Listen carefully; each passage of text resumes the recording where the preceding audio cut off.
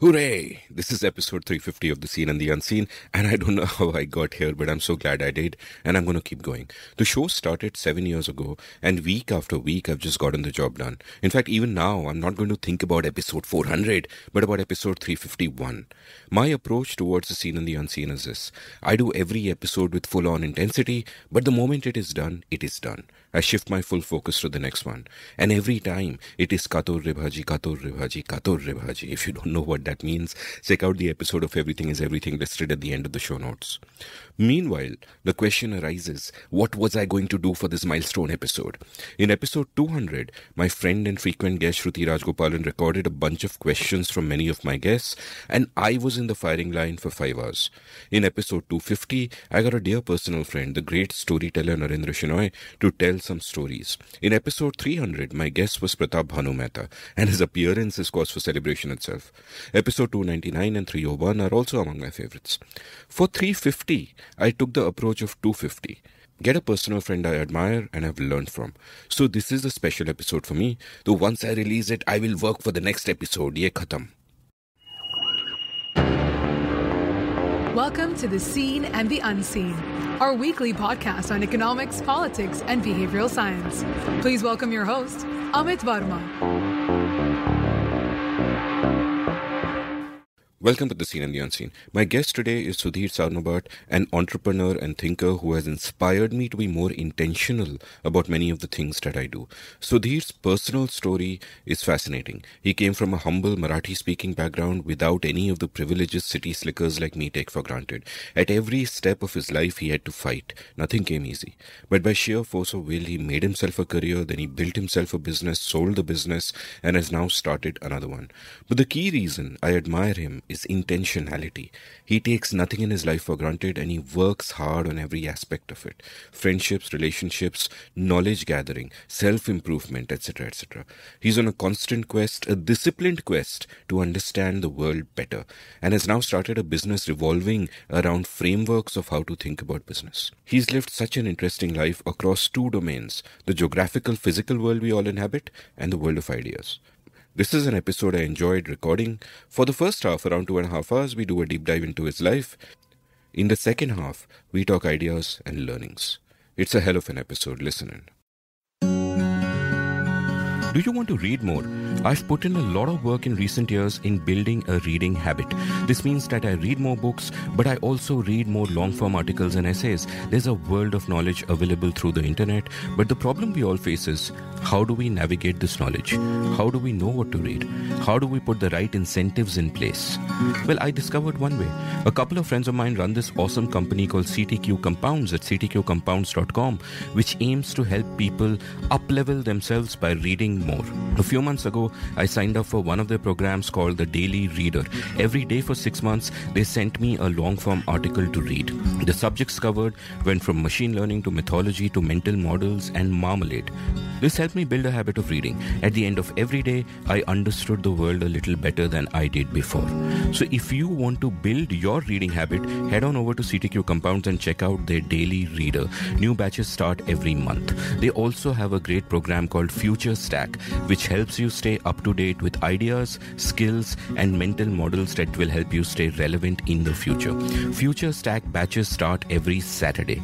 What's more, you get a discount of a whopping 2500 rupees, 2500 if you use the discount code unseen. So head on over to CTQ Compounds at ctqcompounds.com and use the code unseen. Uplevel yourself. Sudhir, welcome to the Seen and the Unseen. Good morning. Welcome. Thank you so much. So, you know, I've been planning to do this episode for a long time, and this is, of course, episode 350 of The Seen and the Unseen. And let's sort of start by taking a broad view of what you're doing these days. What are you up to these days? What keeps you up at night with excitement? I hope nothing keeps you up with worry. What are you engaged in these days? So these days, uh, I am working on a idea of mine, uh, working on something called uh, How Frameworks. That's a company that. So we have a company between me and one of my co-founder, Mr. Rajendra Bagwe. He is from Nasik. Uh, he's a veteran uh, industrialist, runs his own company, and uh, almost retired now. And he's uh, working with he's, he has his own organization called TLC, Teaching and Learning Community. Uh, for last, I think since 2005, he's working on it. So he basically teaches uh, certain ideas and management principles to various companies. Almost now more than thousand companies in his uh, stable TLC members are there, and these companies uh, basically are small and medium enterprises, uh, right from Nasik, Pune, Aurangabad, Sangli, Satara, Kolhapur area. And uh, his motto is basically to uh, kind of making Indian entrepreneurs succeed, and they're working to reach around 10,000 entrepreneurs by 2030. So I met Mr. Bagwe around five years back. Uh, he is basically a consultant for a company that I work with closely. And uh, whenever um, uh, we used to go with some problem, pain uh, in the business, he would always not give a solution just like that. He would always uh, give me a structure or a framework and tell me that, Ki, no, no, you are seeing this in a wrong way. See it in this manner. And then he would throw a, a framework at us. And then we used to go back and think about it. And that has been happening for last five years. And uh, then I said that, Ki, oh, this is something which is very different way of looking at things or looking at your critical business issues and how can this be kind of structured into some kind of a business which can help uh, indian entrepreneurs so that's the idea that kind of uh, got built over last uh, four five years and i thought okay fine uh, let me uh, just talk to him and see if i can uh, convert this into a business idea. Uh, we had a chat around 6 months back and he told me that Sudhir I which way retired. So he's uh, 63 now. Yeah, he's uh, 66, 59 born. So he's almost around 63, 64.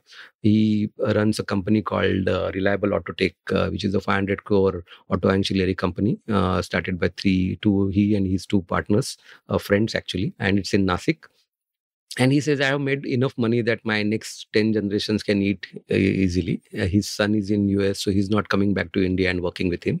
So he said i don't want to do anything for profit. I want to work focus on tlc teaching and learning community. And i want to kind of help indian entrepreneurs succeed in whatever they are doing.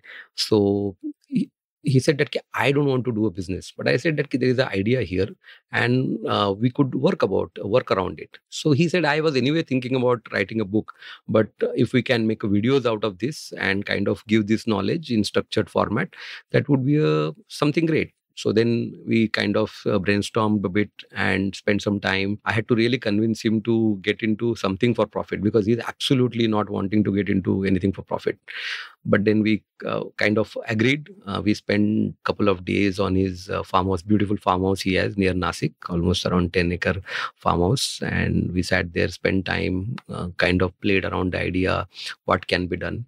And we finally said okay fine. We have uh, for business. So there are a lot of mental models. I think Shane Parrish if you see mental models there, there are so many which are for general behavior or general uh, kind of stuff. But we wanted to do only for specific for business business and that too for small and medium enterprises. So any company which is more than let's say 10 15 crores and up to say 200 250 crores. We wanted to only focus on this segment. So he said that yes i have been thinking on a lot of stuff for last now 15 20 years. I've been teaching um, the all these companies also. So we can build a, definitely around 4 500 such frameworks. So what we are trying to do is basically build frameworks uh, so kind of write down those frameworks convert them into videos videos are not more than 10 minutes so max max is 7 to 8 minutes and uh, there will be a bank of videos like that. So we are pl- uh, planning to launch sometime in the month of February or March, where we will have almost around 100 odd uh, videos. And in the f- uh, front, on the front end, there will be algorithm and a questionnaire where you can answer those questions and we can basically then figure out that oh your problem is coming out to be this. And he has extensive experience on sme issues so he has that uh, kind of structured. And then okay if you have this problem then you could have these five or six videos you watch in sequence and this will give you some kind of a thought process. So now we are not wanting to say that we are claiming that we will give you solution what we are doing is that we are making entrepreneurs think about their problem so what happens is that india per se. A lot of people talk about India's Jugaad and say that it's a fantastic thing. And I think I hate that word because I feel uh, Jugaad is something that you try to do. It's, it's about survival. It's about trying to do some stuff to make it happen. Jugaad cannot scale. So I have this thought process always that if you want to build a two-story house, you go to a local mason and load-bearing walls and you build it. But if you have to make a hundred-story building, uh, you have to make a large structure, then you first go to a structural engineer, and that structural engineer will create a framework of the building first. So when you are wanting to build an organization then that organization needs to be on certain structures. And those structures are what we are trying to kind of think about and kind of give it to entrepreneurs so that those entrepreneurs can then uh, use those uh, to kind of kindle some thoughts and then move towards solution. So at early stage any business will have certain critical business issues and they will move from issues to issues. That's the way the business operate. But while they are doing this they also need to think in structures for the business and kind of move forward to grow the business. So i think that's something that i'm kind of working on currently and what's the company called? What's the business model? So business is uh, howframeworks.com. That's the website. And the company is called Mittelstand Business Solutions. That's the name of the company. We formed the company around a couple of months back. And that's kind of just, we, we just made one payment a couple of days back. So that's how it has started. It just nascent. Fantastic. Very exciting. And th- there's this great line I came across in one of the pieces you wrote, uh, or perhaps it's, it's in your LinkedIn profile, where, where you wrote a few paras about yourself. And you said, we need to transform doer entrepreneurs into thinker entrepreneurs. And I'm very sort of interested in this distinction because it strikes me that when someone becomes an entrepreneur, you'll start with an idea. So you're a thinker at that point, but then you go from tackling one fire after another, reacting to things that happen. And uh, so much of the time goes into doing that you don't have time to take a step back and think in broader ways. And and is that in your own uh, and though we'll go in detail uh, through your own entrepreneurial journey uh, uh later in the episode but just at a broader level is that a journey that you found yourself forced to make? Did you make it late? Um, were you there early? Does it take a certain kind of person? Like some people are more naturally doer kind of people and some people can do the thinking kind of people but then they don't do. So in in this situation to take someone running a business and sort of you know show them another lane make them you know skip back and show them the uh, other underlying layers you know what is how's that journey been for you personally? And we can begin with that. So I think I was a doer, and uh, among my friends who also uh, we worked together, uh, everybody used to say you are a doer, and I enjoy doing. But over a period of time, once I started, I started my own company in 1997, uh, 98.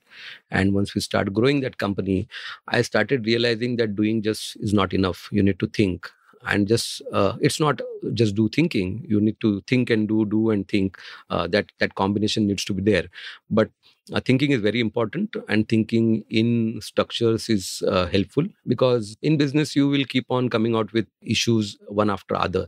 And unless and until you go to the basics of the business you you will not be able to solve them in a real format. Otherwise what happens is that you start solving the symptoms not the real uh, cause of the business. So I, I, look at business as very simple thing that key create value that's the most important part and then make profit these are the two things. If you if you focus on these two things very clearly you can actually do wonderful business. Everything else then becomes complexity but the pure pure thing is you have to create value. You cannot not create value. But at the same time you have to make profit because if you want the business to continue you need to make profit. So over a period of time i think the journey was that uh, when i was uh, ignorant i was smart or i was actually very confident and then over a period of time i started seeing smarter people. I started seeing that yes there are blind spots that i've had. And then my I didn't lose my confidence, but I started seeing things with a little uh, kind of. Uh, I started thinking about it. That am I doing things right? Is there a blind spot that I have? And I became, I think, more humble. The self-reflection helped. I started. So, so uh, whenever I my email has a quote that if you are in the if you are the smartest person in the room, you're in the wrong room. That's the mm-hmm. kind of a mm-hmm. quote that I have. And I that quote keeps me reminding that I want to be in the room where there are smarter people, smarter than me. Uh, I always uh, worked whenever I'm in business. I never hired people who are dumber than me. I said, you know, I need to hire smarter people. Uh, at certain point of time, uh, the people whom I had hired uh, had uh, took more salary than I took home. So at, certain, at in our business, I we paid them more salary, and then we had uh, me and my partner we had debates. How can we give them more salary than us? And I said, oh, we have equity. We are creating value, but that person does not have equity, and if that person does not have equity, and if he's smarter, then we need to give him more salary. So we had uh, followed those principles. So all these things came after a kind of self reflection, after kind of uh, thinking about stuff uh, that we were doing. And I realized that uh, thinking is as much important as doing. Just doing doesn't uh, work. Uh, thinking, thinking in frames is what matters. So I think that's something which I learned over a period of time through my professional journey. I love the quote about if you're the smartest person in the room, you're in the wrong room. But that leads me to a game theory problem. Mm-hmm. That if everybody believes that, then whenever there's a room full of people, mm-hmm. the smartest person will leave because he's in the wrong room. And then the next smartest person will leave because she's in the wrong room. And so on down the line and obviously i'm kidding the guard against this is that everybody has the smartest people have humility so they will never True. acknowledge themselves True. as the smartest True. people True. so that kind of helps True. but otherwise you get into a game theoretic situation where there's nobody in a room because everybody had to leave one by one uh, anyway i'm just kidding and you know i want to sort of underscore that profit point also because too many people sort of like I remember, there is of course a famous quote from nehru to jrd tata where he said never speak to me of profit it is a dirty word and equally there is a quote, I forget the exact words, but by Lee Kuan Yew, you know, in the early days of Singapore, right? Without profit, Singapore can never grow, True. right? And I think that value and profit are intrinsically linked because what is a metric for you to know whether you're creating value or not? True. It is profit. If you're bringing, you know, it's a double thank you moment. If uh, you're bringing value to someone, they will pay you for it. And so, one, uh, the metric for whether you're creating value or not is profit and two the incentive to keep creating value is profit. It is the best True. incentive. So these are linked in such beautiful ways that i somehow sometimes bemoan that attitude where people think of profit as oh exploitation chal raha it's dirty they're thinking of money they're materialistic and i'm like no no no this is you know this is what keeps us moving forward. This is what hel- helps us you know move ahead. But you know quite apart from my little and very characteristic rant I will move to the characteristic line of inquiry and ask you about your childhood because I'm very curious. You know, where were you born? Where did you grow up? Tell me about your parents. Uh, so I'm born uh, in Bombay, uh, Bombay all the time. So I love calling it Bombay. I, I never could resonate with Mumbai per se. It happened, but I never could resonate. I am born 1969 uh, in Bombay in a place called uh, Kanwar Nagar in Vikroli. It's a small, uh, typical, you would say, chawl system. Uh, that was uh, the MHADA, the early erstwhile uh, the housing board. They used to call housing board then. Now it is called MHADA. So those are buildings, and those were buildings of 100 square 80 square feet house, uh, and uh, there are 40 buildings, uh, 40 rooms in a building. So five story building, no elevator.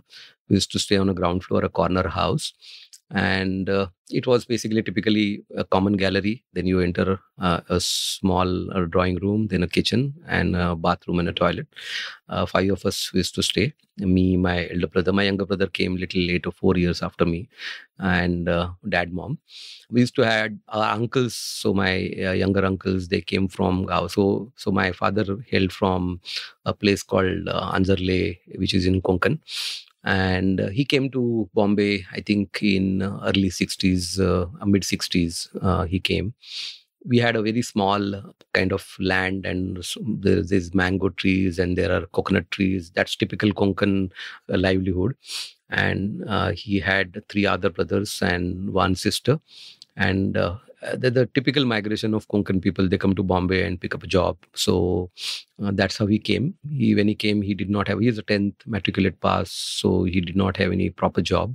So I think he uh, dropped the milk line is one. You drop milk in the morning, you drop paper in the morning, that kind of a stuff he did to start with. He stayed with one of his uh, uh, maternal sister. Again, uh, they had a house in somewhere in Chinchpokli, uh, which is a typical uh, the cotton mill hub, and they also had a very small house. So these guys would sleep in the common gallery or maybe sometimes on the footpath.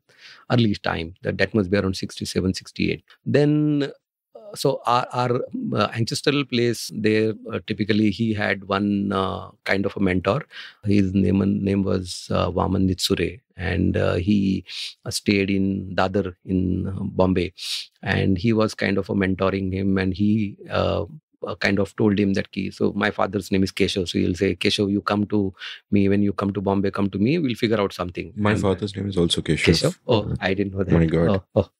So uh, he he came to Bombay and he did uh, these odd jobs to start with first, and uh, then uh, he got this job. So this his name was Vabha Nitsure. I still remember that name, and uh, he used to stay in a building called Siddha Road Building in Bhavani Shankar Road on Dadar, and he was a manager in Digvijay Textile Mills. So he said, "You come and maybe we'll give you a job." And that's how my father got a job, which was a stable job then uh, in Digvijay Textile Mills, which is in Chinchpokli, Lalbagh area, a typical. And I think uh, uh, was basically a tenement where people were given uh, so low cost housing it was, and uh, uh, you got it through allotment. So I think the four flats which were there, those four flats were given for the freedom fighters. So all our neighbors were freedom fighters, and this flat was given to a freedom fighter. But that guy, I think, did not have that seven thousand rupees to pay, and he didn't want it. And then uh, somebody told my father that "Ki, this flat is kind this house is kind of it's not a flat it's a house. This house is kind of available and if you f- fill up this form and do this then you will get it. And i think in 1968 we got it uh, and my father moved in there. It's a reclaimed land completely reclaimed land. And i think this entire property or entire land is owned by godrej family I think acres and acres of land, and this is a marshy land. So they put uh, uh, reclamation, and then they built this entire colony called Kannawar Nagar. All uh, typical. Uh, it's not uh, cosmopolitan. It is all Maharashtrians, all who have come from Konkan, and everybody is doing small jobs. So somebody is in mill, but most of them were in mill, the cotton mills of Bombay, and everybody would leave in the morning at seven, seven thirty-eight depending upon their shifts and come back in the evening the railway station was around 10 12 minutes so you walk down to the railway station and come back from there that is typically how it started. I was in a, a local school called vidya mandir. So i finished uh, i did my first to sixth standard uh, from the school called vidya mandir. Uh, very small school but everybody from there i was a studious kid. So i used to study well and uh, there is used to be something called ideal student in every class. I used to be ideal student because you study well. My handwriting was good. So handwriting was one of the good thing. Then yeah agar handwriting hai to you're like a good student. And that was there. And i spent 6 years uh, in that uh, uh, school. Studied well got first second rank all the time. But it was a small pond and i was the king in the small pond. So i, I didn't realize that then but now when i look at it I, I realize it. And my parents used to take pride in their son coming first or second and studious because i think uh, that was the currency.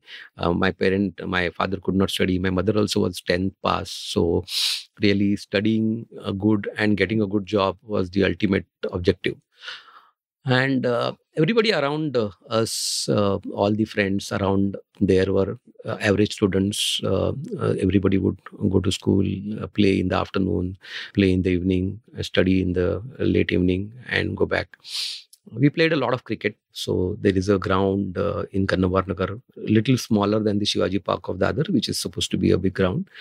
And we used to play in that ground. Uh, we had small small grounds around and it was typical that rubber ball cricket. And uh, uh, during the summer vacations uh, start at around 8 o'clock in the morning playing cricket come back at 1 eat have lunch again go out at 2 o'clock play up to 6 o'clock.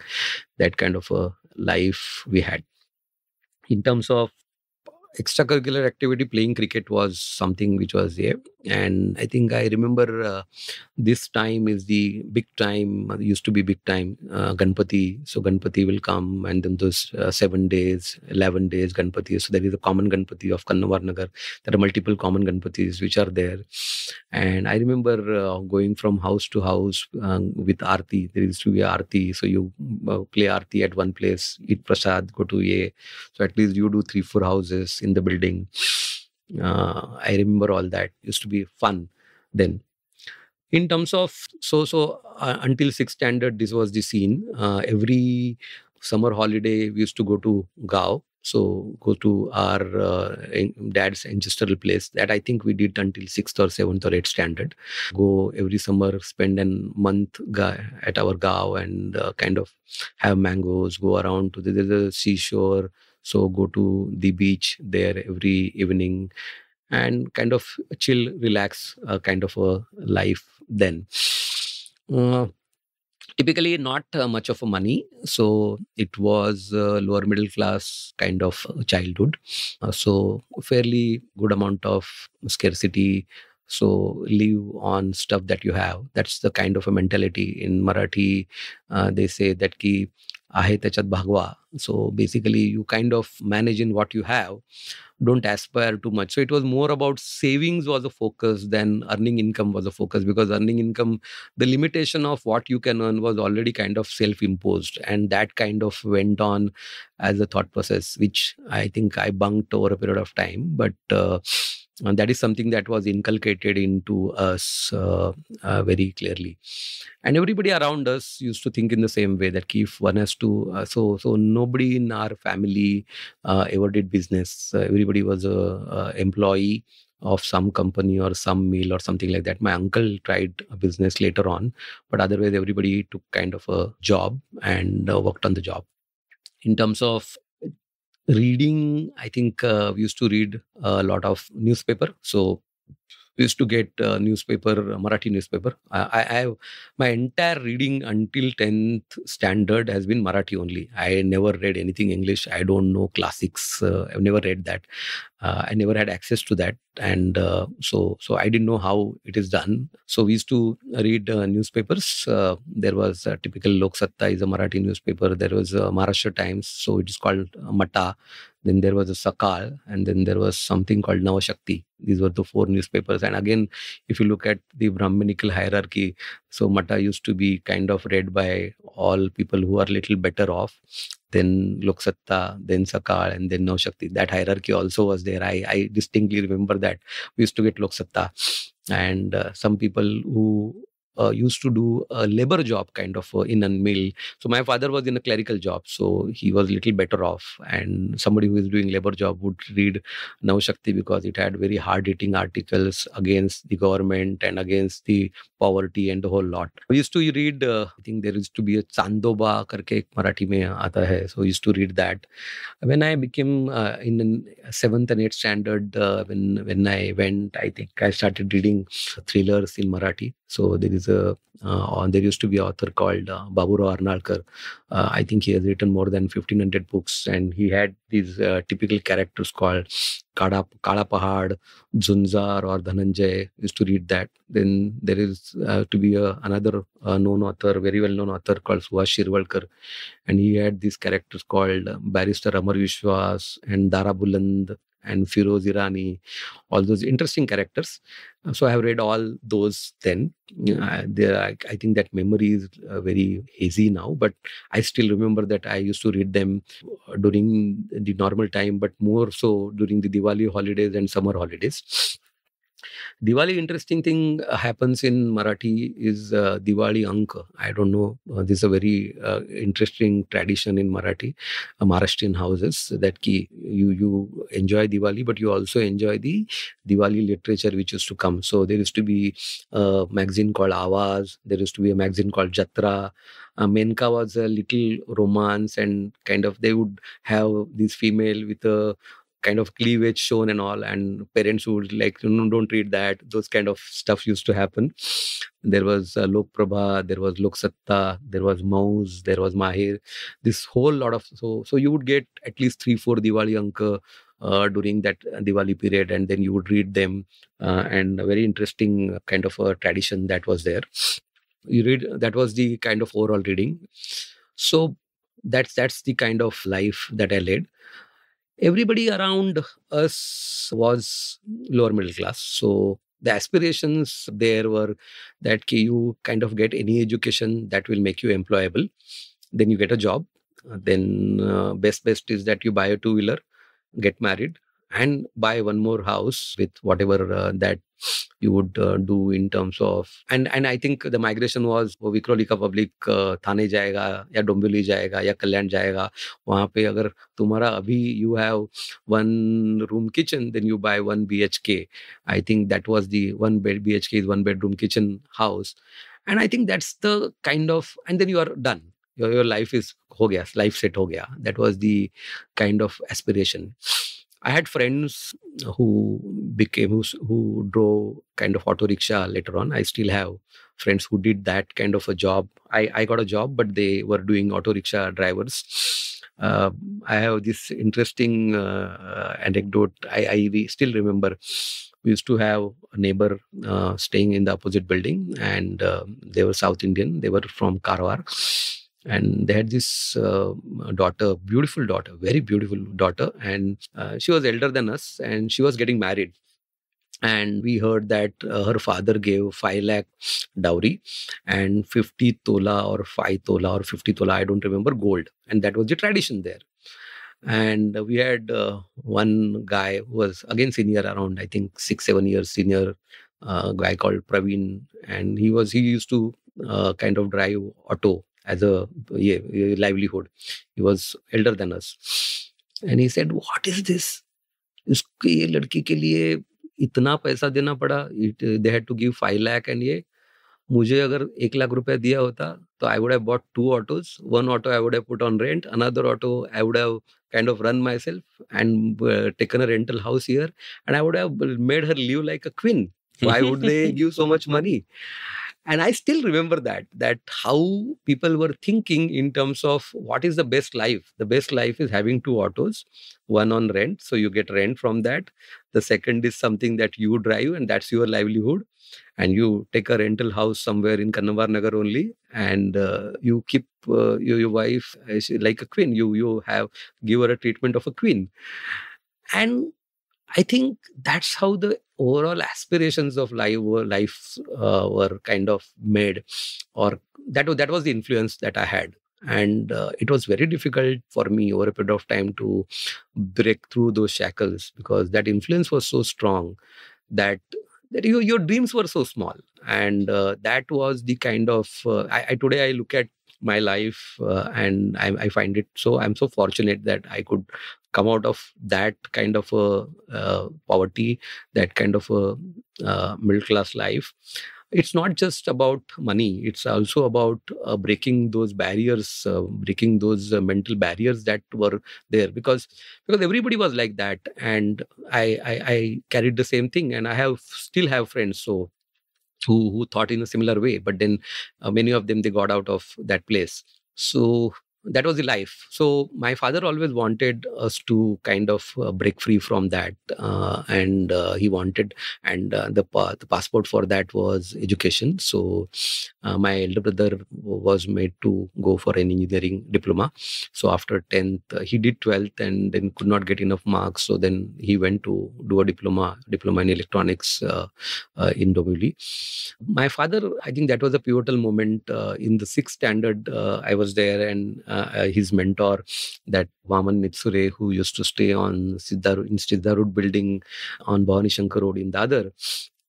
Uh, he told my father that ki, if you want your son to get admission to good college then you need to move him from Vikhroli school to different school and in the sixth standard my he told that ki on my wherever i stay he, he stays on bhavani shankar road couple of buildings away is shardashram school shardashram is famous sachin tendulkar school so he said that Sharadashram is there. So you get admitted him, get his admission in Sharadashram.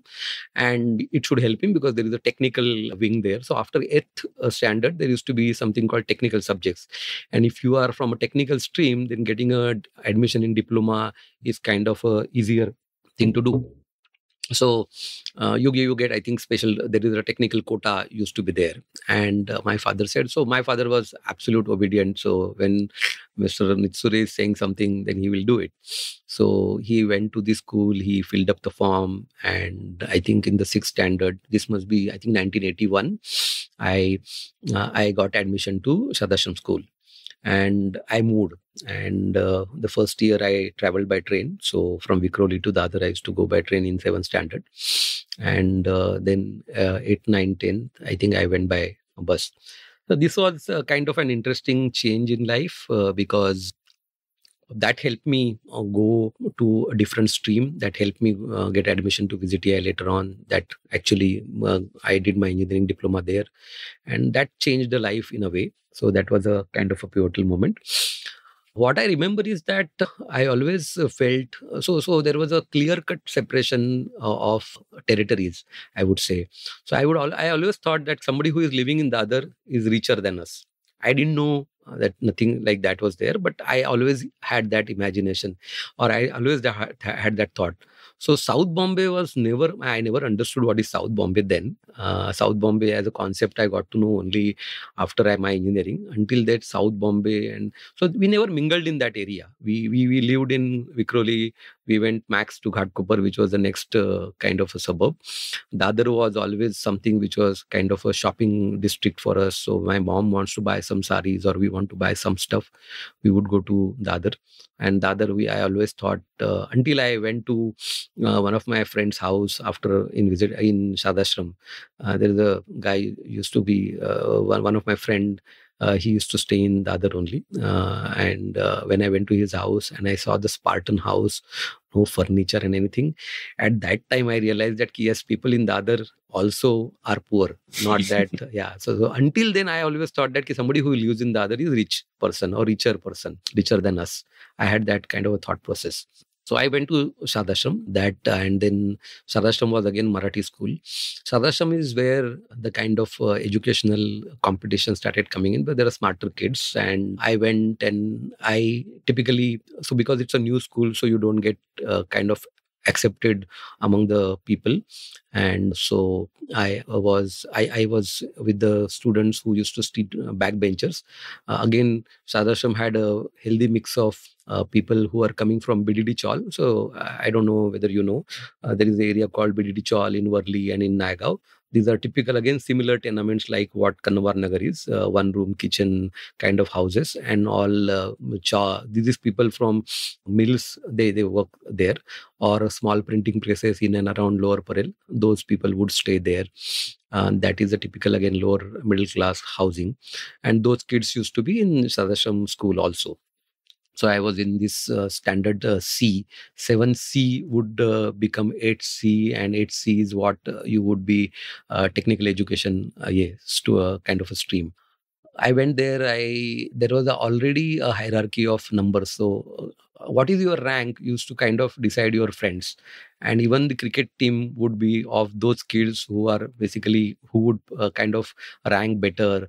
And then rank lower there would be a different cricket team and first semester happened and uh, first semester i studied well. So i used to kind of i was a very sincere student.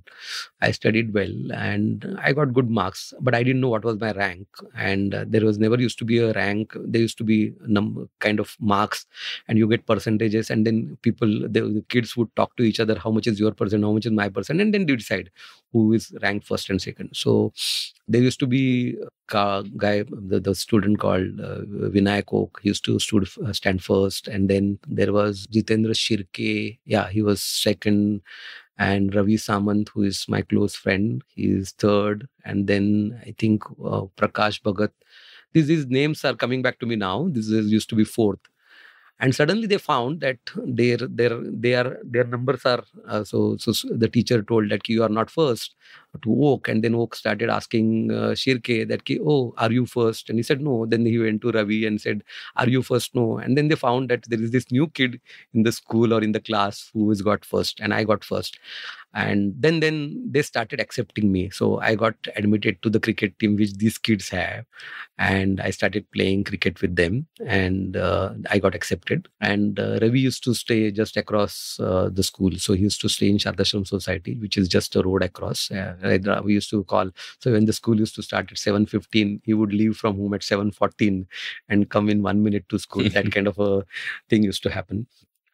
So Shardashram, we I never got into school cricket team because we had fantastic cricketers. Sachin was already there when I was in 10. Sachin was in 8, and uh, there is a V section. The, the, uh, our school is a kind of a C uh, shaped, and uh, and the V on the front and uh, first and second floor you would see the glasses are broken. Those were straight drives that were hit by cricketers Wow. who would break the glasses and those all glasses. They never bothered of fixing those glasses because they would get broken every now and then so sachin was there Vinod Kambli was there.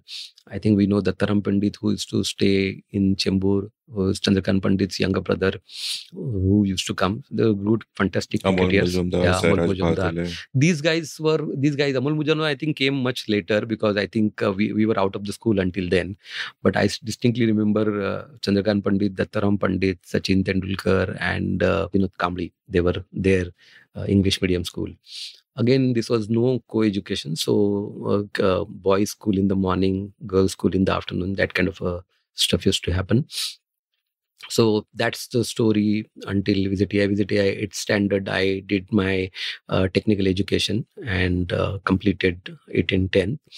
After 10th, the focus was basically by that time was around 85 and uh, the th- focus was uh, get on to good education so do engineering diploma. And um, i had seen my elder brother uh, struggling the 12th standard and i said that "Okay, fine let's do a diploma. Though i was good i didn't want to do 12th so i did my engineering diploma.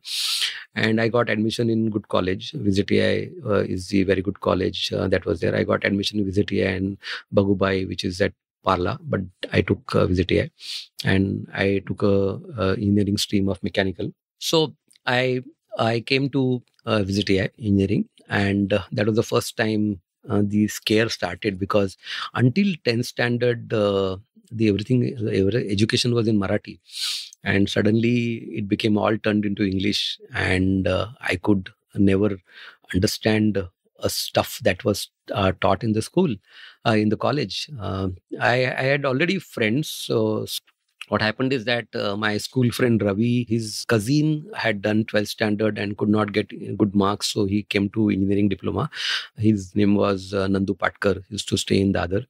So he was in my same class and he became my friend. He had his friends from his school, so they became my friends, and that's how my group of six to eight friends uh, got formed. So that was a good thing. I had kind of somebody whom I could look up to, and these kids, uh, these all of these guys had already finished uh, 12th standard so i- i- some education in english had already happened.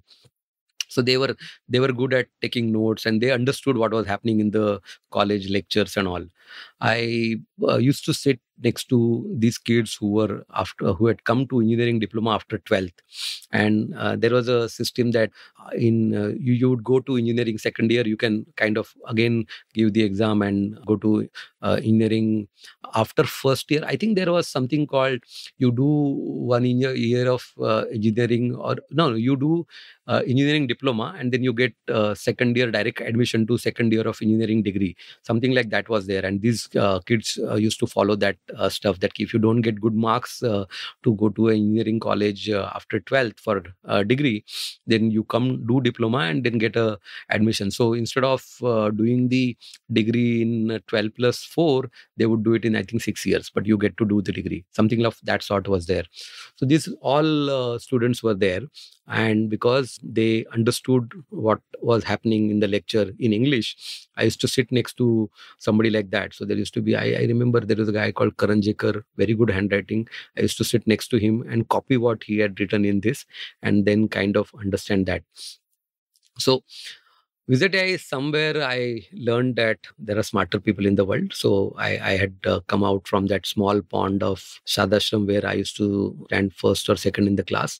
But uh, VJTI, I could never get that rank. There were absolute way, way, way smart kids. And then I, I was in, I used to get around 70, 80% marks. And I used to kind of pass through the stuff, but never close to passing marks, but never at the top of the school. And i did uh, the entire engineering sincerely. We had a interesting concept uh, during diploma there. It is the fifth semester and eighth semester is where you would go and work in industry. So during my fifth semester you had to go for an implant that used to be called implant training. And you you would go to kind of uh, uh, so companies used to send uh, a kind of invitation for implant training and you kind of go give small interview and they would take you as a trainee and they will pay you stipend also.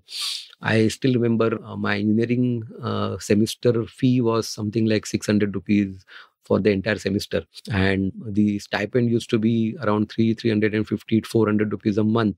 So uh, rather I, would kind of uh, make more money uh, in those 6 months uh, than my entire uh, kind of uh, college fees.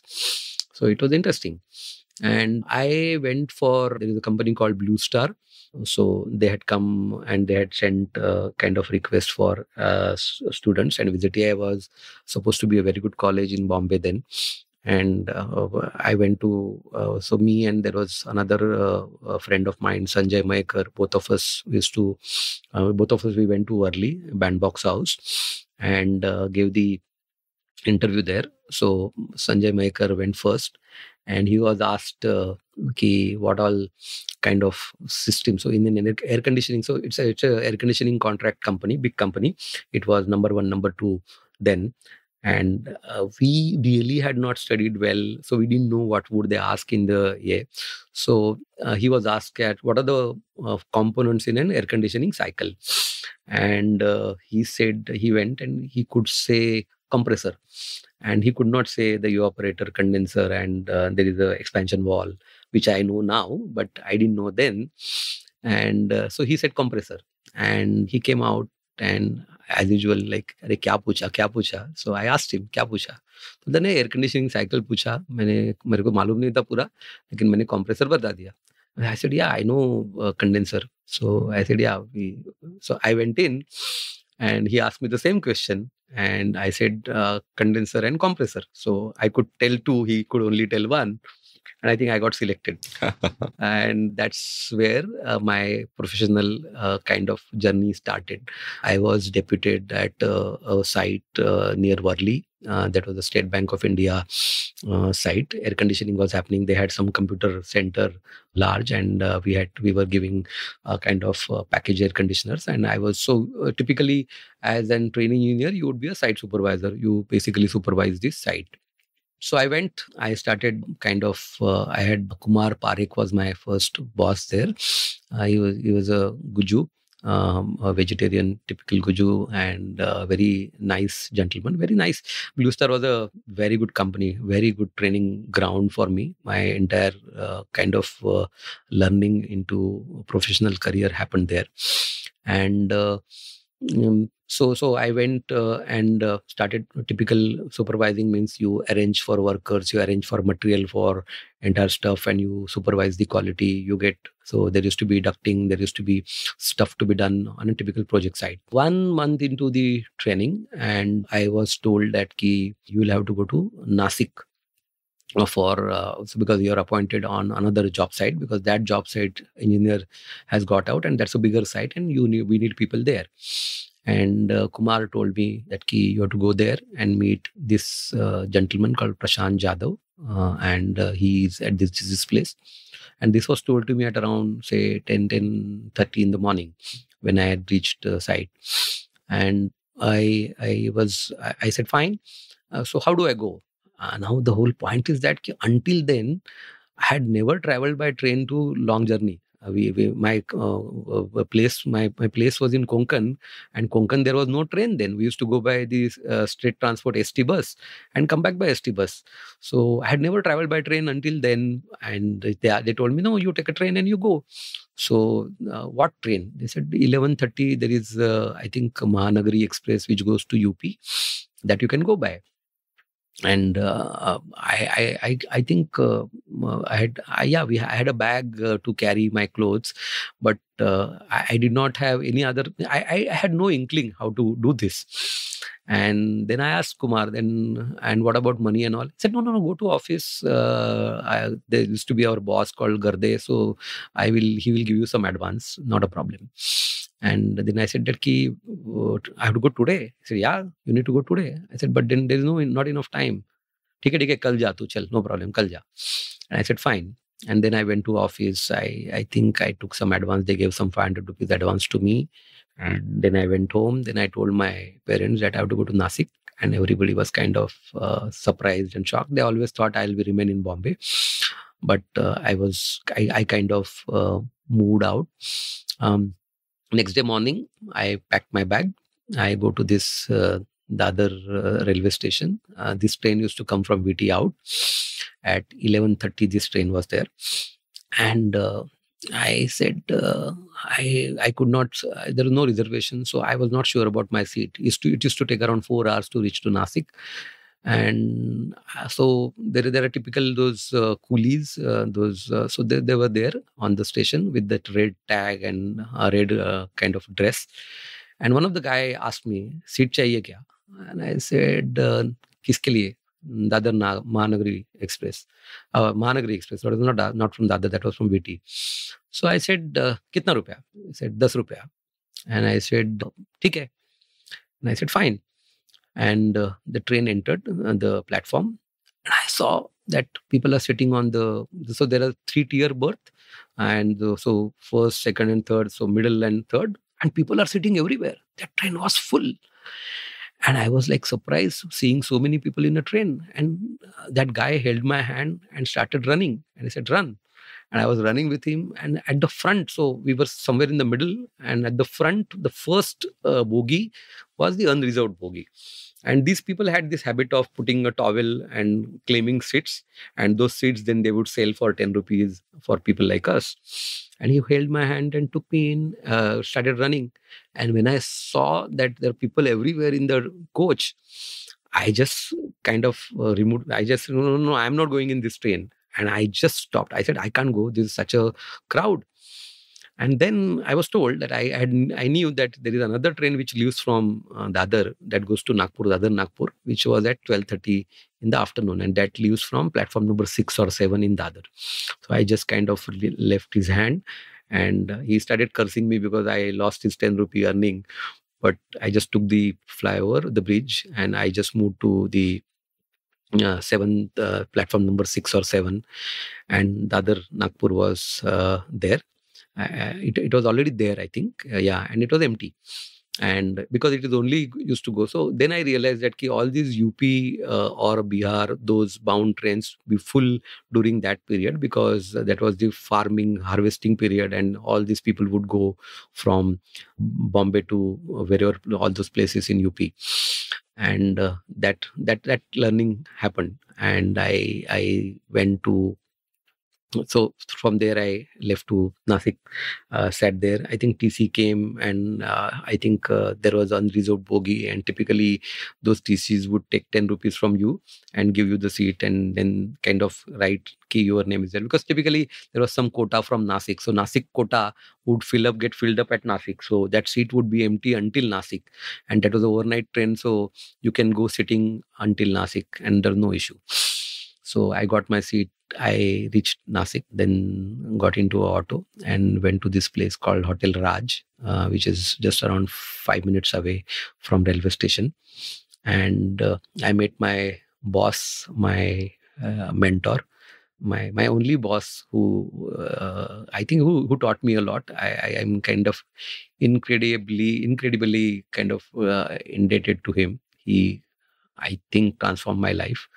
So Prashant Jadhav, uh, he was my first and last boss, only boss I had, and uh, he was there sitting uh, at around. I reached at around 4:40, 12:30. I think 4 4:45. I reached in the evening. I still distinct. I still remember that room number 13 on the second floor of Hotel Raj uh, at Bytco Point, and he was sitting there and he was writing something and then he was having his one peg he was having his drink. And he he told me come. And he said let me finish this what he is doing. And i sat there. I kept my bag. And uh, then after i think 10 minutes he looked up and he said no no i was writing a letter to client. So i was just kind of a draft. Now writing a letter he was writing in a writing pad. Because i think that time there were no computers. I, this is 1987 i'm talking about uh, yeah 1987 yeah. 85 87 yeah. You were like 18 years old. uh, 17 and a half 18 Wow. yeah. Hmm. and uh, he, he told me i was writing a letter to client the government client and uh, we have to keep our correspondence perfect. Otherwise we can uh, be uh, we will be imposed penalty for delay in the job. So you have to keep recording every delay. Because the project project of i think 18 months 24 months and project management may you have to keep your ground clear. So that's uh, Prashant Jadhav writing his letter. And I had already seen the dustbin uh, with, uh, I think, uh, 10, 12 papers thrown in the dustbin. So he had already written some seven, eight drafts of the letter and thrown them. Very meticulous guy. So he just gave me that. And then uh, he told me, okay, fine. So you are going to be the site engineer on this project called Currency Note Press. Uh, we have a, a contract of 1.37 crores then i remember that's huge. 1.37 crores uh, in 87 is like today some 15 20 crore 25 crore project. And you are going to be the site engineer. I'm going to be the project engineer. And he just he had this vip car briefcase. So that is the interesting uh, thing about briefcases briefcase was a symbol of sophistication. So if you have a briefcase, that means you have arrived. Something remember, like that. Yeah, yeah, I remember. And that those typical VIP Ecolac briefcase he had. He opened that briefcase. He had that number lock, and he took out a uh, packet and he gave it to me. That packet was uh, five thousand rupees cash, and he gave it to me. And he said, "Sudhir, this is the money for spending site and all our expenses here. Uh, so this is the money you start spending." That was the first time I had a bundle of 5,000 rupees in my hand ever. In uh, today's money, that would be like two, three lakhs. I don't know how much it would be. I never really kind of mentally calculated that. But it's priceless for you. priceless. I never had that kind of money in my hand ever. And that kind of, um, I, I look at that moment and I feel what kind of a what confidence one can get with money in the hand because i was always uh, never money was never there so so that money that packet was kind of so you can spend this money and uh, you can uh, kind of have this in your hand. Itself was a huge uh, confidence booster. I was a lanky kid. I had uh, so so i was not um, not a very impressive personality. I was not very tall. I have five feet seven and a half inches then.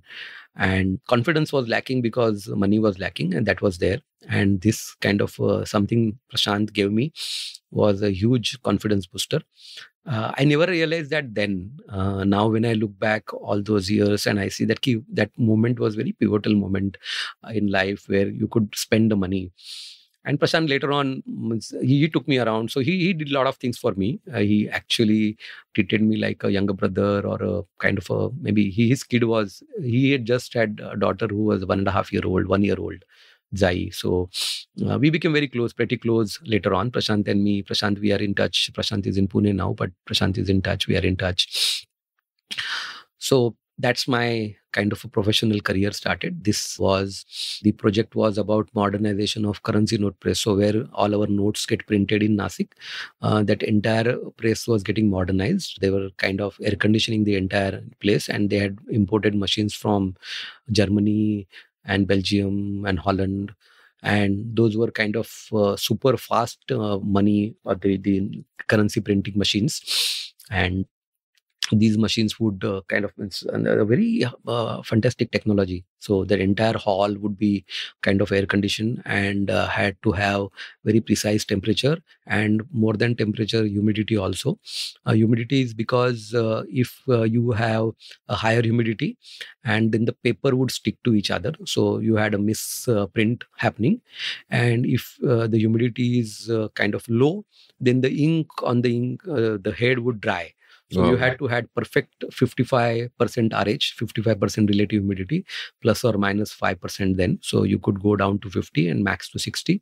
Beyond 60, paper would stick. Below 50, ink would dry. So that was a very precision uh, kind of uh, uh, air conditioning then. That's where I learned air conditioning in Blue Star. So I was doing my college. So This was a six month stint. So I used to go to every Monday. I used to go to Nasik, and every Friday I used to come back, uh, spend uh, time, and then sometimes I used to stay in Bombay for uh, on Monday also to arrange material and get stuff done in a Blue Star uh, headquarter was in Worli, uh, the Bandbox House. I think uh, next door was Dunlop, where Sunil Gavaskar used to work. Uh, Nirlon, no, Nirlon used to be next door, and Sunil Gavaskar used to work. So we used to kind of say, okay, Sunil Gavaskar is here. Cricket was the kind of fascination then, still, and that's how it was. Blue Star kind of gave me a lot of uh, learning or air conditioning. My professional uh, kind of grounding happened there. Project management, I learned there. uh, Prashant was a, is a very good teacher. He's a, basically a teacher. So he taught me all the ropes. How do you manage a project? How do you kind of uh, get stuff done? The coordination, the logistics of material. Um, there used to be a lot of stuff used to happen in terms of logistics alone. Octroi was very peak then. So there were four Octroi Nakas uh, on Nasik. One is from Bombay, one is from Gujarat, one is from UP Bihar. Uh, so yeah, one is from Pune so material used to come from all places. So they the material used to get stuck because uh, you have to go and pay octroi. So we used to carry cash and pay octroi and uh, I, I, that was my job. So take a whenever i used to go and there was no mobiles then. So landline so they would call on my hotel landline and they would uh, tell us that the truck has come then you go and get release the truck pay the octroi or uh, uh sometime uh, so we had because it was a government uh, institution the octroi was exempted. So we used to get octroi exemption certificate. So show the octroi exemption certificate. And sometimes we used to get material for other sites also. So that coordination work was my job. Uh, going to uh, site and supervising the work supervising the quality supervising the timelines that was my job. And uh, that's how i spent uh, 6 months uh, at nasik. We used to stay in that hotel raj and that was uh, room number 13 14 and 15 the corner rooms uh, we had so i'd asked him why prashant why we ask for only these uh, three rooms? And he said Ketki, only these three rooms have toilets with uh, blue tiles and they look nice. Otherwise every toilet each every other toilet has white tiles and the joints have kind of yellowed. And that's he didn't like. So he says we used to say that these are the only three rooms that we would stay. So 13 14 and 15 number room. And for the entire next uh, so after uh, 87 i again came back to blue star in 89 for my second stint of implant training. And then i got job also in blue star. So all these years i stayed in that room number either 13 14 or 15 on the second floor of that hotel raj. Have you been there recently? Uh, yeah that hotel is closed down. Recently i went to pune from nasik and i saw i just halted for a minute there uh, stopped my car there and that hotel is closed down. I remember we used to pay uh, 40 rupees a day as a rent there and they used to give us a room on monday to friday but they used to not have any other guest in those three rooms. So they would fill those rooms when all other rooms are filled. We had rapport with the owners. I think the jaju family in nasik they used to own that hotel Hotel Raj and Hotel Raj Annex. And then there was a biryani, fantastic biryani place down there called Cafe Park. And then there was a Raymond uh, showroom there, which that family had a franchisee for Raymond. Uh, very interesting times. Uh, and we used to travel by auto the auto rickshaw uh, and that was uh, one rupee per seat. So there, there there's a small route and the, everybody would go by uh, share auto and they would have three or four passengers in the backside and two passengers in the front and you pay a rupee and you travel like that so that was my uh, first stint uh, learned a lot we used to the the so the client was the India Security Currency Note Press, but it was uh, being done by the central government contracting wing called CPWD, Central Public Works Department. So the Blue Star contract was with CPWD. CPWD's client was uh, India's uh, Currency Note Press.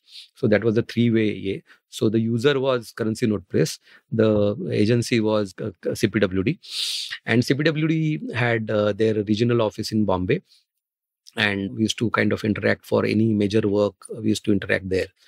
That's how my six months passed. Came back to college again uh, for the sixth semester and seventh semester engineering was interesting. Uh, friendship was there so everybody had gone to their implant trainings in the fifth semester. Sixth semester we all came back. Uh, we had a group of friends and we were more uh, in the canteen and we, we were in so uh, so if you know uh, VJTI VJTI is in Matunga and that entire area is full of colleges. So VJTI opposite next to VJTI was a Khalsa college. Opposite VJTI was UDCT, which is now I think uh, University of Chemical Technology used to call then. Then Don Bosco School. Then SNDT uh, which was the women's college down there. So all these five six colleges and there was a one bus stop there. And we used to sit on that bus stop and we used to play cards uh, or either we were on that katta or we used to be on that uh, or in the canteen we were kind of uh, we I had friends, so five six friends of us. Uh, so Nandu Patkar, uh, who was my friend of my, my, cousin of my friend, close friend Ravi. Uh, then there was Mahesh, Mahesh Kadam. Then there was Girish Nare. Then there was Bhumesh Patil. There was Sanjay Maekar and me. And then a couple of kids from Dombivli who were also, but they were on off in our group. But these six people, we were, we were together and we used to play cricket. Uh, we used to play cards on that katta. And, and watch SNDT girls passing was, by. Yes, yes, yes, yes, yes. Watch SNDT girls passing through. Uh, Nandu had a crush on one girl and he wanted to ask uh, her someday out. And I, I think he, he even went and uh, Uh, yeah I, I i remember she that girl used to stay in the building next and she used to go to some college and used to come back by that bus there. And MVC 69. I think that was the car number. Uh, we, we, used to call that uh, girl MVC 69. uh, and Nandu used to kind of uh, wanted to ask her out. And I think uh, I think he made a fiasco of that. Mere ko tere se aisa kuch pyar hai, aisa kuch to he started, he, he I think kind of uh, stumbled on. I, I, I don't remember that exactly, but something like that happened. Yeah, but that was it.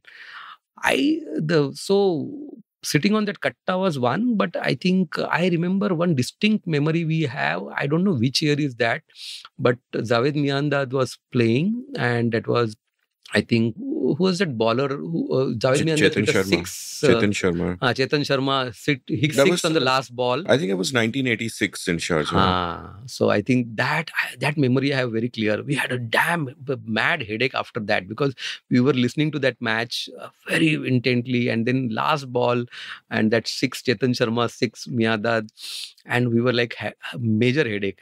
इतना गाली दिया था इतना गाली दिया था चेतन शर्मा को उस time so I remember that. That's a very distinct memory on that katta. We were sitting on that katta and we were listening to match, all six of us. Yeah, so that was interesting time. Uh, we came back to college, uh, spent sixth and seventh standard. so that was it. Nothing great in the college. Uh, typical studies, passed through the exams. We always did well. Nandu was a very sharp kid, very intellectual, very very intelligent boy. Uh, Girish Nare, another intelligent boy, very very studious, very good at maths. I was never good at maths. Uh, like Naren is good at maths, but I'm not good. Naren can understand calculus. Naren can understand integration. मेरे को नहीं जमता है. For, I should tell the listeners you are referring to a mutual friend Naren Shenoy. Yeah, yeah. So I, I I always had phobia of maths. I don't know why, but I had. When Naren keeps saying that it was our math was bad because teachers were not good, uh, I, I, agree to some extent, but I never was uh, inclined towards maths in a way. But these kids were very good, and we used to have these exams. So what was happen? What what used to happen is there would there would be all the six subjects that we had for semester. There would be exams. Uh, so math was there for first year and second year, and maths you would 50 marks uh, paper and every monday exams would happen two exams would happen every monday. And best of three exams they would kind of take for the final. So final exam would have a weightage of 50 50 so your unit test weightage of 50% and final exam weightage of 50% uh, nandu and girish uh, they used to get 50 out of 50 in maths. Uh, brilliant kids. And nandu to was like damn arrogant. So there used to be three or I think yeah three questions or two two questions of 25 marks each or I think three questions of 15 plus one small question of five marks that used to be there. And they would give that key there are total eight questions attempt any three. So Nandu would solve all eight and he would write a note that key uh, check any three. That kind of a confidence he used to have. Because the uh, marks of first two exams would be out and then people would not take the third uh, exam. Uh, so to keep the attendance they would not give the marks of the second exam until the third exam is done. But nandu and girish were such kids that they would never used to sit third exam. Because they were so confident that second exam mein they would get good marks they will never sit for third exam. Very good very studious kids. How much would you get on 50 out of 50 i would get something like 27 28 nothing more than that. I think that was what i was uh, never 21 22 20 was a passing mark then but 27 28 max i used to get. But other subjects i used to do pretty good, but maths was. I, am still scared. I'm, I'm, even today math. I'm scared. My my numbers are good. I understand numbers well. My percentages are well. I can quickly do that mental math.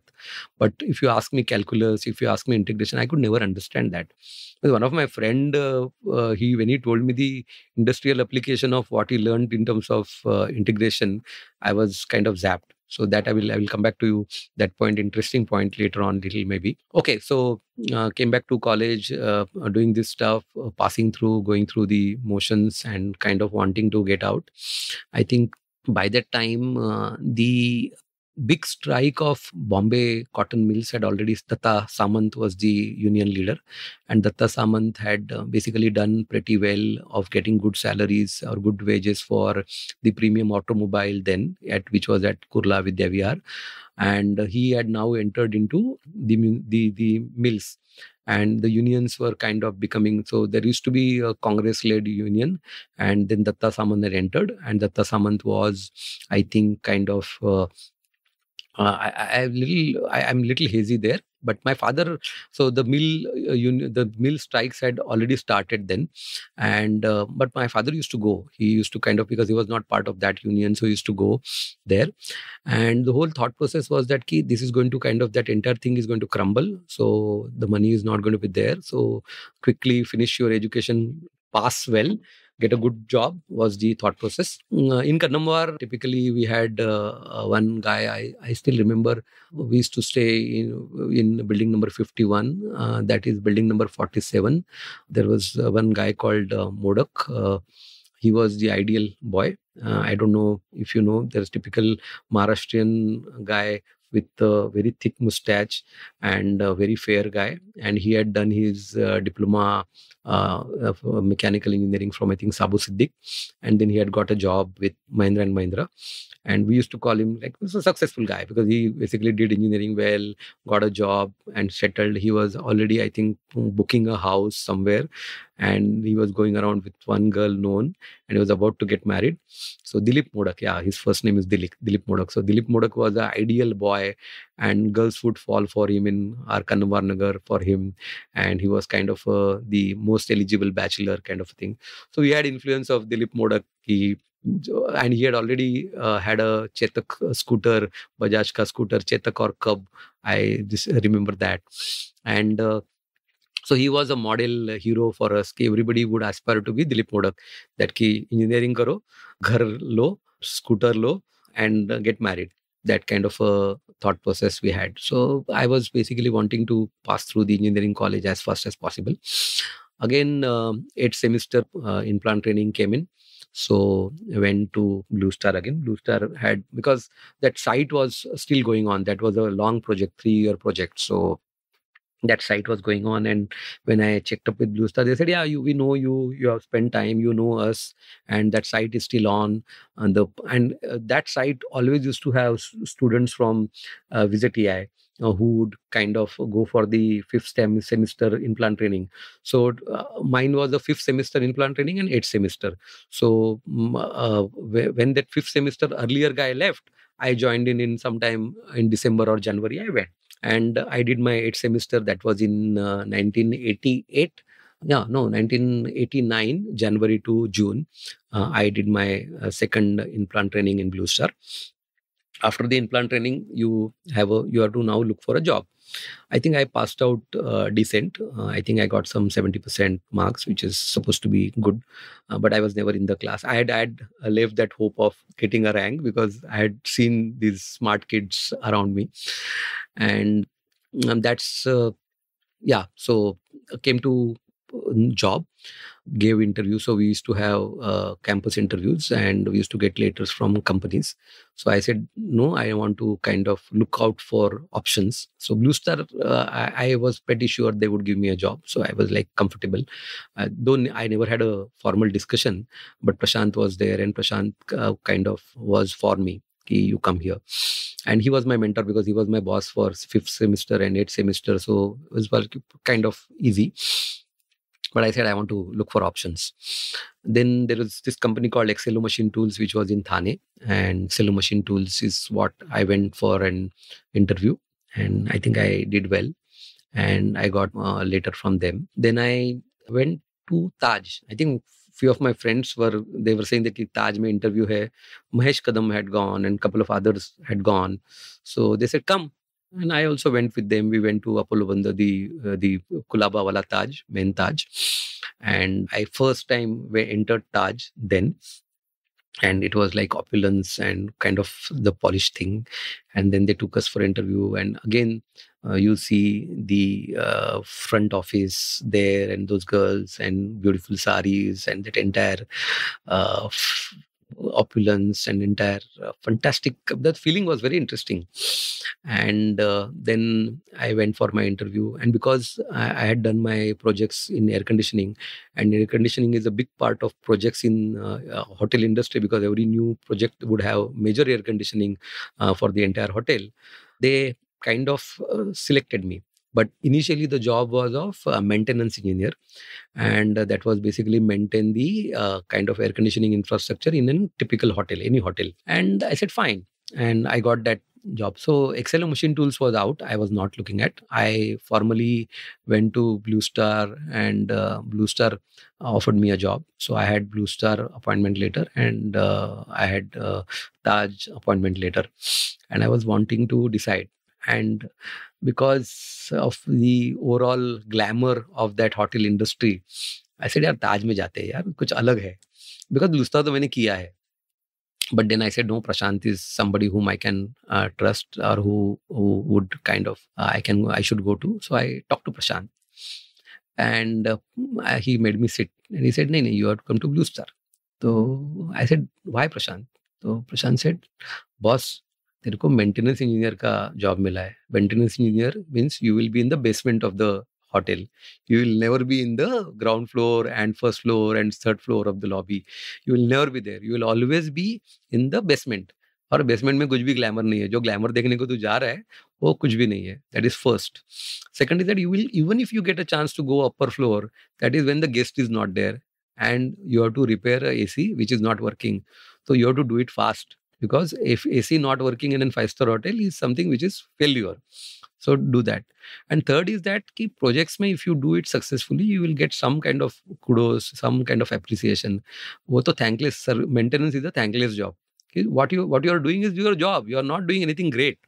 So remember all these things. And I think uh, the penny dropped then. And I said, yeah, yeah, what he's saying is sense. कि basement में ही रहना पड़ेगा वही देखना पड़ेगा then i decided against it and i think that was another uh, pivotal point. I okay fine i'll join blue star. And that's how i think uh, i joined blue star in 1989 sometime in june july. And that became kind of my professional career funda uh, yeah. and uh, prashant was uh, my boss and the same project was there in Nasik, we got one more um, big project. So India Security Press, which is a sister concern or close by. So India Security Press is where the bond papers are printed, the passports are printed. So all anything which is a securities kind of paper is printed in India Security Press. So they were also modernizing then in around 89 and that project came in. So these two projects were huge projects and that's how uh, I started um, kind of working in formal uh, professional career in Blue Star. When I say Prashant uh, is an huge influence is because during my entire period, Prashant kind of boosted my confidence a lot. Uh, Prashant used to stay at the other, so uh, just behind Siddhivinayak temple, uh, there is a society called Kamana Society. Now he has shifted, he sold that house now, but he used to stay in Kamana Society on, I think, some 11th or 12th floor. A very nice house. And Prashant uh, taught me a lot in terms of Bombay that's that's where I learned that you understand the city uh, by walking on foot or by going around, yeah, going around the city. Now, our office was in Worli. Uh, we used to kind of meet at Dadar many times and we used to go to town. There is a refrigeration accessories market uh, in CP Tank.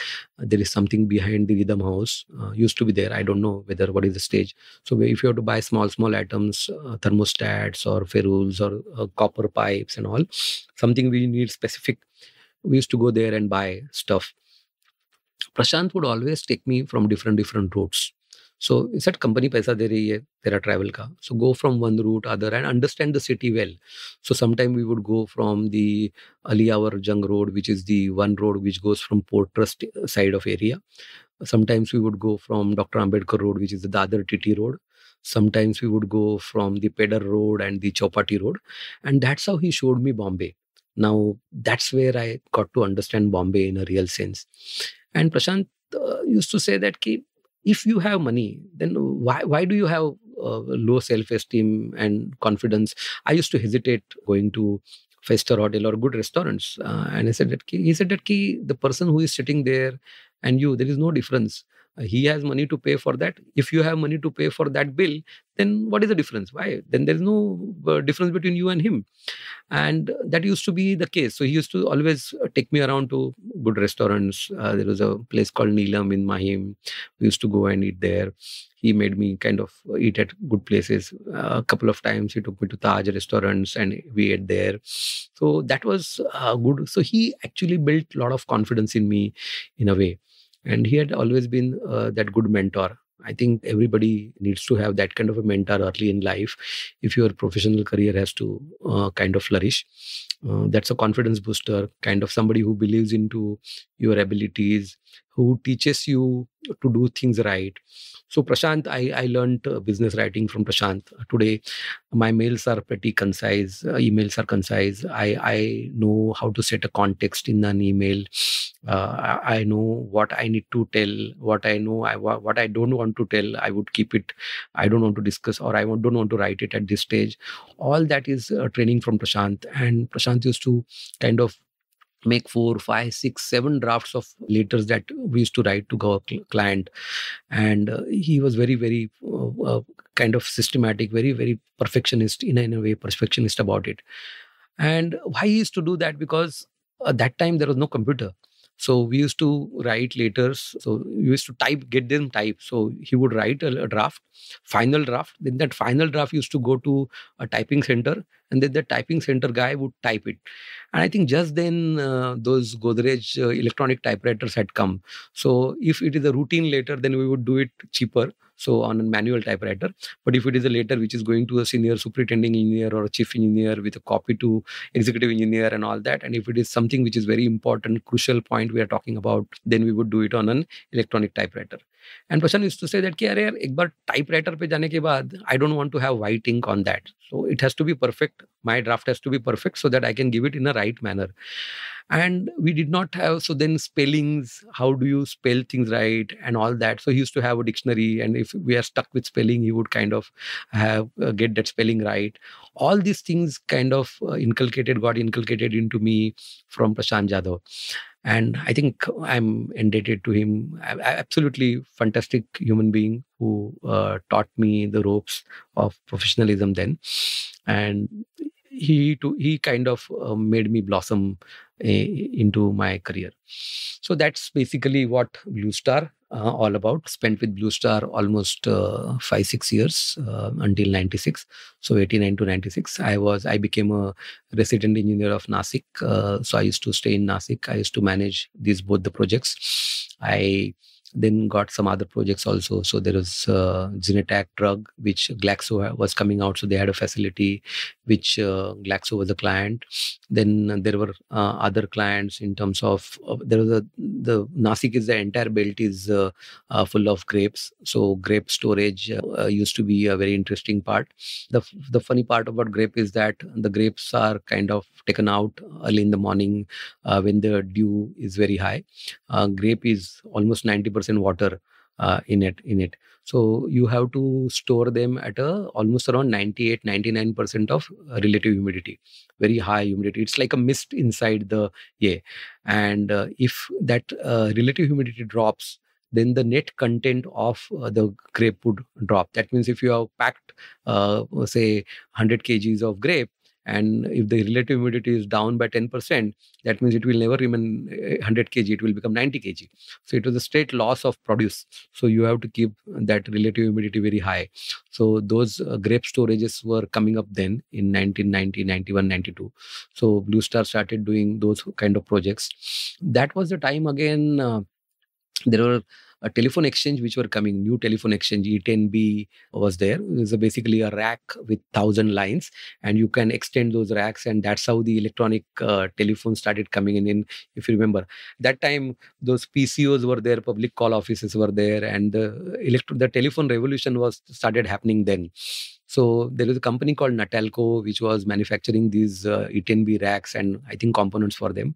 So we did air conditioning for that company. That company was in Nasik, Satpur Industrial Estate. So those uh, companies we were doing work. Blue Star is fantastic uh, training institution. Uh, when we joined in, when I joined in in '89 as a formal uh, employee, uh, they had a 20 uh, day uh, training course uh, for all the new joiners in company. And that was done in pune bhandarkar road. There is a hotel called hotel ranjit and i still remember getting stationed in that hotel for 21 days. And they kind of took us through all the there are some 20 22 guys uh, all engineering either degree or diploma holder who has joined. And uh, everybody was trained thoroughly into first is theory of uh, refrigeration and air conditioning. But that was around couple of days. Then sales and marketing project management client management negotiations entire thing we used to got get people uh, experts from different different uh, field. And uh, they used to train us. And then there used to be kind of uh, mock sessions. So if you are doing a sales speech then we had people from i think that time hindustan lever was there. And some coaches used to come from there. And they would coach you for how do you do a sales speech and uh, then there were negotiations. And our senior managers used to sit there as a, a client and we used to pitch them the projects and how do you kind of uh, negotiate. I remember uh, there used to be uh, a guy called uh, uj kashid uttam j. Kashid he was a boss. He was subsequently my super boss in pune. And he was sitting uh, in front of us. And in projects they would uh, teach us that key how do you negotiate the clauses like penalty. So there was always like this that key if you there's a six months project and every uh, day of uh, the delay uh, there will be a penalty of uh, 10000 rupees. So we were all taught that ki agar usne penalty ka clause dala hai to tum uh, you say if we do early then we should get incentive also. So we would talk about that. I said so that that was uh, trained and we were trained or we were kind of uh, taught in that session. And uh, so we said okay fine apne apne ko to samajh mein aaya ki negotiation kaisa karne ka so we sat and uh, then they put a clause that ki we are putting a clause uh, that mock session they put a clause that ki uh, for penalty would be 10000 rupees a day if you delay. So we uh, we were taught a few days back that ki how do you negotiate? So we said okay fine. We want uh, so we want uh, incentive also for finishing the project on time so kashid had a very flat face. He said no no no. I don't want project to be done before. I want to be done on exactly on that same date. So i don't want to give you any incentive. I am happy if you do it on the day i want it. I don't want to give that. And that entire uh, we were so feeling so smart that oh we are going to counter negotiate and all that. Nothing worked there. So these are practical examples. They taught us how to do that. I, I have never seen any company giving 20 22 days to a new trainee and kind of getting all those people together getting them out of uh, the system putting them together and training them so well. The blue star was a fantastic training institution and i think that kind of uh, built our professional careers well. Blue star had a very good culture of doing things right and that culture was up to the level of uh, mechanics. The the people down the line on on the those who used to do work with hand would never do a wrong thing. They would say that ki boss we will do something uh, which is a jugaad. Uh, now jugaad word came much later but uh, that was then. Uh, you do something wrong now and client will have to go for a hell lot of problem later on. So do everything right first time was a good uh, kind of learning and that culture was there right up to see yeah, blue star had a strong union and uh, those fights were there between the union staff and the management. But we had seen that culture of doing good work. No union staff or no union employee would do a bad job at site. They would do perfect job. And uh, in air conditioning mean, the actual installation and commissioning beautiful uh, work they used to do. So i think blue star deserved to be that number one number two status that uh, they had in india then and uh, that uh, got kind of that culture got inculcated in me uh, over a period of time uh, in my future career when I kind of had that motto of doing things right. I think all, all that came from Blue Star. So that's where the Blue Star life. Uh, this was something like around 96. Couple of uh, personal setbacks then, and uh, I decided to quit. Blue Star people always use to say that कि सुधीर यार तू engineer कम है और PR वाला आदमी ज़्यादा है या because in Blue Star also I use to kind of I use to love the supervisor job the technical job Uh, the, the, designing and all that didn't never uh, really never excited me management excited me uh, and i used to do that only and people used to my public relations uh, which is basically called networking so my networking uh, skills were very good i used to manage the government officials very well and uh, kind of get stuff done there used to be something called escalation clause in every contract. And if the delay in the project is due to the client delay, and then we would get some price escalation in the project.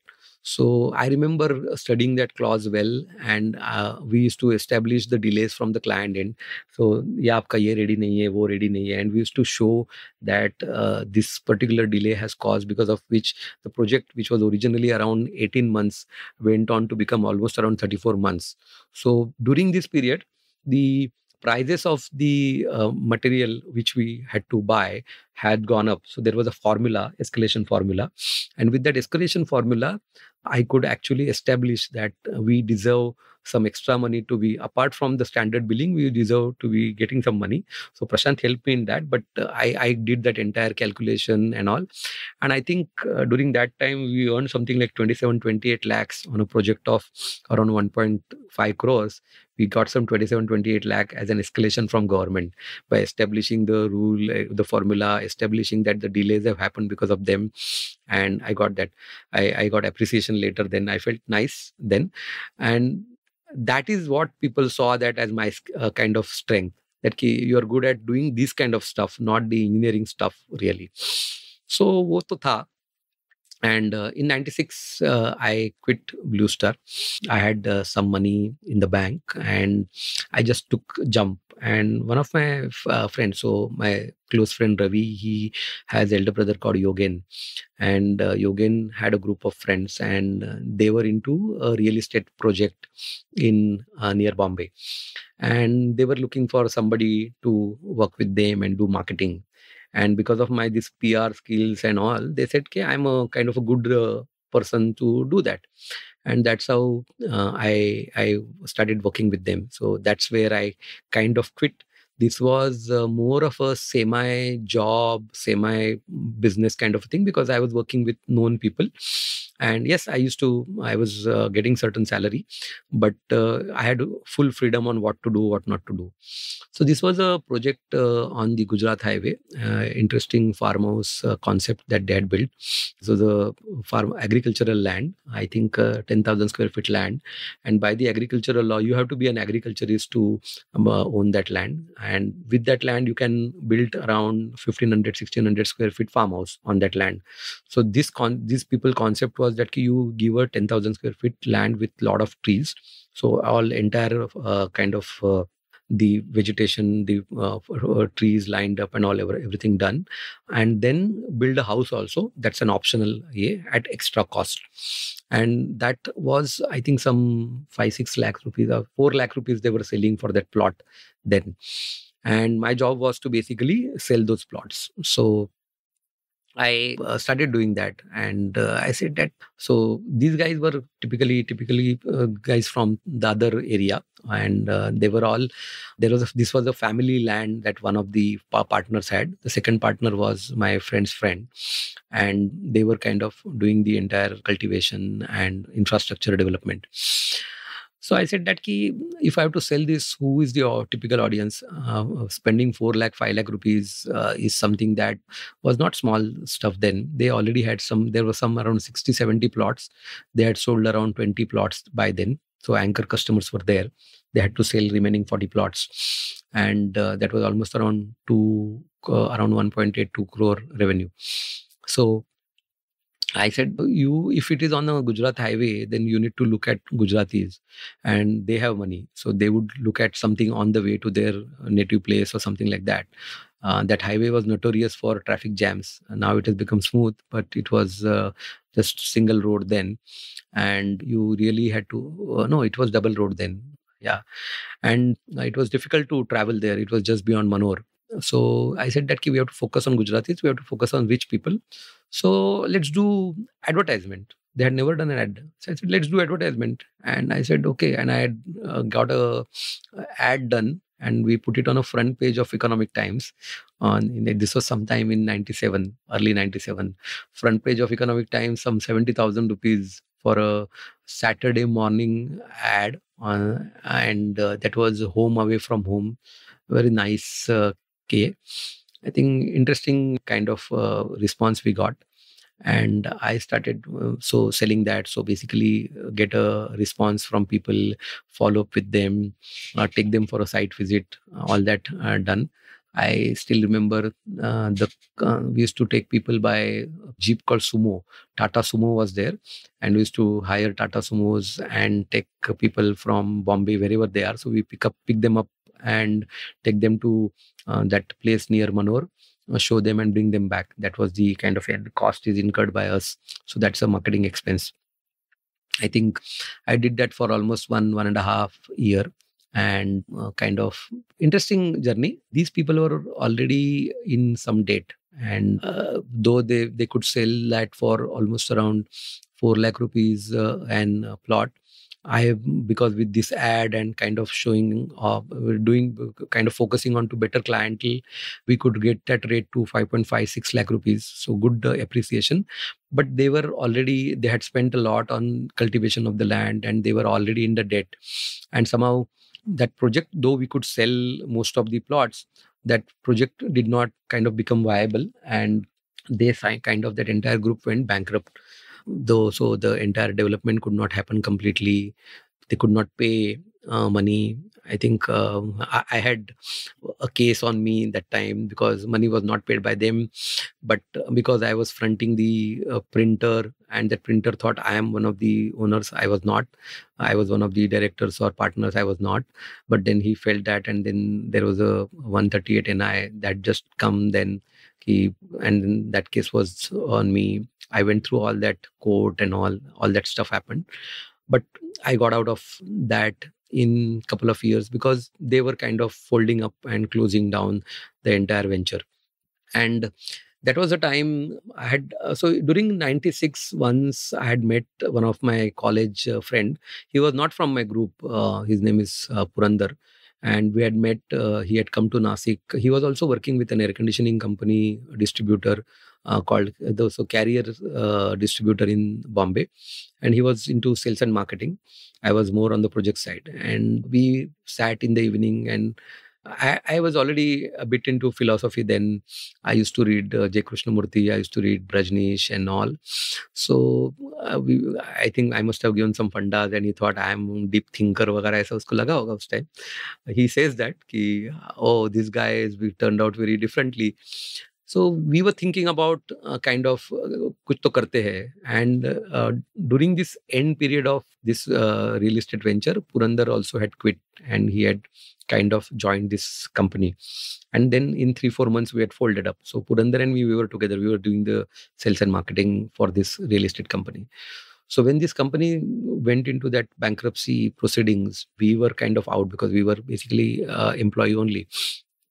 So we said, kuch to karte hai. So let's do something. And Purandar was more of कि अरे यार air conditioning background से आए हैं तो air conditioning में कुछ तो करते हैं।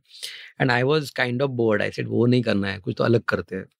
And this was around ninety eight and we were thinking क्या करना चाहिए? And we said we have to get into sunrise industries so what are the industries which are forward looking so one is health care and second is software so it software में तो अपने को कुछ समझता नहीं है because we were not at all trained into software anyway so health care में कुछ तो करते हैं। and then again one of the friend in the group uh, he i think used to work with peregrine investment in singapore. And he was doing some work with lilavati hospital in bombay. And uh, he had kind of told us Ki, kuch to, uh, we can do something interesting in healthcare. And so he said lilavati hospital is where we are looking giving them some kind of a funding or something but they are looking for uh, marketing the hospital. Will you do marketing of hospital? And i said karte. Because real estate का marketing किया है, ये भी करते हैं, क्या होता है?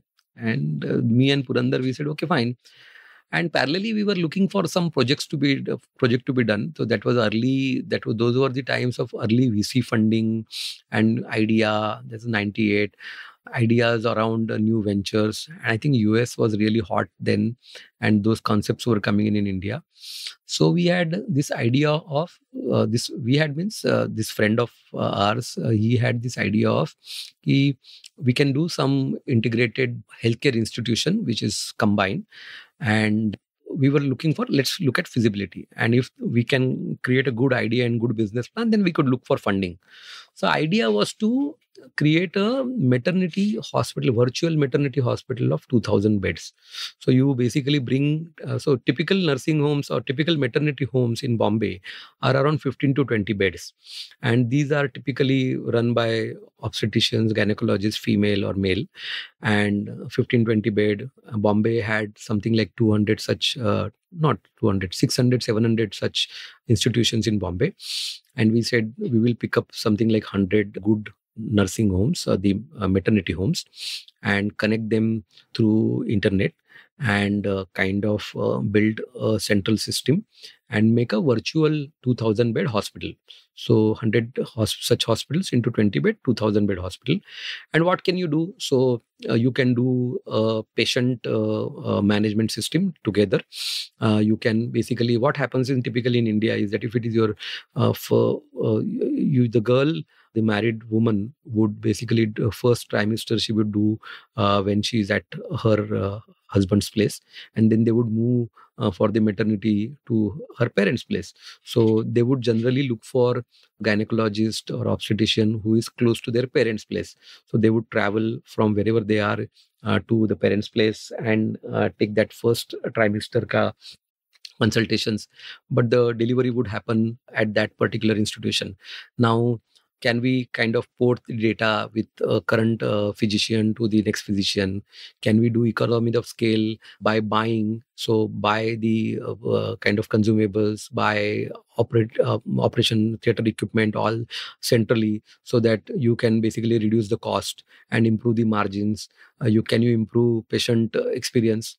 A fantastic idea that was but too early it was then too early and so we said okay there are a lot of ideas to do. And because we were doing only maternity so there was uniqueness in terms of consumption pattern. The consumables were kind of similar. If you are doing multiple uh, uh, verticals of uh, healthcare then there are needs are very different. But when you are doing a single vertical maternity then you had uh, very few items and then your numbers would be very high so economies of scale would be great. So that was the whole idea. So we met somebody uh, who would virtually connect So this time uh, VSAT was the uh, connecting method. And uh, that consultant said that key one VSAT would cost you, one VSAT connectivity would cost you something like 5 lakh. So we said 5 crore, 5 crores only for connectivity. And i think that kind of money we would not get. And that entire so we had i, I think i still somewhere have some 40 or 50 maternity home owners i had met. And we had a questionnaire where i had written done the uh, user survey to understand whether it will work or not. And we did survey but then we kind of shelved it because uh, it was not viable then because of the internet connectivity cost then. So this is in 1999 so while we were doing this, we got this project of Lilavati Hospital uh, marketing, uh, marketing that. So what is hospital marketing currently? We also didn't know, but what they were wanting to do is that key retail we will get. They wanted to connect with corporate. So corporate, uh, what happens is that uh, all the big organizations in uh, Bombay and nearby Bombay would basically have a healthcare officer or a doctor on payroll. And these people would offer medical treatment free for the employees. This was not all uh, banks had this multinationals had this uh, facility. And uh, what used to happen is that ki, uh, already established hospitals like Bombay Hospital, Jaslok, Hinduja, Breach Candy, uh, what they would do is that ki, they would have a deposit uh, given by the co- company, and company's doctor or HR head would give a letter saying that this particular person needs a treatment at your hospital so give the treatment and send the bill to the company company will settle it in 15 days time. So what happens is that key but hospitals would say what is the guarantee uh, that you will pay? Uh, so they used to give some interest free deposit. So 1 lakh 2 lakh rupees deposit used to be there. And some hospitals used to say that we will keep you special two beds always for you so that even if the hospital is full you are guaranteed you have a guaranteed bed for your employee. So that used to be their pitch key we have tie-up with Hinduja, we have tie-up with Bombay Hospital, and we have guaranteed bed there. I remember uh, State Bank of India used to spend almost 50 crore rupees in those time per year on medical treatments in the hospitals. So that was one product that hospitals could offer to the industry. Second was the health checkups. So health checkup was a big uh, rage then. So all senior executives would get health checkups uh, beyond 40, beyond 50. So selling health checkup was another product. So our idea, so the idea was that ki if Lilavati Hospital is new hospital, then position them in the market as one of the good hospitals in suburbs because everything was until uh, Mahim. The Hinduja was farthest at Mahim. Nothing great was there beyond Mahim. The Lilavati was uh, in Bandra, Breach Candy, South Bombay, Bombay Hospital, South Bombay, Jaslok, South Bombay. Everything was in South Bombay and the bkc was developing they coming up then bkc had a lot of new uh, uh, companies coming up. So it was basically accessible for them. So that was the whole idea.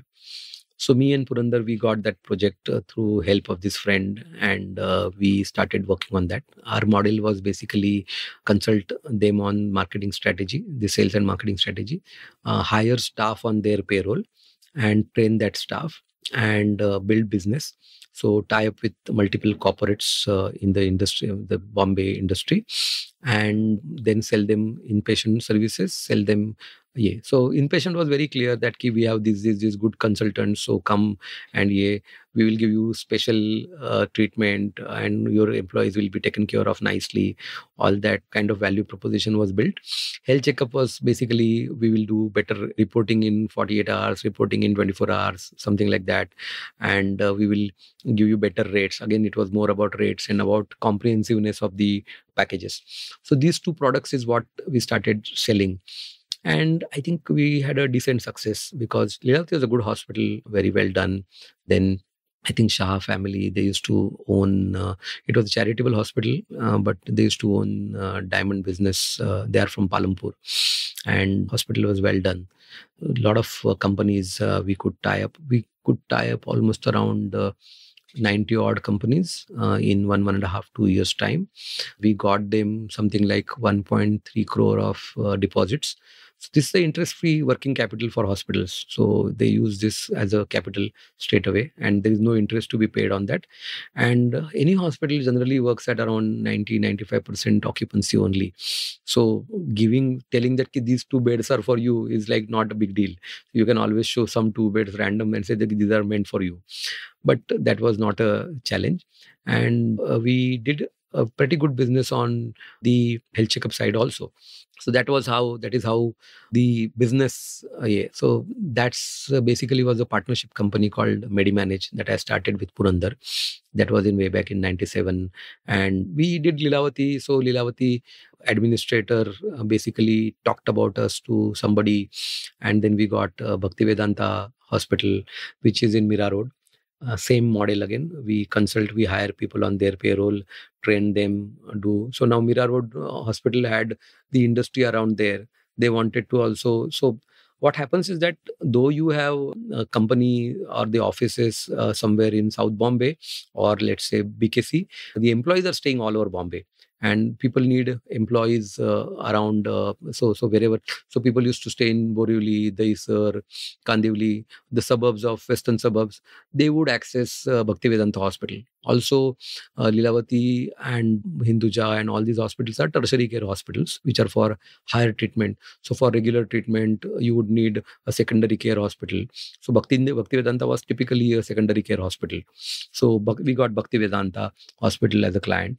Then we went on on uh, growing this business and then we got krishna heart institute in ahmedabad.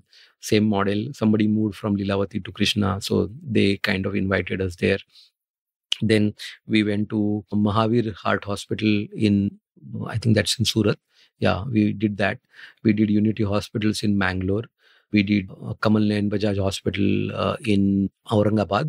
We did uh, some work for Asian Heart Institute in BKC. So there, uh, because of my engineering background and project management background, we got a project uh, of uh, doing some project management for Lila for Asian Heart Institute through a company called Hosmac. Uh, there was this company in Goregaon. They are a hospital uh, architecture and project management expert. They only do hospitals and nothing else. Uh, one gentleman called Dr. Vivek Desai used to run that, and uh, he gave us the project, and that's how we got involved into. Uh, I got rather uh, I managed while Purandar was managing Lilavati Hospital. I managed the Asian Heart uh, project which was uh, doing some work onto the project using my blue star project management skills that was there so these were multiple projects that we were doing and interesting uh, work more so what was happening is that we were basically giving more of our time and that's uh, basically was the model. It was a consulting clum delivery. So we had a fixed revenue and we had a variable revenue. During that period uh, one of my friend in nasik he runs a pharma company. So that one short stint i went back to nasik and stayed for one one and a half year. So he has a pharma company, and it was a typical no innovation, uh, regular products, and they basically small company make uh, regular products and sell them in the uh, north uh, Maharashtra area. So Nas- beyond Nasik, Nasik, so Dhulia, Jalgaon, Malegaon, and uh, the Bhusawal area. So that was an interesting experience. So I I took that project up for one one and a half year and i kind of stayed in nasik and did that a lot of learning that happened during that period that's so so it was basically sales and marketing of uh, pharma products so this typical this company had uh, three four products one was uh, the iron vitamin uh, and calcium uh, syrup which is typically uh, sold to physicians or orthopedics as a yeah, a staple requirement basically dietary requirement then they had a painkiller for kids, so that was typically paracetamol. Yeah. And then they had something as alprazolam, which is uh, the uh, anti-anxiety uh, medicine called Atis. So these three, four products they had.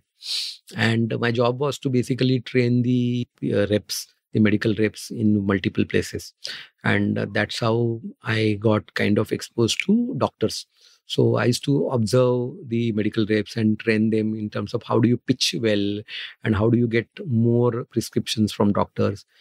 And that was an amazing learning. That entire uh, belt, uh, right from Nasik until Jalgaon, Dhulia, I got introduced to the medical uh, doctor system, how it works, and uh, the kind of incentives there.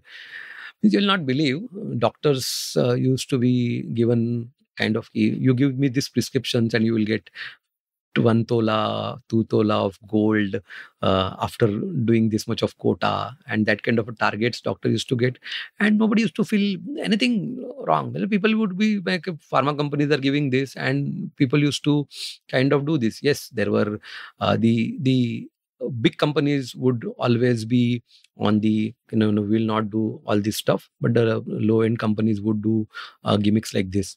Uh, this friends company uh, they were not into all this uh, gold and all. They were they wanted to do ethical uh, kind of business. But uh, you are not doing any innovation so how do you kind of differentiate? And that's where i think we me and one of my friend we were doing this together. So we basically looked at it uh, very differently. We said that ki, if my product is me to product, then I think personal relationship is how you can sell it.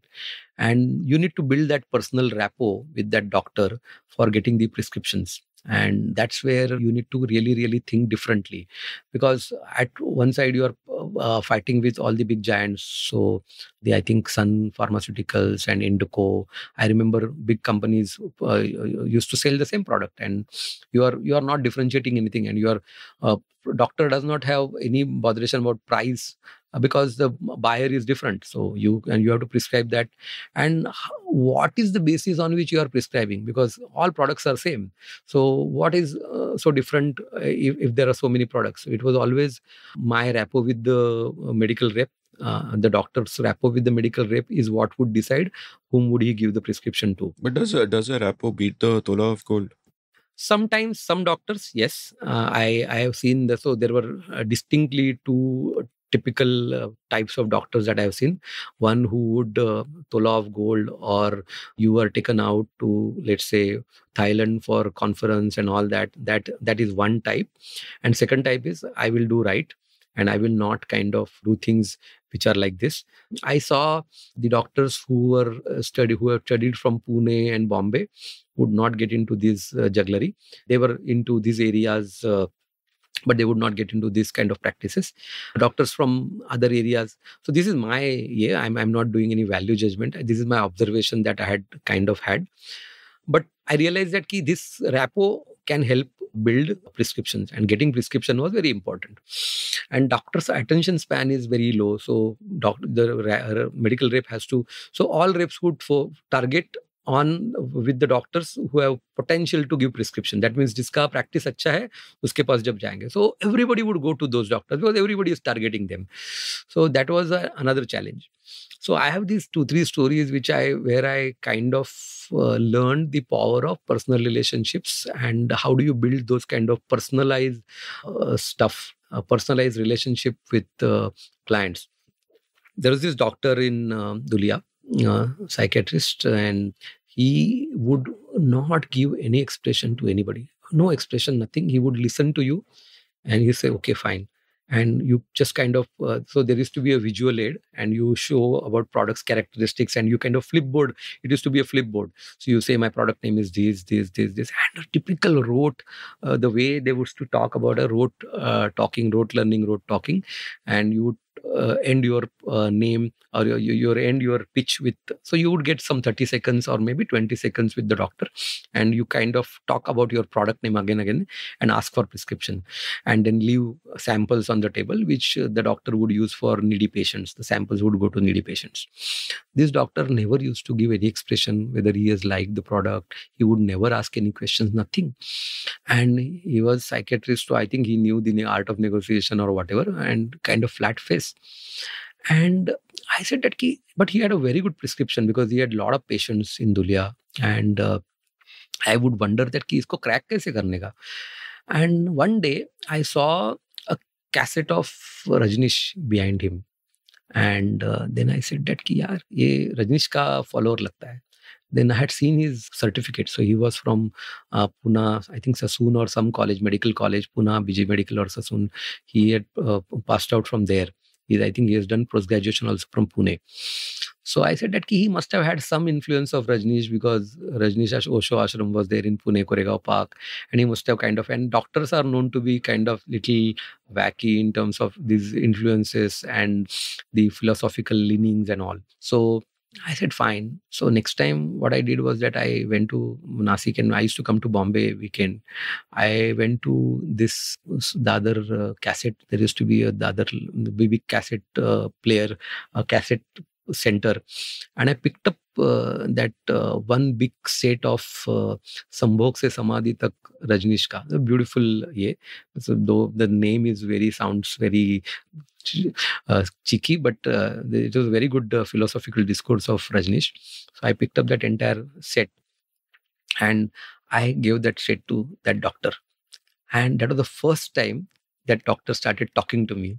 And then he asked me that, Ki, uh, how do you know this? And I said, no, because of my friends, I've been listening to philosophy. So I have listened to Rajni's cassettes and I like it. And it's a very interesting. And then he started talking about Rajneesh and Osho. And then he opened up and told that ki, how he was in Pune and how uh, Osho uh, influence was there and how he leaned and how he likes that philosophy and all that. And then he started giving prescriptions to us. So that was uh, the so that that's so so our product was there. There were a lot of other alprazolam products which were there and but then he started giving us prescription But this doesn't scale, right? Because It's- there is only one Sudhir and you can't, you can only meet so many people. And that's true but then this company was also small and uh, the point is that ki you use these see the point is that ki, there are influencing model is there. So if the leading doctor uh, starts prescribing your product you take that to others and say that ki, this doctor is prescribing. What stops you from prescribing? So and in medical field there is a lot of kind of followership that is there. So if my seniors are doing something i would do that is yeah i think if you really see why betadine is used in the operation theaters it is you ask them that you give them a new product nobody would take it. Even if it is the same consistency same product or even if it is better they would say no my seniors would always use betadine and they said that betadine is the only good disinfectant and i will use betadine. So that followership is there in medical field. This is one. The second interesting thing is there is a doctor, another doctor in Dhulia, huge practice, orthopedic surgeon, and used to see almost around 200, 250 patients a day. And he had his typical consulting room where he would have four examination beds and four uh, deputies. So all deputies would sit with a prescription pad and they, they would stand. And this doctor also would stand and a very good orthopedician. And people from all the nearby villages, almost up to 100 kilometers, would come to him. And he used to be called Bapu. And he basically was a very nice human being, very good guy. And he used to, he, he was again from Pune would never take that tola wala thing and all that. Uh, rather, he was such a nice guy that he, after the examination, uh, that if there is a, a, kind of farmer who has come from, so he would ask, where are you from and all. And that guy would say that, I'm from some such such, such village. That village is around 50, 60 kilometers away. Then he would ask him that, Ki, Baba, do you have money to pay me? So he would say, Yeah, yeah, I have bought it. So this 50 rupees you would take out 20 or 50 rupees, whatever is, you would show. But they said, okay, fine, mera to ho gaya. But what about going back? Ticket ke liye paisa hai kya? And that guy would just smile. And then this guy would not take the consulting fee. He would give him back and then he would tell the people that ki apna uh, samples may say whatever medicines are there give it to this guy. And he would tell him that ki this 20 rupees for you to go back. That kind of a beautiful uh, human being. And he used to do that practice. So morning he used to see around 100 patients. Afternoon uh, evening he would see around 100 patients. And afternoon time he would do surgeries. That was his practice and because of that uh, numbers those huge numbers everybody again go to prescription. He had four medical shops uh, next nearby next to his hospital. He was he had a hospital i think from 40 bed hospital orthopedic surgeon. And he had some four medical shops. And all those four medical shops used to survive only on his practice uh, one single doctor practice and i used to go to him met him multiple times and never could uh, kind of so once i asked him that ki where are you from and kind of so he said, I am from Jalgaon, Dhulia only. Where did you study? I knew that he had studied from Pune, but I, I had to kind of conversation started. We asked him. And then I asked him, what do you miss of Pune that in uh? And he said, ki, the discussion that we used to have on uh, books, the discussion that we used to have on Marathi literature, Marathi drama, that was very rich. And I miss that. I have nobody here. My practice is so much that I don't get to socialize much. And I, I like doing this. And I can't discuss about books. And then I started discussing books about him because I had read Marathi pretty well. So I used to discuss books. So then every time, uh, almost around after three, four months, I could crack him. So every month I used to go. So after three, four months, I could really build that rapport with him. And then we started discussing Marathi books, Marathi drama. So we used to go at around 9, 9.30 in the morning, first thing in the morning. And uh, then it became kind of, he started giving me time. So he would say, that ki once I, I was there, so he would stop everybody and he would say that ki Sudhir alai, so Marathi mein, and I want to I want five minutes. So no patients were taken, and we used to sit for five minutes, only five minutes, not more than that, and we used to discuss latest Marathi book, latest Marathi drama, what is happening in Pune, what is happening in Bombay, in the Marathi literature scene that's all. And i think that was his connect to bombay his connect to pune and being connected to that world rich world of literature. That was this yeah. Because all the medical reps are basically they are rote. So nobody would kind of i was i was not really a medical rep. I was a different person altogether. I could create that rapport with him and with that rapport i started kind of he started then remembering me and then the company and then the product and then prescription started coming in. Uh, i remember uh, we had started new product in that particular month that was iron vitamin and calcium. And this guy had this practice of this four uh, examination bench. And what used to happen is that because you are orthopedic so like you need to kind of remove your clothes and kind of be there. So four curtains four patients. And uh, so one patient he sees. So somebody is taking a history. The history is told to him. He uh, examines the patient only for 3 to 4 minutes then moves to next. So that person he wants to now get dressed and get out. And by that time I have, the doctor has to wait. Nothing like that. So those, those four beds would kind of it, it was like assembly line where you move from one patient to other and finish as many as possible fast. So he would stop all those and he would talk to me so when we had this uh, new launch new product that was we were talking about uh, which was an iron vitamin calcium uh, supplement i told him that key we, we were basically bringing it next week.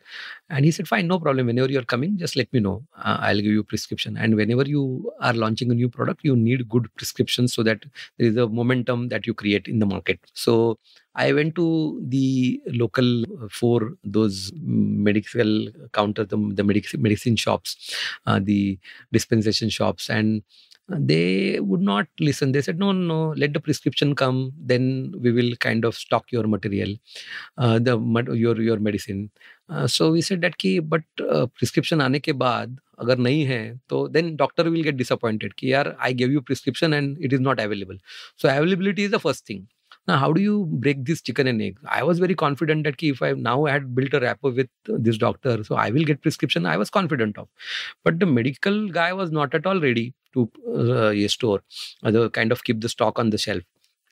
So we went to the distributor. The distributor said, "No problem. Do one thing.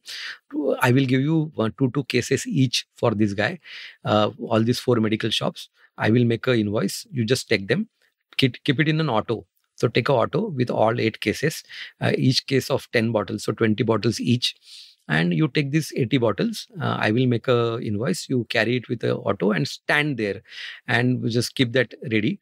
And the moment prescription comes, you hand over the case to him and say that it dispense now that's how we had done so i had my uh, medical rep with me and he was ready we we took uh, eight, 88 cases so 80 bottles and then i went to this doctor and i told him that key today we are uh, doing a launch and we are launching uh, this product in Dhulia with you and i want good prescription so help me so he turns to all his four uh, juniors and he said that key uh, iron vitamin calcium that means it can go for every patient of ours so today whatever prescription I give, end it with this prescription, this wow. medicine. And he told and he ask me but Sudhir available है ना? Because he knew that कि ये problem है छोटे company का you will never get availability so I said yes yes available है. And then I went out and then फर्स्टक्रिप्शन first prescription came and I was standing at that ये so I was following the patient कि ये patient कौन से medical shop में जाता है? He went in that medicine I just kind of indicated my guy कि बस बी रेडी विद दैट ये. So prescription went on to the counter and then the guy said ivc forte and oh i don't know. And i said yeah mera mera product hai because all medical reps used to stand. So then i said ah maine case laya hai and in during that one day i think we got some 50 60 prescription one after other. And there's like every prescription that would come out from doctor would have this product at the end because it was a supplement for uh, bones and uh, blood. And that was a very interesting uh, kind of a story that i still remember the third interesting story is in Jalgaon. Again, a lady doctor, uh, uh, kind of pediatric uh, specialist from uh, Pune again. And she was again very literary, uh, wanting to read, wanting Marathi literature, English literature, very well read. And we used to kind of discuss stuff on that. So I never used to talk medical or the product ever with doctor because I said, okay, what is there? My product is um, uh, I also ran product. So what is there to talk about product? Let's talk something else. That was my pitch all the time. And uh, we used to then talk about yeah so one day so she used to give me prescription just when i'm around and not much because our discussion was not really great mm, one day i asked her that ki, what that you miss in jalgaon that you would otherwise do in Pune. And she just took, I think, two minutes to think. And this, then she said that this is particular, this one particular author, uh, who English author, I forgot whether thriller he used to write. He, he or she, I, that also I don't know what what that author was. I used to love that book, that entire series of that books. Uh, I don't get those books here anymore. Jalgaon में तो कुछ मिलता ही नहीं है. I miss reading those books, is what she said. and I said, fine. And just kept remembered that. Next time when I came to Bombay, so Bombay, if you remember in 90s, there used to be these roadside vendors who would have books. So I went and I remembered that author name then, and I went and picked up one book of that author. And then I told, I knew around, so I used to buy books on the road because that was the access, the cheap book, 40 rupees. You used to get one book. And then when you give it back, I think they would give you 25 rupees back as a, yeah, or you buy another book and give you only 10 rupees or something like that. I don't remember that exactly. But they used to take back those books. So, so these are used books uh, kind of a thing. So I went to that guy, those three, four guys whom I knew very regularly because I used to buy books from them. And I said that this author, whatever book that you get, where, from wherever you get your books from, I want all the books. And I just came back. And next week or 10 days after when I went, all these guys had taken out some three, four, three, four books of that author. कि sir अब आपने बोला है ना तो ये मैंने हमने निकाल के रखा है and I built I think some 20 25 books का library I, I kind of a stock i built and every month when i used to go to jalgaon i would give one book to that lady doctor one that every time. And she started remembering me as that book guy not as that medicine guy. And that rapport kind of gave me prescription. I remember these three stories very distinctly because how a human connect can actually help so people do commerce but i think there is always a human connect in that commerce when all other things are kept aside. Yeah product uh, superiority the value proposition all that is there.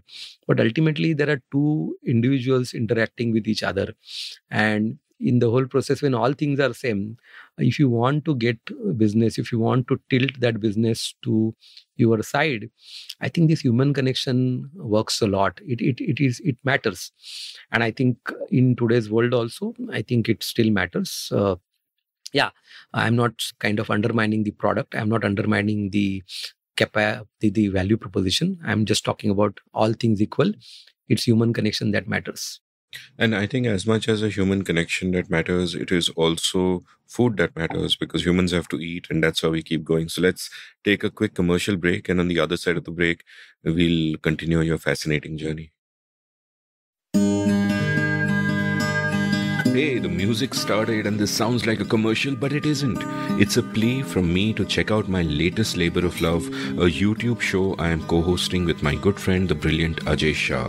We've called it Everything is Everything. Every week, we'll speak for about an hour on things we care about, from the profound to the profane, from the exalted to the everyday. We range widely across subjects and we bring multiple frames with which we try to understand the world. Please join us on our journey and please support us by subscribing to our YouTube YouTube channel at youtube.com slash Amit Varma, A-M-I-T-V-A-R-M-A. The show is called Everything is Everything. Please do check it out.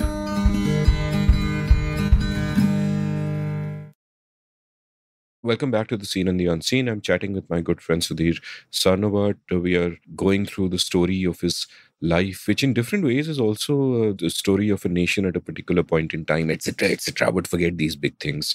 But let's sort of continue from there, like where the narrative ended off was this sort of temporary adventure. I think you said it was one and a half, two years where you were yeah. doing this project and yeah. all of that. So, what happened next? Take me back to how your journey proceeds.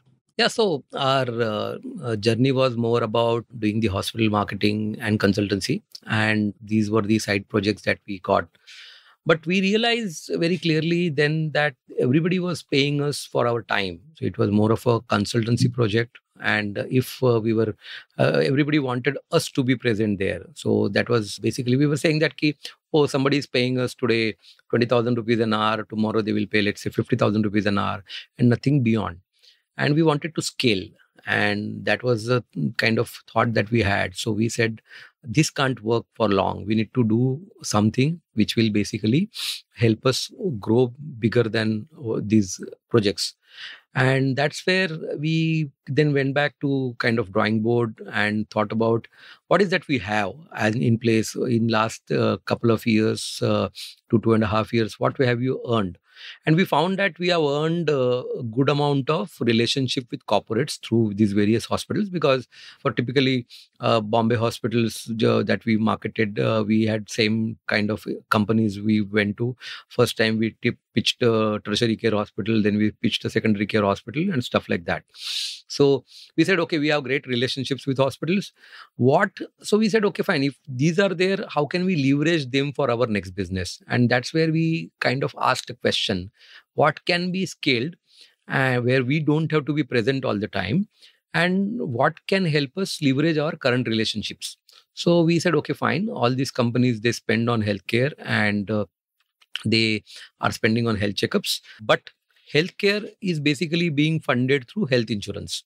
And at that point of time, uh, around 2000, the new insurance regulations came in. So insurance uh, opened up. There was uh, this change of uh, third party administrator licenses that were coming up broking licenses were being given and uh, uh, companies were spending on health insurance premium so health insurance is very clear that you basically pay a premium and get health insurance for your employees and their reimbursement claims are done so we said, why not get into the kind of management of health insurance? And that's how we got into the health insurance marketing. We started with selling health insurance for individuals, very tiny at that point of time a few uh, so I, knew few doctors through my asian heart relationship there and dr vivek desai's relationship. So few doctors they were basically interested in getting into the business of this health insurance and they, they had seen people doing large policies with that. There was a concept uh, of buying health insurance in bulk from insurance company at a really cheap price and they'd sell it with a premium with very lot of customization to individuals so they were looking at that as an opportunity and they said okay fine we don't mind investing in it into your company and why don't we go? I think that uh, said around 40 40 50 lakhs is what they would invest. They didn't invest all that. Uh, they gave us only i think for 14 15 lakhs to start with. So we started uh, on health insurance uh, selling. We i think our first break came when we had uh, development credit bank. One of uh, while we were say, ret- retailing a product to their one of the trustees he said why don't you come and uh, kind of pitch to our corporate? And that's where we got a corporate account I think that time the we got some commission of some three four lakh rupees, and that was a big sum for us. We had never seen that kind of a money coming in in single deal, and that kind of set a path for us into health insurance broking.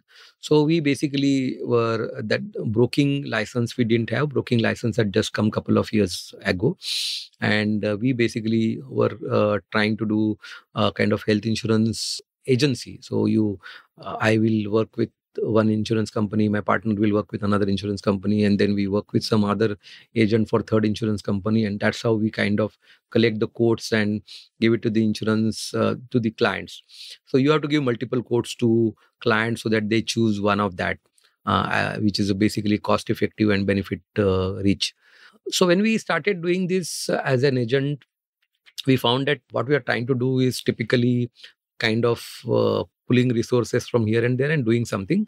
The right way to do is through uh, go through a broking license and that we uh, did not have then and we did not have money also for that. So we focused on getting clients. So we got quick early clients uh, good clients through this agency model. One of purandar's connect was in Mphasis and uh, Mphasis was almost around 8 9000 people bpo then in bangalore. And i still remember uh, we uh, got through purandar's connect we got an appointment with their cfo and that cfo was non-committal. So he said come to bangalore and we'll meet. And i think uh, that's the first time i travel or second time i traveled to bangalore uh, for work. And he said uh, we asked him what time. He said i don't know what time but be there around noon. And we said noon is 12 o'clock. So at around 12.30 we were at Mphasis headquarters in i think koramangala where he used to sit and he did not call us until I think we got a call at around quarter to nine in the night. Oh wow! You uh, sat there for nine hours. So we were there. We were out. We were not even inside the building. So we were out there. Purandar had borrowed his cousin's car in uh, there, Bangalore. And we were sitting in the car and killing time. Uh, time passed, chai ja piya, and all that. And uh, I think 8.30, quarter to 9, we got a call that ki, uh, Alok is free. You can come and uh, we went up there at i think some sixth floor office. And uh, there was uh, the cfo uh, alok misra's office. And uh, alok there was a small table round table. I still remember that round kaach ka table three of us sitting. Alok with his um, both the hands on the table. And uh, he's kind of uh, his chin on the hands. And he's like intently looking at us and present and we were we started presenting our value proposition to him. And at one point his eyes were closed and i said oh he's sleeping. So i stopped. And then typical alok alok is a very deep voice. Alok said carry on carry on i'm listening. And then kind of again i started pitching. And uh, we pitched uh, to Mphasis uh, that year.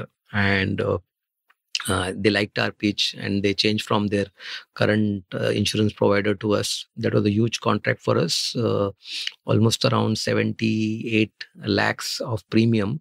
Uh, that was in 2004. And that's a huge premium. And they trusted us uh, that time. Alok trusted us that time. And he said, Do it, guys, uh, do well. And then we went and we do very good work uh, we, in terms of uh, their entire management of portfolio for 7,000 people. It's it's a crazy work. When you are working with BPO, their uh, attrition rate is very very high. They they maybe they will churn the entire company in a year. That means they will have uh, 9000 people living in a year. It is possible. And you have to so whenever people leave you have to kind of move them out of insurance product and add new people. It's a crazy work. You have to maintain the premium calculations. So quite a lot of work. And we did that well and uh, with that and few other clients we kind of uh, built a portfolio of around uh, 20 crore of premium in couple of years time. And then we said okay fine what we are doing is we are basically working on this license or that that license agency license is not the right way. An agent is a representative of an insurance company. So he is actually selling agent of the insurance company. While when you become a broker a broker is a representative of a client so on behalf of client, you basically kind of identify solutions in the market and present them to your client, and then client basically picks it, picks it up as a choice. So a broker has more kind of he's aligned with incentives his incentives are aligned well with clients expectations. So we wanted to become a broker uh, but then uh, to become a broker, uh, we had to pay, uh, I think the capital was some 50 lakh rupees. And uh, we did not have 50 lakh rupees then. And uh, we asked our partners, the doctors who were there, and they were not really sure so much of money to be put in or not. We actually, some insurance company officers, they were so fond of us that they talked to these doctors and told them, no, no, no, this is a good business. You guys should invest. But these guys somehow did not and then as usual we find of uh, found found out a solution. So we got a temporary money 40 lakh from one of the friend and investor that created a fd against that fd took a loan individual loan put that loan uh, individual loan as a capital into this new broking company then made fd of that and returned back the original loan. It's a round uh, way of creating capital. We had 10 lakh rupees so they wanted 10 lakh rupees to be there in fd fixed fd other thing can be into uh, your assets.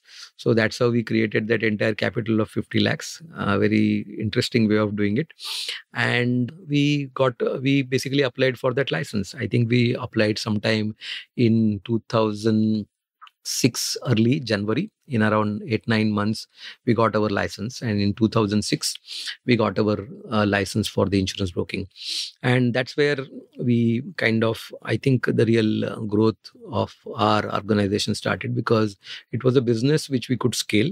We didn't have to, me and my partner didn't have to kind of be present all the time. And which is, it was a very interesting business.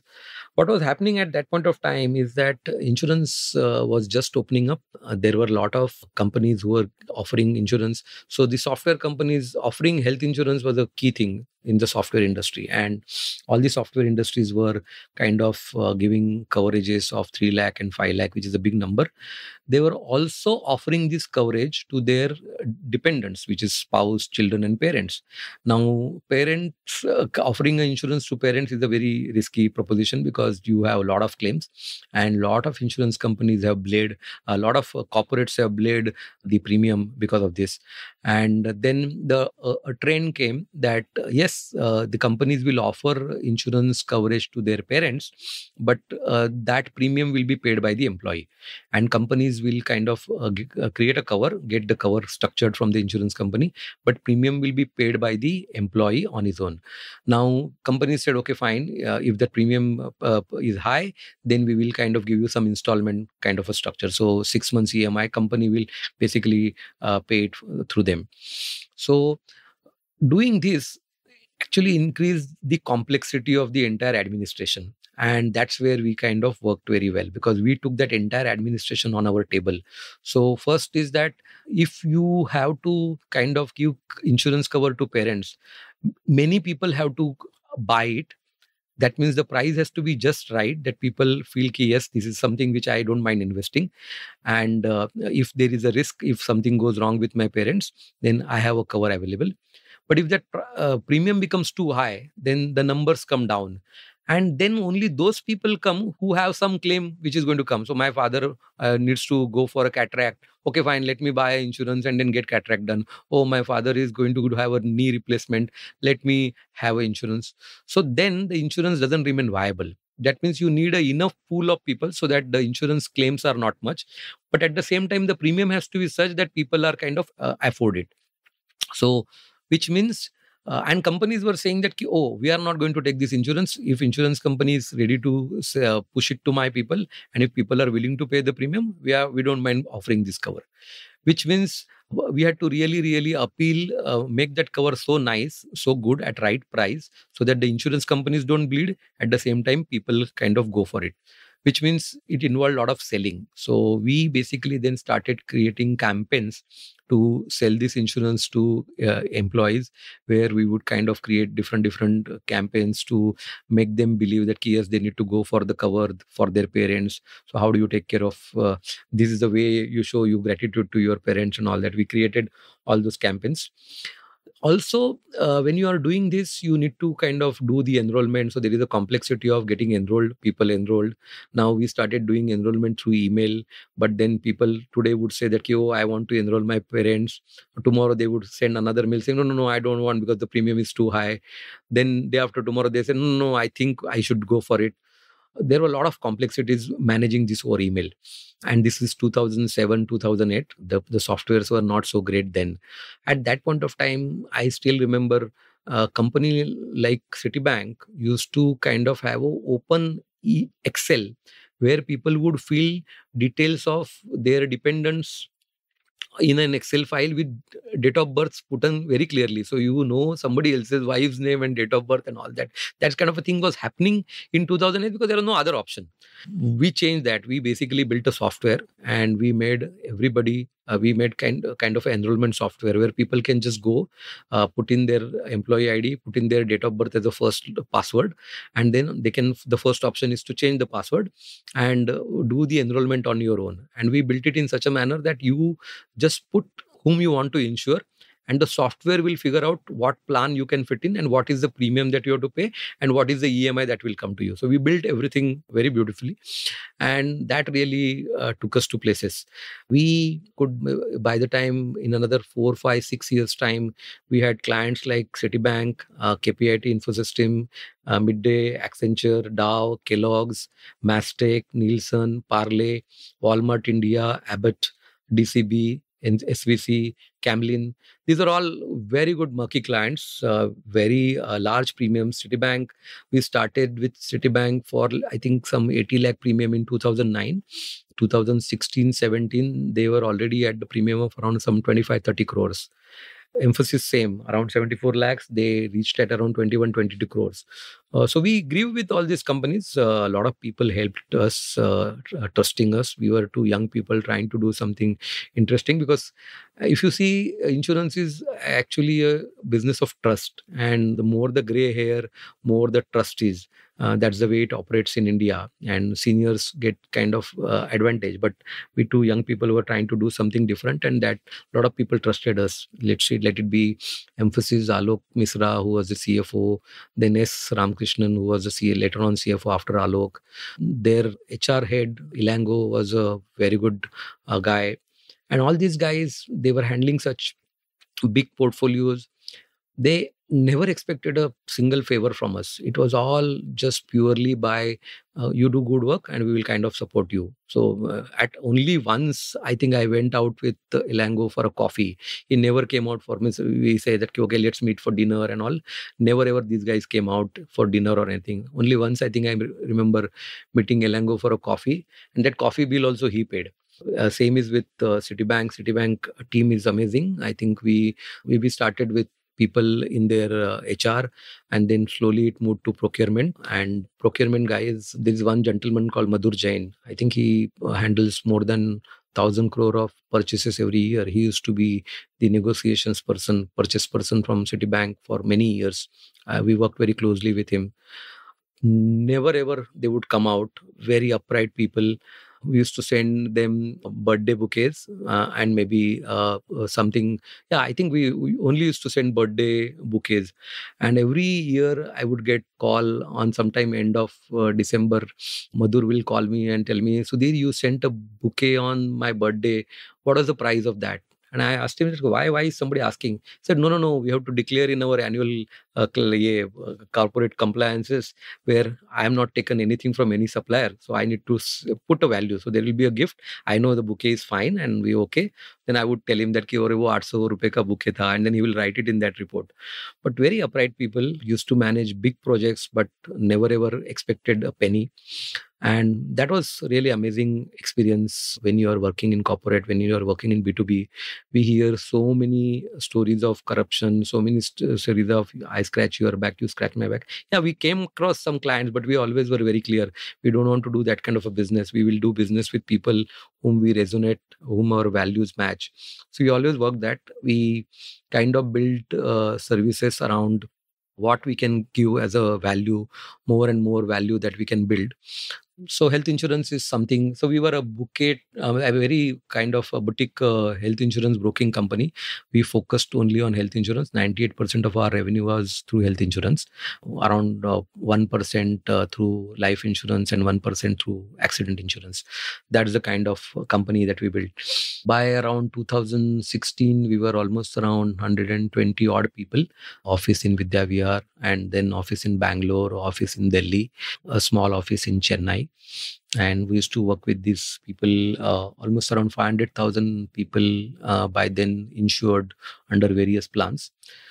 This is the time when i think the idea other brokers uh, were there was a little bit of consolidation going on and multinational brokers were kind of into kind of acquisition spree, uh, spree and then a few of them started talking to us in terms of would you be interested in having a stake sale? And we were uh, looking at that as an option.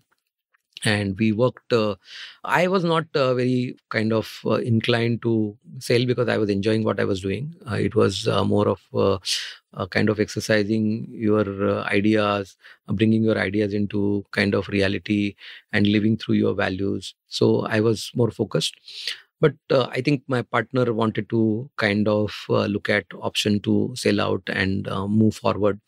And people were looking at uh, selling 100% company uh, fully. Uh, they didn't want 50% and 50% going in. We started getting these kind of indications right from 2011 12 onwards. But 2014 15 is somewhere a company, Indian broking company, which kind of came to us and they started talking to us about kind of uh, acquisition stock swap and you get equity into their larger entity and then you kind of continue doing that.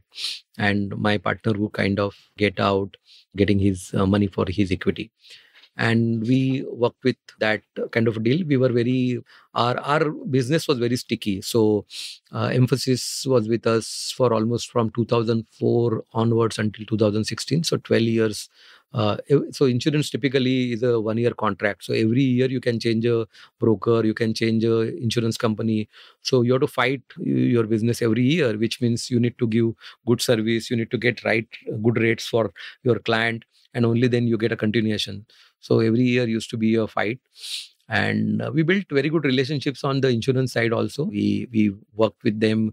We kind of showed them that how our portfolio can be profitable for them and they can make uh, health insurance is a bleeding portfolio. In india almost around claims ratio was around 130% then that means for every 100 rupee of premium you would give claims on 130 rupees claims. That's a bleeding portfolio. But then wow but yes the insurance companies were making money through other insurance products. So they use this product basically to keep their size bigger that's all so we we we but we we still tried to make it a profitable portfolio by doing innovative work on structuring the product on ensuring that uh, the claims uh, there are there are kind of sharing of cost by the insurance the, the, employees of the company. We worked on all those things. So with this the insurance uh, the, the we we looked at kind of this Texel in 2016 early 2016 a larger broker from India kind of acquired us and uh, we kind of uh, got exit. So there was a two year uh, period of cooling. Uh, we had to transfer all our clients to the company which acquired us uh, because this is all kind of annual revenue. So you have to show that your revenues are really sticky. That's where the valuation comes from. So we had to transfer all the revenues. And I was basically then kind of little, okay, I don't want to do anything in India. Can we do something interesting somewhere else? And this company, they told us that we have a, a broking, small broking company in Sri Lanka would you be interested in looking at Sri Lankan business? And that's how in 2017, I got an opportunity to go to Sri Lanka and uh, basically work there into the broking company. So they had a small insurance broking company there. And when I went there, we started working towards how do we grow that business slowly. I think I worked for three, four months. And once we got a news that the number three broker in the market uh, there is a company called Finlay, which is a very big company in Sri Lanka. Finlay is a part of a Swire group from Hong Kong, which is which also owns Cathay Pacific. So they they had this tea company. So they had multiple businesses. They had almost around 13, 14 businesses. So Swire Group, there was some restructuring was happening, and they said we'll got out to get out of all non-core businesses. So there was this insurance business, and there was some other uh, businesses. They were selling off all the businesses and keeping. They were going to remain only in the business of uh, I think tea. So there are a lot, lot big plantations, tea plantations that they have in Sri Lanka, uh, near Kandy and other places. So we got an opportunity. The our MD there is a cricketer uh, from past, uh, Graham Labrooy. Oh. Yeah, so Graham is the MD there, and I started working closely with Graham. And that time we got this opportunity that this Finlay insurance broker, which was number three broker in the market, is up for sale, and that's where I got. So I was told that okay, fine, will you lead the uh, kind of acquisition there? And I said, okay, fine, I don't mind doing that. And uh, I started. Uh, we we I think there was one of the big four firms. They were advising them for Stexel, and I, I learned. We asked them that what is the price that they have. Now they said that it's a 400 million Lankan, which is not a big big sum in rupees, but that was the price quoted at the start and that's where i learned some part of good accounting some part of how do you see balance sheets and all so this Indian company, broking company, which was uh, which had acquired Medimanage, the the, the owner, uh, promoter owner is a chartered accountant. So he kind of showed me how do you see balance sheets for acquisition and all. I learned that, and we found that they're all money that whatever valuation that they are asking for is on the revenue, and that revenue. So they were asking for a revenue multiple of two and that revenue was basically into the balance sheet but not into the real cash flow so we asked that key, if you are showing that your revenue is so much, uh, where is the revenue? So they showed that key, um, how, almost around 60 70% of the revenue was in receivables. That means we are yet to receive this money from insurance company as a, a fee. we said, okay, fine. Uh, if the valuation is multiple of your revenue, then your revenue has to show that it's really a real uh, revenue. Because if you're showing on the books that you have so much of kind of surplus available, then that surplus has to be real. And we asked them to simply go to the insurance company and get a letter of confirmation for balances. And they could not uh, get those confirmations because there were always disputes about those numbers. So what they had done te- technically is that they had just booked the revenue and showed it into the books. And uh, kind of year over year showing that this is receivable this is receivable. And the receivable figure was huge. It was ballooned and that really that those receivables were not real there. They were not there. Because when we asked for those receivables to be given confirmed by insurance company none of them confirmed. So this company, which we started for a negotiation at 400 million, we finally could buy for just 43 million. Wow. Just 43 million. So we got, we bought this company. I just led that, I could lead that uh, entire effort. I there. love hanging out with people who say things like just 43 million, but carry on. no, no, no, it's a Lankan rupee. So it's not really big sum in terms of dollar or INR but uh, it, it is interesting there's a lot of learning there that for me uh, i learned a lot uh, during that entire exercise how to see balance sheet how to see business in the financial terms and stuff like that and and that's that's that's where the, the joy was. Uh, this company i think recently become the number one uh, broking company in sri lanka now. Uh, graham still leads it. So those that's basically what i uh, did as insurance broking and then some part. I used to go to sri lanka almost every week. Uh, sometimes i have been to sri lanka a couple of times in a week also. And it was a very interesting experience of life while uh, I was uh, doing this, uh, the the MediManage uh, stake happened, and then I got involved into the broking in Sri Lanka with Finlay Insurance Broking. I was parallelly in 2013. I became a, a part of a group uh, which is uh, not for profit by Harsh Mariwala, which is called Ascent Foundation. And this Ascent Foundation is basically initiative where Harsh Mariwala felt that when he was, everybody knows he's uh, the Marico Group uh, chairman. And when he uh, started business, he felt that I could not really bounce my thought processes or anything with other than family members. And I really wanted to speak about this with my friends who know business, not friends who are just casual friends or social friends, but people who understand business, people with business. And I could never have such circle. So if I can create a circle like this uh, for entrepreneurs. And if they help each other through their own learnings, then that would be great. And that's how he had started this initiative called Ascent Foundation uh, way back in 2012. I joined sometime in the month of January, yeah, 26 January 2013. That's almost 10 years now. And the Ascent Foundation, what it does is that it does, it brings around 10 to 11 different, different entrepreneurs together uh, they have a threshold so they will bring uh, entrepreneur of similar business stage together. So if you are a manufacturing company then your revenue could be 50 crores. If you are a services company then it is 10 crores. So they have a multiple of 5 for service versus manufacturing. And every businessman or every entrepreneur who is in that group will not have competition with other. That means if you are from advertising background no other advertising person would be there in that group. So different different businesses they will also look at a healthy mix of manufacturing versus services that kind of a thing. So i became a member of ascent foundation which is a not for not for profit and the idea is basically to learn from each other uh, from each other's experiences. So nobody gives gyan to each other how things should be done. In case so if, if somebody has a problem they can put it forward. It is kind of a sounding board for entrepreneurs.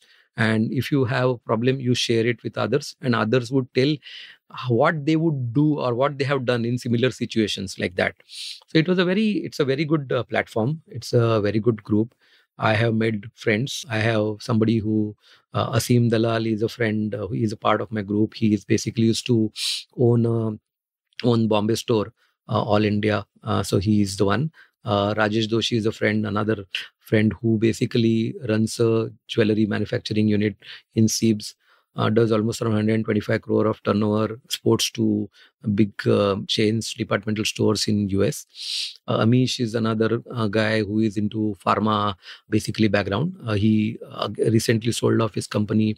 He was into pharma analytics and pharma information, AIOCD AWACS. Bhavin is into plastics. Hemen is another big guy, does 300 crore of turnover. He is into cardamom exports. He's branded cardamom.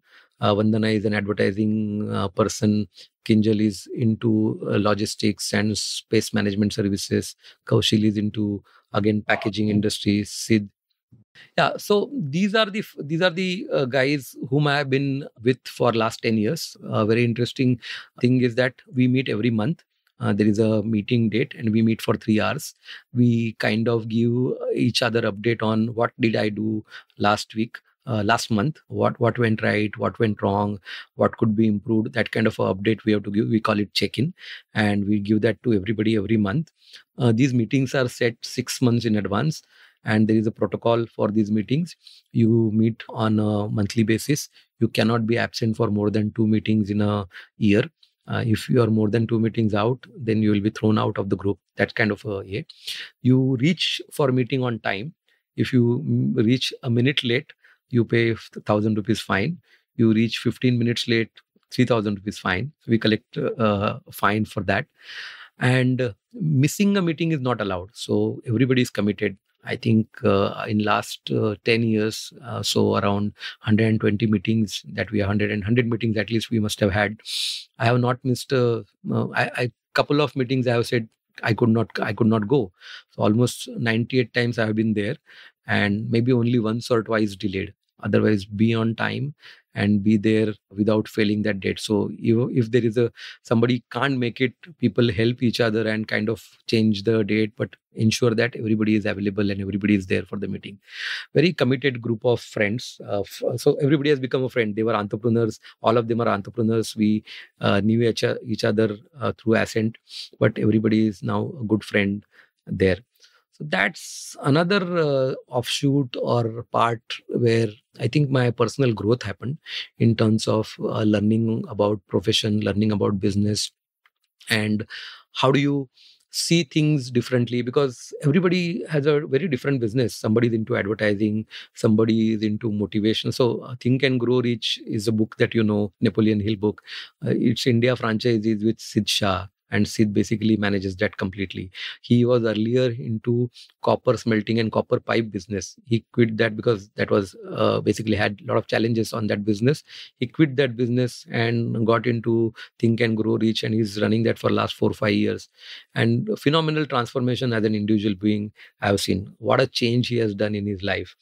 Same is uh, with Amish. Brilliant ideas on uh, pharmaceutical uh, information and, and the p- products information products that he has created and uh, kind of uh, fought with the multinationals who are into this data business and built a solid company and kind of could get a nice exit. Hemen again uh, somebody who can just take a some simple thing like cardamom and brand it and export it to middle east and all across world and build a business of 300 crore it's like unthinkable i, I and he does it so coolly like just very small team he has and he does that business very nicely. So all these people i think uh, gave me a different perspective toward business life the way you see it the way you operate it the way you manage it. Uh, it's it's very phenomenal.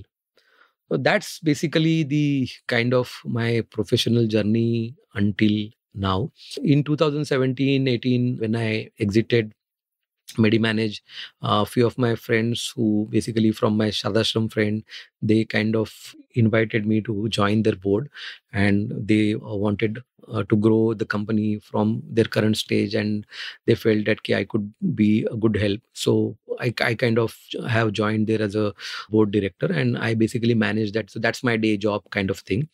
And that's where I think I that's where I met Mr. Bagwe, who basically is my current co-founder in uh, howframeworks.com.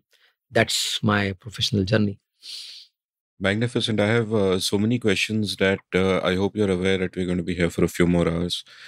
My first question is about this that elsewhere, I think in some other, uh, you know, you read an interview for CTQ with Harish. I don't know if you said it there or you wrote it in an article, but you wrote somewhere about how at one point when you were very young, uh, you realized you weren't very smart in your words. Uh, I would not say that, but you realized you were not very smart, and therefore you realized that your key to getting ahead was discipline. Now, through this story, what I see is really a couple of things. One is that there is a lot of hard work happening, perhaps because of your circumstances and the scarcity out of which you come. Like when you, for example, uh, go to Shardashram, you know, where you're uh, mingling with people outside of your neighborhood of Vikhroli. There are rich people from Dadar, as True, it were, true, true. who are there. And you're working so hard that uh, without anyone realizing, all of a sudden you're first in class and you're all of that. And that hard work is really compensating. You speak about how for some of your other friends, math was so incredibly easy. And you had to find a space where you made sure you were not failing by a healthy margin. So, which is like a kind of insurance. Instead of 21, you're getting 27 out of 50. But at the same time, you know, you're having to work because it doesn't come so easily to you that you can just try every paper, uh, every uh, question in a paper and say check any three, right? Yeah, which requires some chutzpah. And I have realized that I have in my life sometimes when things have come easy to me, I've fallen into a trap of being feeling entitled to things coming easily to me and getting carried away by that and not working as hard as I should. And I think that can be a tremendous curse. And in your sense, I would say, in your case, I would say that it's probably a kind of tremendous blessing that you're actually putting in the hard work. Like I remember my very first job as a copywriter when I was 20 years old. In 1994, I was in HTA Delhi, then India's number one agency. Now it's J. Walter Thompson. Uh, it's called J. Walter Thompson. And I remember as a young copywriter, uh, one assignment was given to the group. And uh, there were three of us, two other guys and me. And we were just bouncing off ideas for it, uh, three young copywriters. And I was 20, 20 or 21, and they were, I was 20. Uh, they were probably 25, 26, not much more, more older than me. And one of those guys just had terrible grammar, terrible lang- uh, uh, language, terrible ideas. I was like, ये क्या है ये यहाँ कैसे काम कर रहा है मतलब what is this person you know well I thought I was coming up with really smart ass lines my English was great and all that but three days later when all of us submitted whatever we had to submit that guy's work was by far the best Mhm. and that was because he didn't stop thinking about it Mm-hmm. He just worked and he worked and he cracked it and he just got a certain clarity and everything kind of fell into place. And that's an early lesson that more and more in life I see that, uh, you know, that ethic is important. And my question to you is that that is not just sort of a theme that is there in that early part of your life which you told me about but i can see it in pretty much your entire life because from hard work i think one comes to intentionality that you decide ki boss mujhe kuch karna hai मैं करूंगा right and in most people's for most people our life falls into a groove and we are just flowing naturally into that groove so one we stop work- working harder than we need to and two we lose that intentionality where we take everything for granted right and everything is normalized and everything is background in a sense in a sense everything is unseen but w- with you i've noticed that there is a lot of intentionality when it comes to things like friendships remembering everybody's birthday sending flowers and sending gifts which you make it a point to do. There is intentionality when it comes to learning and i'm going to ask you about that and you're going to spend a, quite a bit of time telling me about your philosophy there because i'm kind of fascinated by you know the approach you have towards learning and even teaching which you've done and we'll talk about that as well. So was it was this always a constant part of your character that you are always working that you're intentional or are there aspects of this which come late in life? Like is there a point in life where you realize that fuck i have to work on this aspect of my game whether it is friendships or whether it is learning or whether it is intellectual curiosity or whatever you know or were you always kind of like this and what is your journey towards thinking about this stuff because you haven't i don't think you've arrived even if you have those character traits i don't think you are just you've just automatically flowed into this you've put in thinking about yourself and the life you want to live and arrived at this so so i know it's a very broad question but Yeah, so I think about relationships, friendships. I think I've always been intentional. That's something which I do because I believe in that, and uh, I feel that key anything that you have to make it work, then you have to put efforts in that. So friendships don't happen just like that. If you feel that ki, they wither away, there are what you spent as a childhood. Those friendships may remain, but I think you need to work on friendships. You need to kind of invest onto friendships. So I would do that, and I like it. I generally like it. I like so uh, I, I would not all my good friends i will never wish them on whatsapp I will never wish them on messages. I'll pick up a phone and call. So all my uh, friends, very close friends, all my Ascent Foundation friends, I pick up a phone and call them and talk to them for five, seven minutes, ten minutes at least on their birthday. So I will never send a message. I will never say. So these are small things that I do because I believe in them. I said that you know, इसका birthday है ये मेरा दोस्त है इससे बात तो करनी है आज और कुछ भी नहीं तो बात करनी है and I kind of so i have saved the numbers i have i have a system where i have saved the numbers that is that goes in my calendar so it goes in my contact that is that goes in my calendar when it goes in my calendar i have two reminders so one reminder two days before one reminder on the day in the morning i have done that it's for very few people but i have done it so i think i am very intentional there when it comes to the knowledge the learning part i think it came little late in life the moment I the, the when I came into the big ocean of uh, business, I started seeing more and more smarter people, and then I realized that boss, मैं इतना intelligent तो नहीं हूँ. Really, I'm not. I I'm I have I have that realization ki, because I saw Nandu, who was my, is no more. We lost him in 2013, uh, kidney failure. Uh, so that Nandu, who would write uh, all the questions, answer to all the questions, and uh, yeah, he was tremendously uh, intelligent. and I knew that ki, my Nandu nahi ban sakta. Or another friend, Grish, uh, good maths. And I said that ki, main Grish nahi ban sakta.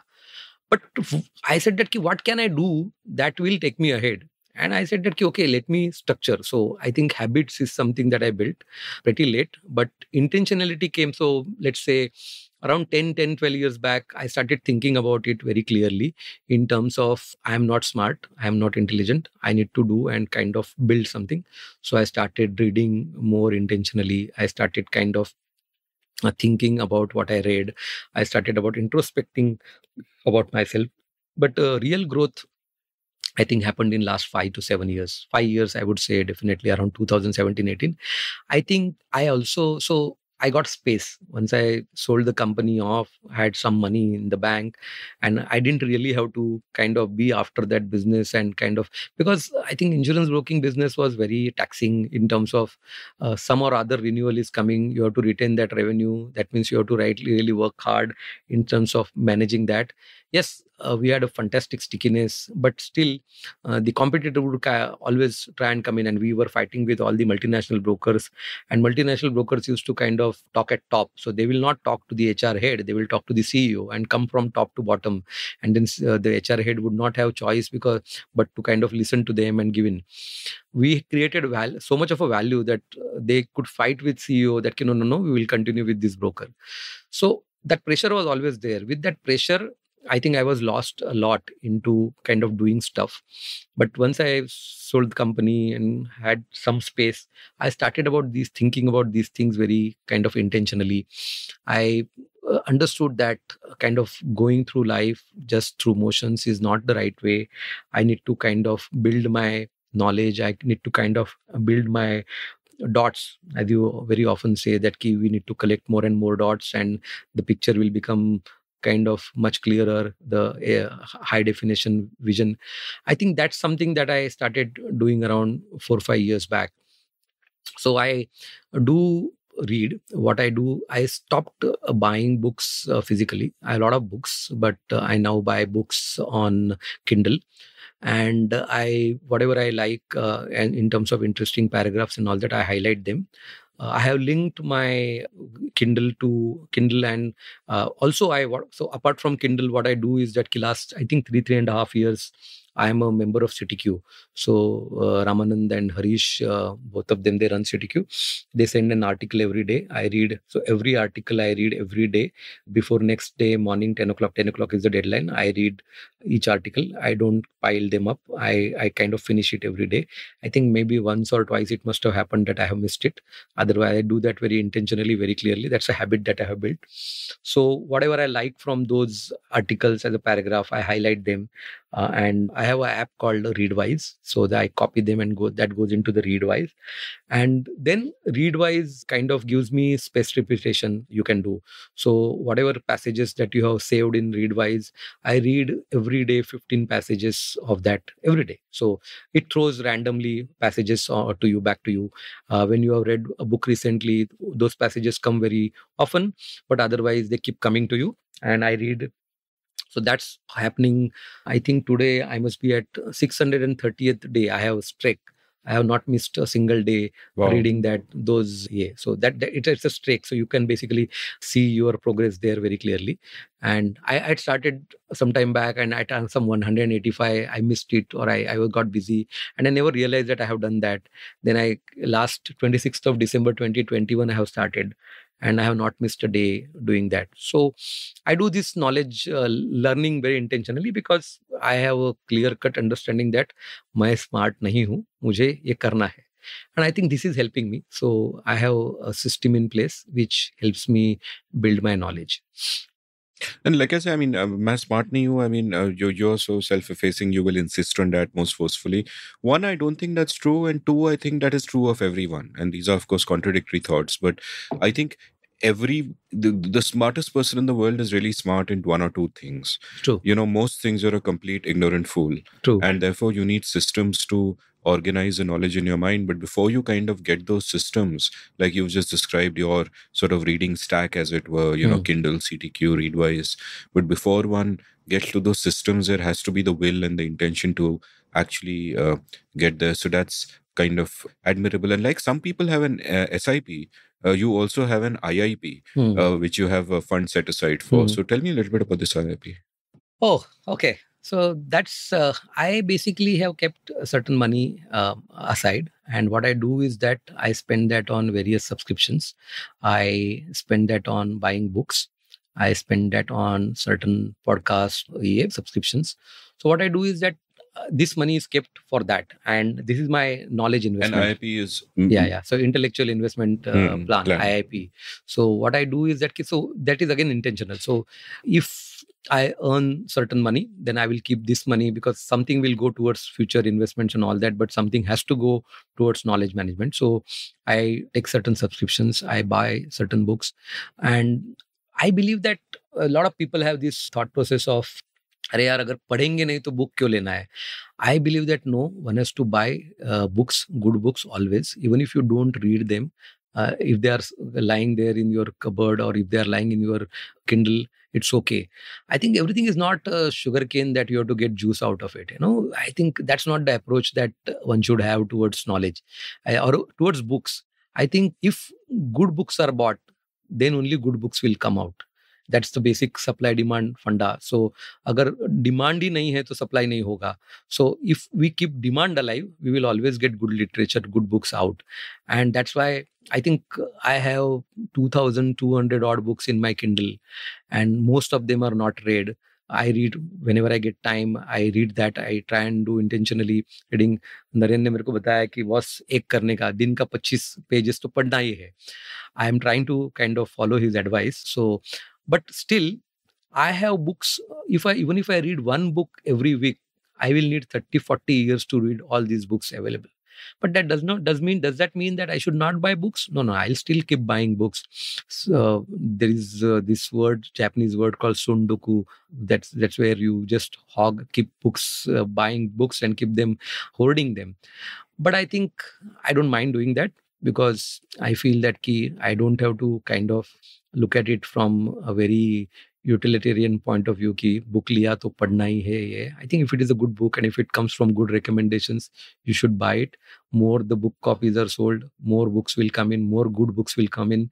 The future generation would have access to good books that way. So I don't I don't see it from that perspective. That's the way that's why I have this IIP as a concept, intellectual investment plan, where I set aside certain money and buy books, uh, buy subscriptions. Again, on subscriptions, I might not. So New Yorker subscription is there, and I might not read each and every article that is there, but something which is interesting, I will read. But should that mean that I, I should not I should kind of stop that subscription? I I don't think so. I'm seeing currently Wikipedia is uh, running a campaign of subscription. I pay Wikipedia Wikipedia money also. I pay them money because I feel Wikipedia should uh, be there. It's it's a interesting project and so much of learning that has happened through Wikipedia for me. And I think one should pay once in a while whenever they are asking for money. We should pay that. I think it's our collective responsibility to keep knowledge available and keep knowledge growing. And I think we should be very intentional about it. If you are moneyed and if you can afford to do that, one should definitely do it. That's that's what I think. You've given me a quote of the episode, and this can be a T-shirt line. Everything is not sugarcane. What a fantastic uh, line! And, and I know I completely agree with you that uh, I also haven't uh, read the majority of the books that I bought, which is like you said, physically impossible, no matter Yeah. how much time you uh, devote to it. And I sort of think of it as like one phrase that I have come to think about recently is the surface area of serendipity Mhm. that what you want to do is you grow through exposure to things that you were not aware of earlier. True. and you can expand your surface area of serendipity either by reading a lot or buying a lot of books where you know even if, if, if at any given point in time i'm bored and i want to read something i have so many unread books around me to choose from. I don't even need to leave my house or go to amazon or whatever. They're already there. But another way of expanding the surface area of serendipity i guess is by meeting more and more people. Now for someone like me introverted doesn't like to go out much. It's kind of naturally restricted. You on the other hand like you mentioned that in the 90s when you were at uh, you Blue know uh, at blue star also you were known for good networking and meeting people and all that and and to me from whatever i've seen of you this this feels very natural.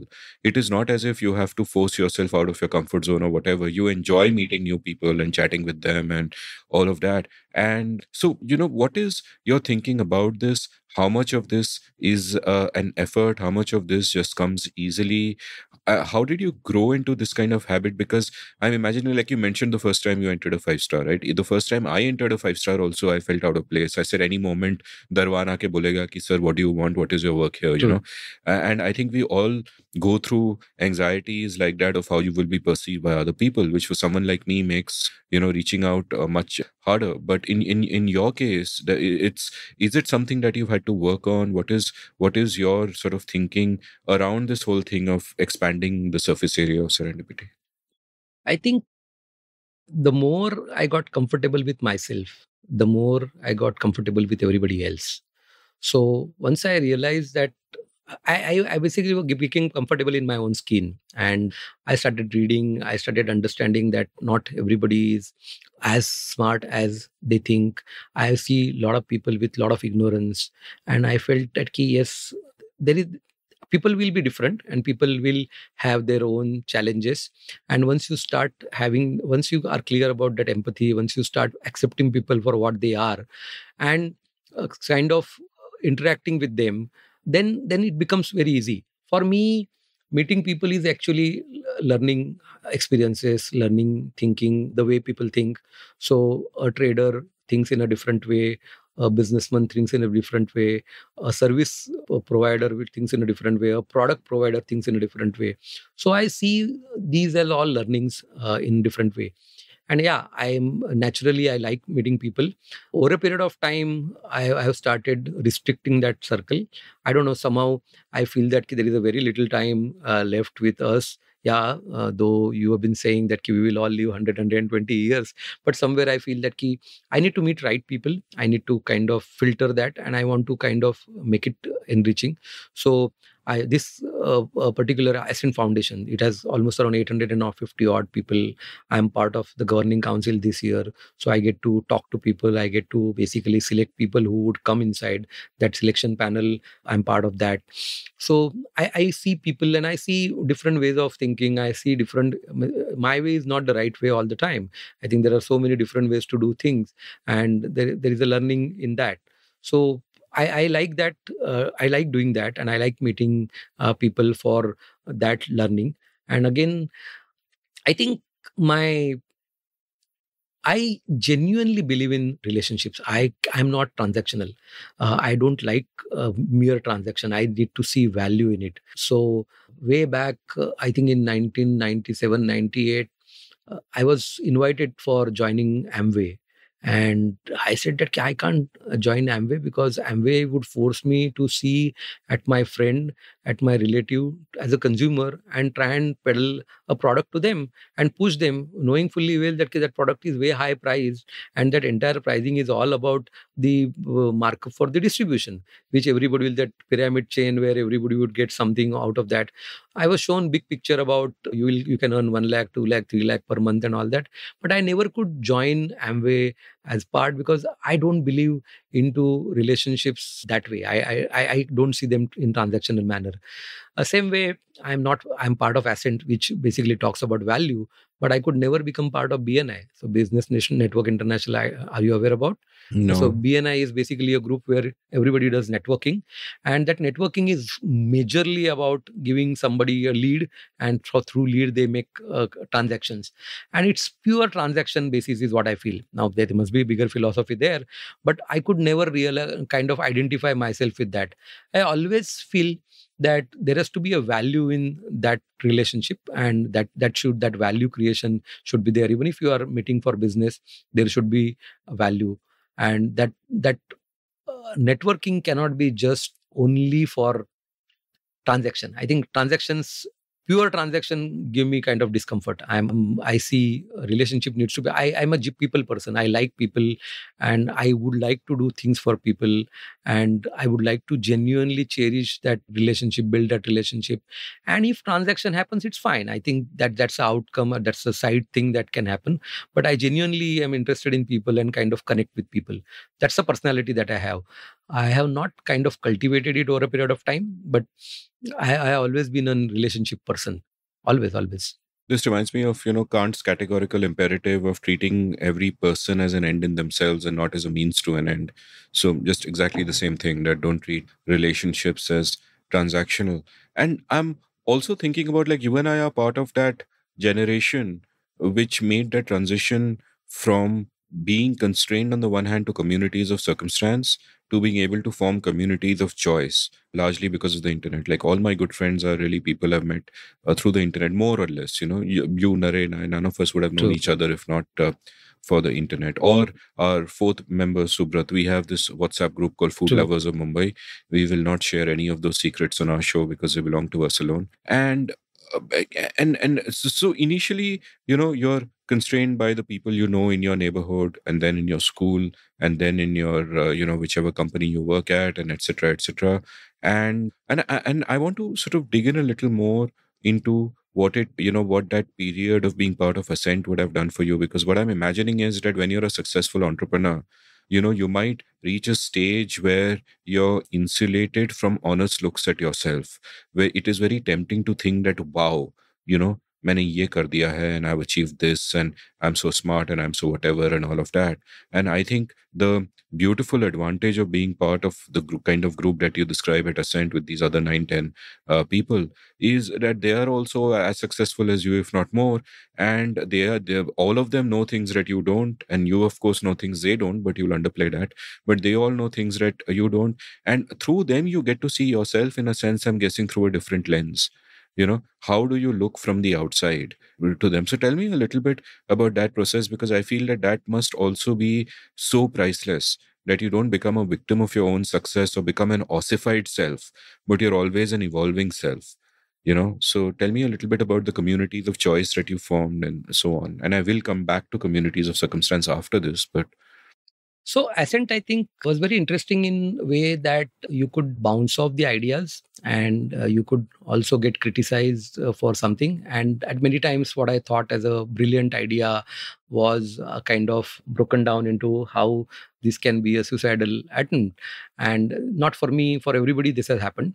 So what happens is that when you have that kind of a trust developed between each other, we have, a solid group. So we basically have done something called lifeline as a uh, exercise where everybody talks about their life the way i'm speaking now.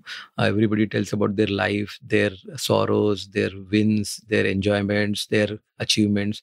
We talk so we we had gone to goa in 2015 16 we talked about it. We recently were in nasik uh, offsite and we talked about it again. So we keep challenging each other. We keep kind of uh, questioning each other. We keep kind of uh, uh, kind of questioning the beliefs that we have. And that's an interesting uh, one is that you're not judged. So it's a trust group. You are not judged. You can say what you want to say. Not that you say something which is i would say stupid but uh, something which is sensible something which uh, you uh, but but you are conflicted about and people will give a different perspective. And that that is a space I, I, want to be and that's an interesting space. I think everybody should have uh, that kind of a space uh, more so uh, people in business because you can do uh, so many mistakes and can actually go off track uh, so easily. And somebody who is objectively looking at things but typically that happens in family businesses. I have i think a couple of uh, people in our group have family businesses and they struggle through the pressures of their parents their family members involved in the business and they struggled between what decisions to take whether emotions should be preserved or professionalism should be brought in and stuff like that and when they talk about it they can uh, we were all friends so they can candidly talk about what went wrong and how could this be solved. And other people they are so um, so the, so we know that yes he we know this person is uh, uh, emotional and this person needs to solve a problem. We know that we can't uh, kind of give him advice where he can go and fight with his family. But at the same time figure out something which will help the business and help him kind of maintain relationships better. And we keep working on that. So I think when such groups or such uh, groups are uh, built or such communities of choice are built, a trust is very important factor. I think I should be able to trust others and I should be able to know that what I'm getting as an advice is coming in an absolute clear, clean intention. There is nothing kind of underlying meaning, underlying agenda. And once that happens, one such community is our uh, clear writing community, amazing community that we have there. And anybody who puts anything there, I think everybody is so comfortable with each other that they don't mind putting up stuff easily and nobody takes it out. And I think such communities should exist more and more. How do we build that? How do we uh, create that is a challenge but uh, with the kind of distraction with the kind of shallow interactions that we see around uh, the the attention span going down i feel it, it's something which worth thinking about worth uh, kind of exploring about but yes such bonds can help us uh, think very comfortably within that sphere and uh, i think can help I want to turn to sort of communities or circumstance now, like I promised I would. And I want to, you know, take you back to Vikhroli, mm-hmm. to that housing society where you're growing up. Mm-hmm. And are you still in, how, many of those people are you still in touch with, by the way? Uh, I think uh, four or five people at least, definitely. So one of my friend who stay in the same building, passed 10th. I think uh, it passed 12th also. I think he did uh, his graduation, yeah. And he was, uh, after that, he had a auto rickshaw. He used to kind of ply that and he was doing that. In 2003 4, when I was in uh, when I was into consulting, one of my very close friend Vishwesh Joshi, He's no more. He passed away in 2016, cancer, colon cancer. a very close friend from my uh, Asian Art Institute days. So he was doing this hospital project management at Thane, the Jupiter Hospital. And he, so I met this Sanju guy who used to ply auto. So I told him that, Ki, why you want to do this in life? Uh, why don't you look at something else? And he was after me, give me some break. I need to have some good break.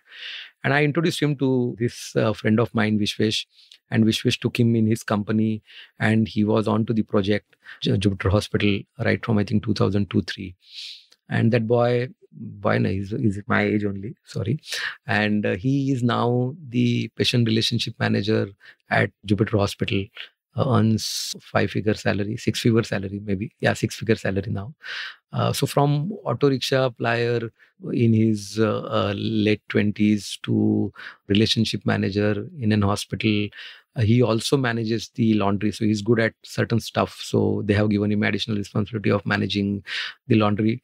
Phenomenal growth again kind of hard work again no, no, no, I don't want to ply auto all my life and I want to do something different with my life. That thought process. So I think there are uh, four or five people from that year.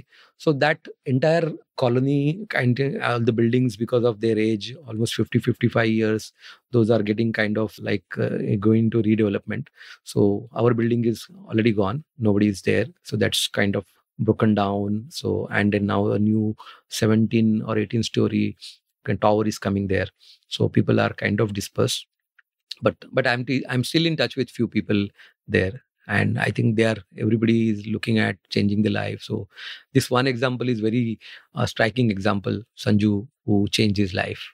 So I have one main question, but before I come to that, a sideways question struck me because you mentioned redevelopment, and uh, you know, and I've been thinking recently, and I will write about it at length about how the different forms in which we sort of the different forms that are um, all around us inhabit, uh, uh, you know, change our culture in such profound ways, change societies in s- certain ways, and one of those forms is the way that we live together. Like very often, redevelopments fail because you might have, say, a, a tenement or a slum where you have a bunch of people living together. Their houses almost bleed into one another. You have all the women gathering together. You have kids running from one house to the other with True. easy access, and that builds a certain kind of community feeling. The True. Elders feel that they are not alone. They can just sit out in the a common gallery, and people are all around them. And when you redevelop them and you put them all in these atomized apartments, th- that fabric shifts completely. True. So, you know, for an elite upper middle class person like me, it seems completely natural to be in an apartment like I am right now. I would, you know, uh, I, I, I, you know, feel very disturbed if I was in that kind of a communal situation where anybody can look into my window at any point in time. And, you know, even at home, I don't like to have the curtains open at certain times. But, you know, I, all these different forms, you know, there are trade offs. And I would imagine that the kind of the kind of bonds you form and the kind of life you live is completely different from one form to the other and therefore the kind of person that you become also so and, and this is really an abstract question because you know you haven't done an ab experiment of yourself living parallel Sure. lives but what what is your sort of sense of this I think uh, the scarcity of the space. uh, so it had uh, that that that life had its own fun. We were so good bunch of friends, uh, play all the time, have fun. I think I living in that 180 square feet house with three kids, uh, three of us, three brothers sleeping on one side, my mom sleeping on other side, my dad sleeping on the bed up there. Space was very tiny. It also created a kind of a sense of I need more space. Today I, I I I enjoy larger space. I need open space. I think it came from that scarcity uh, that you know no I need to do something. On the mindset side, I changed uh, quite a bit in terms of my. Everybody told told me that you need to live in the uh, kind of uh, very restricted available space or available money that you have. And i always uh, over a period of time i said why? I, I i became a kind of a child who asked this why? And i i said no i want to have more. I want to kind of do better why i should limit myself. And today also my focus is not on really saving money. My focus is more on earning more. I would i would basically try and say build more value and focus more. I also on the business side, I feel that key the businesses which focus more on cutting the cost are basically doing it because they cannot generate enough value. That's why they focus more on cost, cost, cost. But if you generate enough value, you will be able to price your products higher.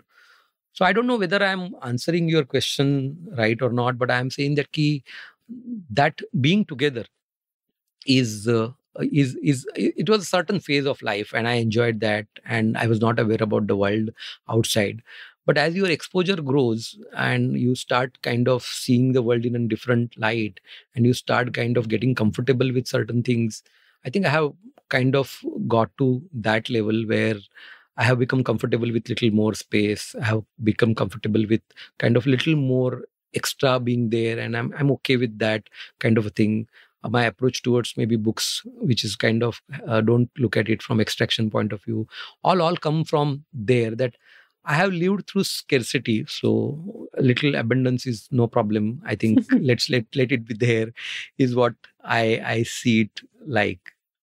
Yeah yeah no one should mind abundance. So people who have abundance often don't want it for others. But uh, leaving that aside which is practically anyone in india who talks about economics. And and and the main question i was getting at here is about escape velocity like I think of how circumstance plays a role in your life. That your father's mentor tells him that no, no, don't send him in a Vikhroli school, send him to Sharda Ashram, and you go there. And different circumstances happen at different points in time. Perhaps you know it's again like you said a pivotal circumstance that you happen to get that particular internship you know in that particular place with that particular mentor mr jadhav and and uh, that True. changes so much and i think that in a sense you know you're probably the one who made good, the one who got away from that little neighborhood. And part of it is circumstances and luck. Part of it is also your force of will and your attitude. And, you know, in that sense, you're the outlier. I would say, from what you say about your friend Sanju, even Sanju is an outlier because true, he true. wanted to get beyond that life. True.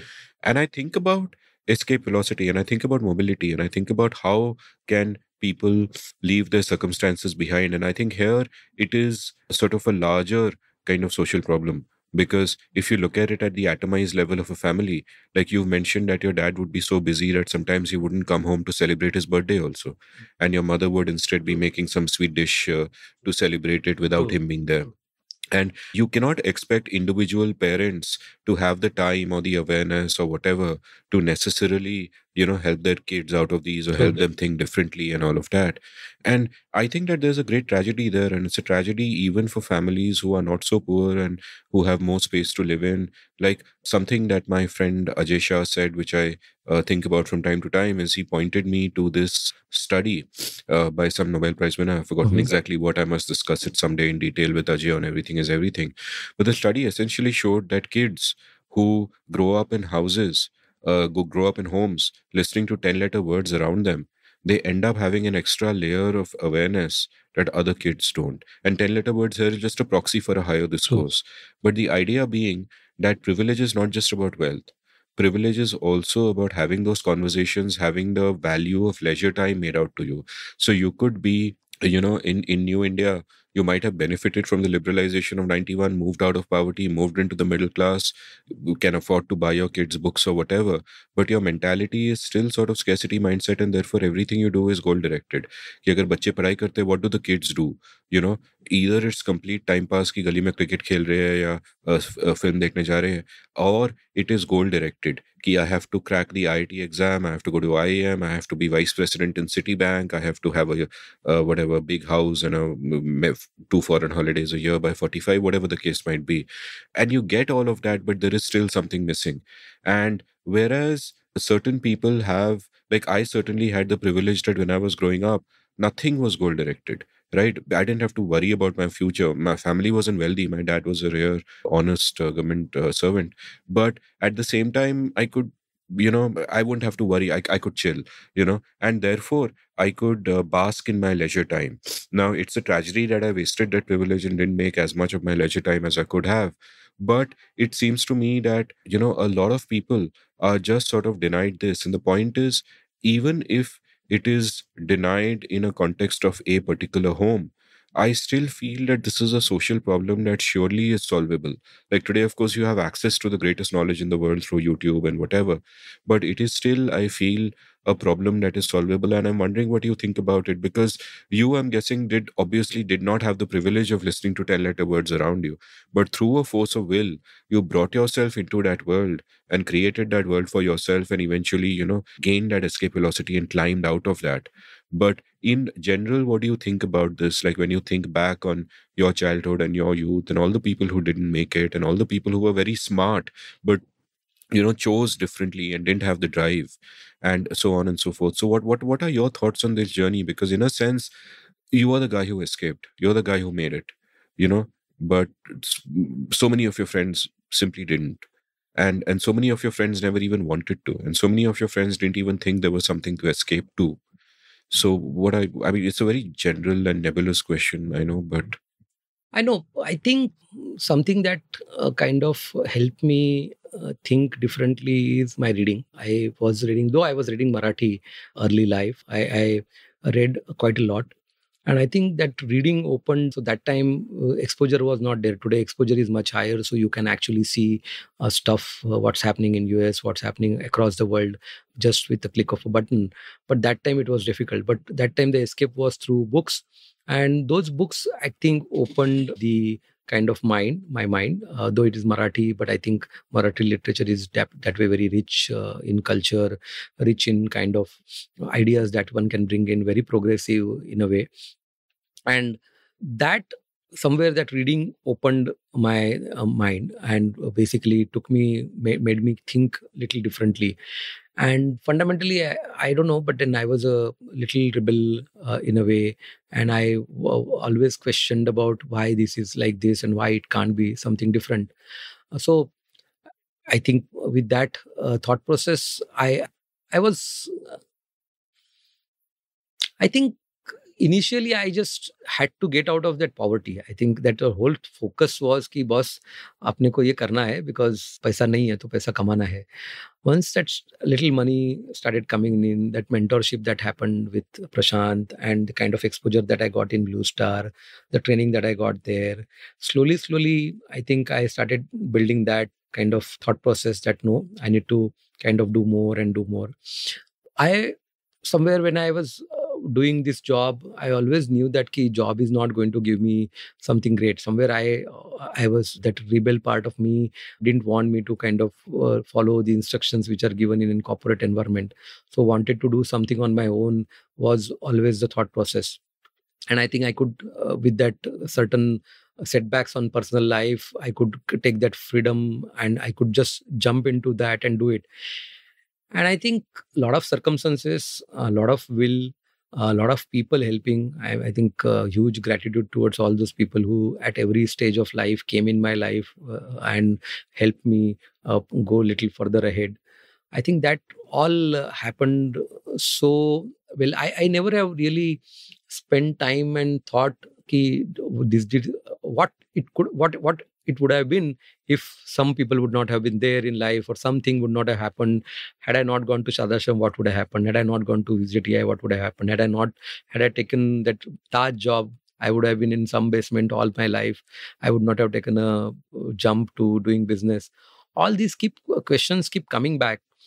But i feel fundamentally i think there is that scarcity during that period draw all of us. Today, uh, there is a lot of information availability, there is a lot of resource availability, and that I think somewhere has uh, made the the the will to do is I feel it is a bit weaker. I don't know uh, this is my hypothesis.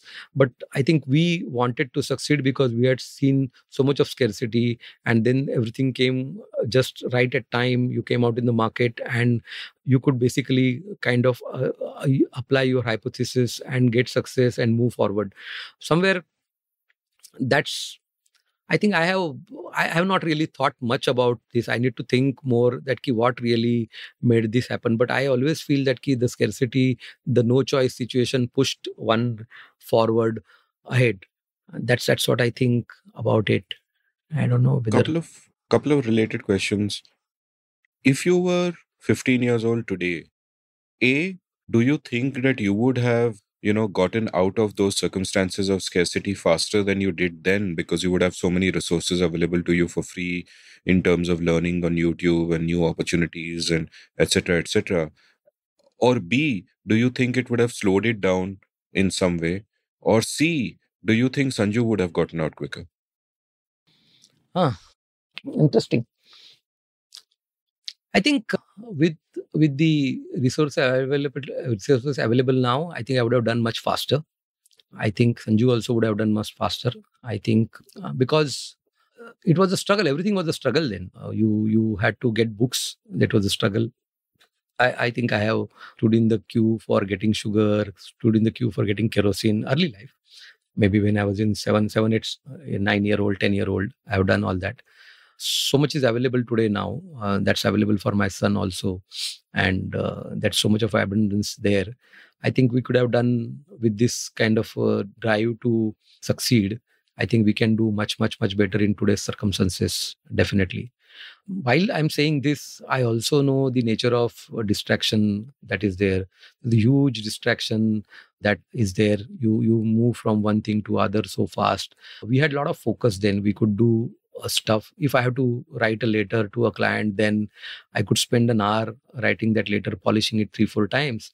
Today i don't know whether i'll be able to do that with this ping there and that uh, Today, notification. ChatGPT will do it for you in two minutes, and you can spend 58 minutes doing something else. yeah on instagram or somewhere else. I know i know.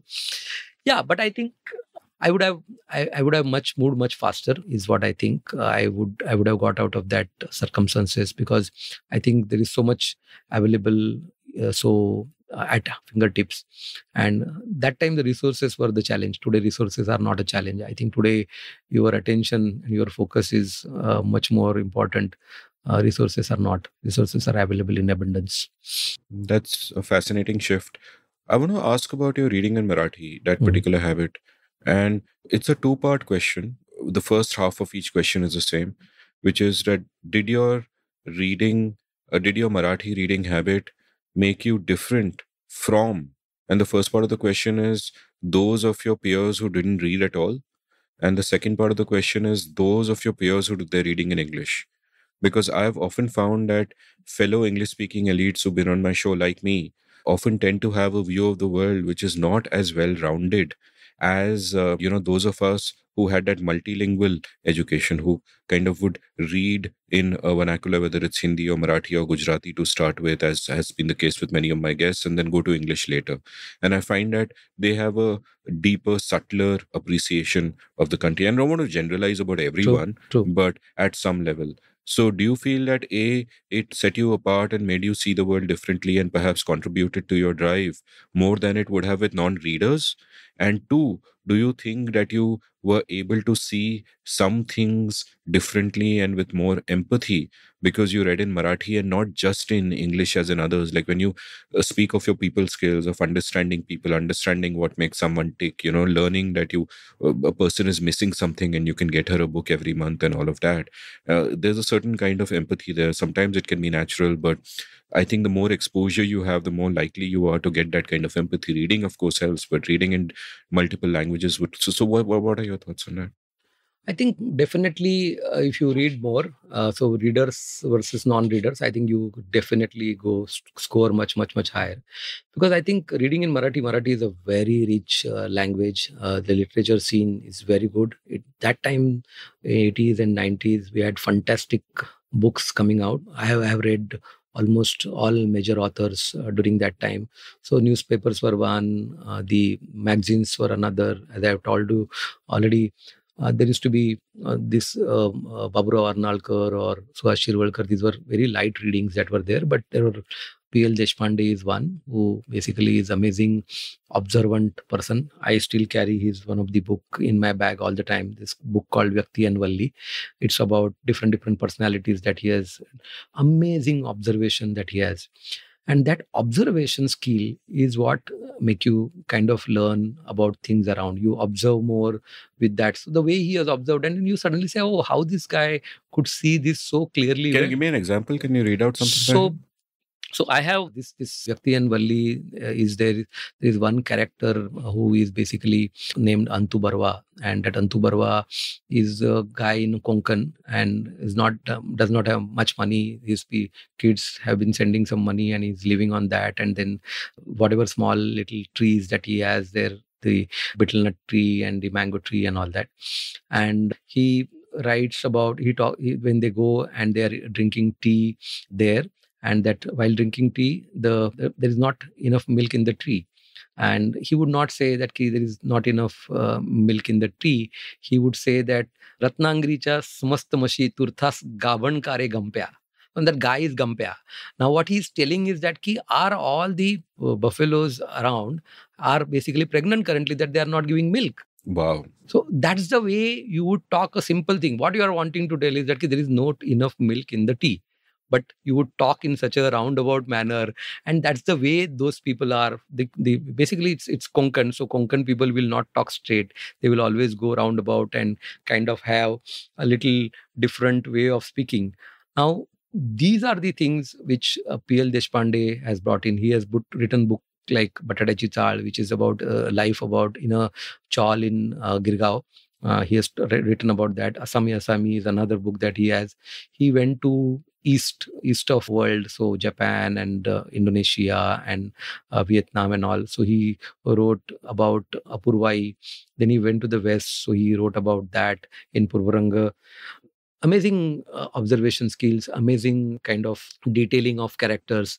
Uh, in this vyakti and valli he talks about uh, one uh, teacher of his called chitale master. And that entire chitale master basically he goes collecting money for the school uh, kind of redevelopment in the in the in the native place. And he is going to all the students. And uh, this guy basically he chitale master has told him that you collect me from this this this student then i'll come and stay with you and he goes there to meet and there are a lot of chappals outside and uh, there is only one chappal which is kind of kind of really really gone torn.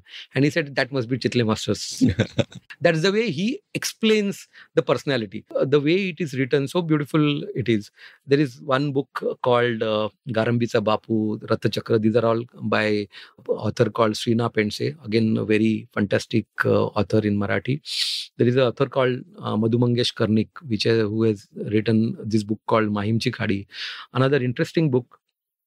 It's about one girl who comes. It's it's in Mahim, so there is a, kind of a slum there, and then one girl's come girl who comes from outside Bombay and kind of a very uh, Muslim girl and a very shy and all, and that girl eventually becomes a prostitute kind of a thing, and that journey of her through a lot of other journeys, very beautifully depicted. So I have read these books. I have read a book called uh, Swami. I have a book uh, which is by a very great author again, Ranjit Desai. There is a book called Shriman Yogi by him. There is a book uh, called Radheya. So Radheya is a book which is basically a point of view of Karna. So the Mahabharata seen from Karna's point of view. That way it is there. So all these books are so rich and so interesting and uh, such a fantastic detailing on the kind of period that they are uh, set in, the kind of uh, characters that they are set in these all things actually opened me to the skill of observation and skill of uh, kind of and and you when you observe when you see things and when you see you you see something different. So when maybe somebody else is seeing looking at things in a next manner my my frame is very different. My kind of the way i look at things is very different. Today also I, I work very closely with certain workers in our factory and i i their their aspirations and their lives and their thought processes are so different. I, I come from Bombay. I have read now novels in English and good literature in English, and and I'm I'm that's a different world and i get, get to interact with the world there over there and we I, I i really can connect with that world because i have come from this world and also i have read a lot uh, which is basically so rich in observation, so rich in detailing that I can identify with those lives very easily. So I think it gives a lot of advantage in terms of because having read in marathi because today even today many of my lot of my thinking happens in marathi i may be I, I may express it in english but my thinking happens in marathi whenever i'm doing something my count happens in uh, Marathi. So I will still say ek, don, teen, char, paanch, like that. If there is a nice kind of this a monsoon time, and then uh, what I will remember is the Marathi poem, not an English poem, because I have never read English Which poem. Marathi poem? Do it for uh, us. there is interesting Marathi poem called Shravan मासी हर्षमानसी हिरवळ दाटे चोहीकडे क्षणात पसरे सरसर शिरवे क्षणात फिरून येऊन पडे this actually about how the monsoon is in Shravan. Shravan is this period. So Shravan, if you typically see, uh, you will see a lot of sunlight, and suddenly there will be rain, and then again there will be light. So this is kind of picked it up, picked up in this poem. So I, I remember these. I remember the my my mother would always listen to songs on radio. Vividh Bharati used to be there and these were all uh, marathi songs so i remember all these marathi songs still today means i don't have to really kind of take efforts those those come naturally to me and i i kind of enjoy them. And uh, i that that world that kind of sensibilities are very different. I think those are typical uh, marathi uh, value based value oriented systems or beliefs.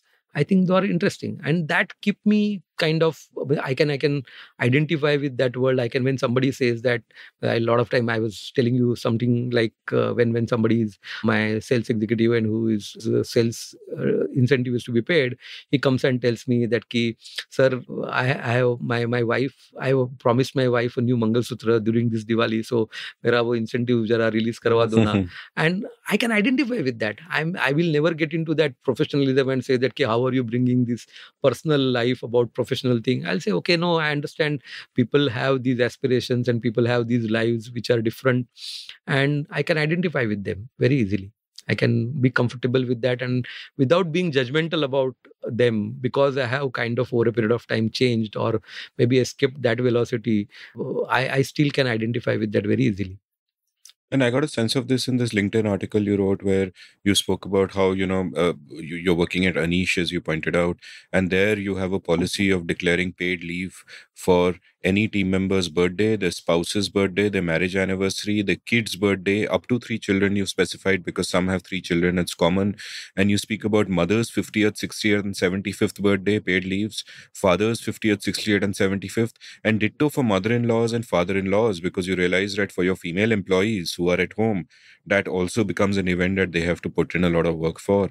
And this is honestly not something that a westernized person and I mean westernized, I think in a derogatory sense, and I'm obviously also talking about myself, would think about naturally. But now that you say all this, I can see where it comes from. And I also want to ask a question about a sort of Marathi arts and culture and literature in general, because what I find happening to some of the vernacular languages is that you have different kinds of homogenizing pressures.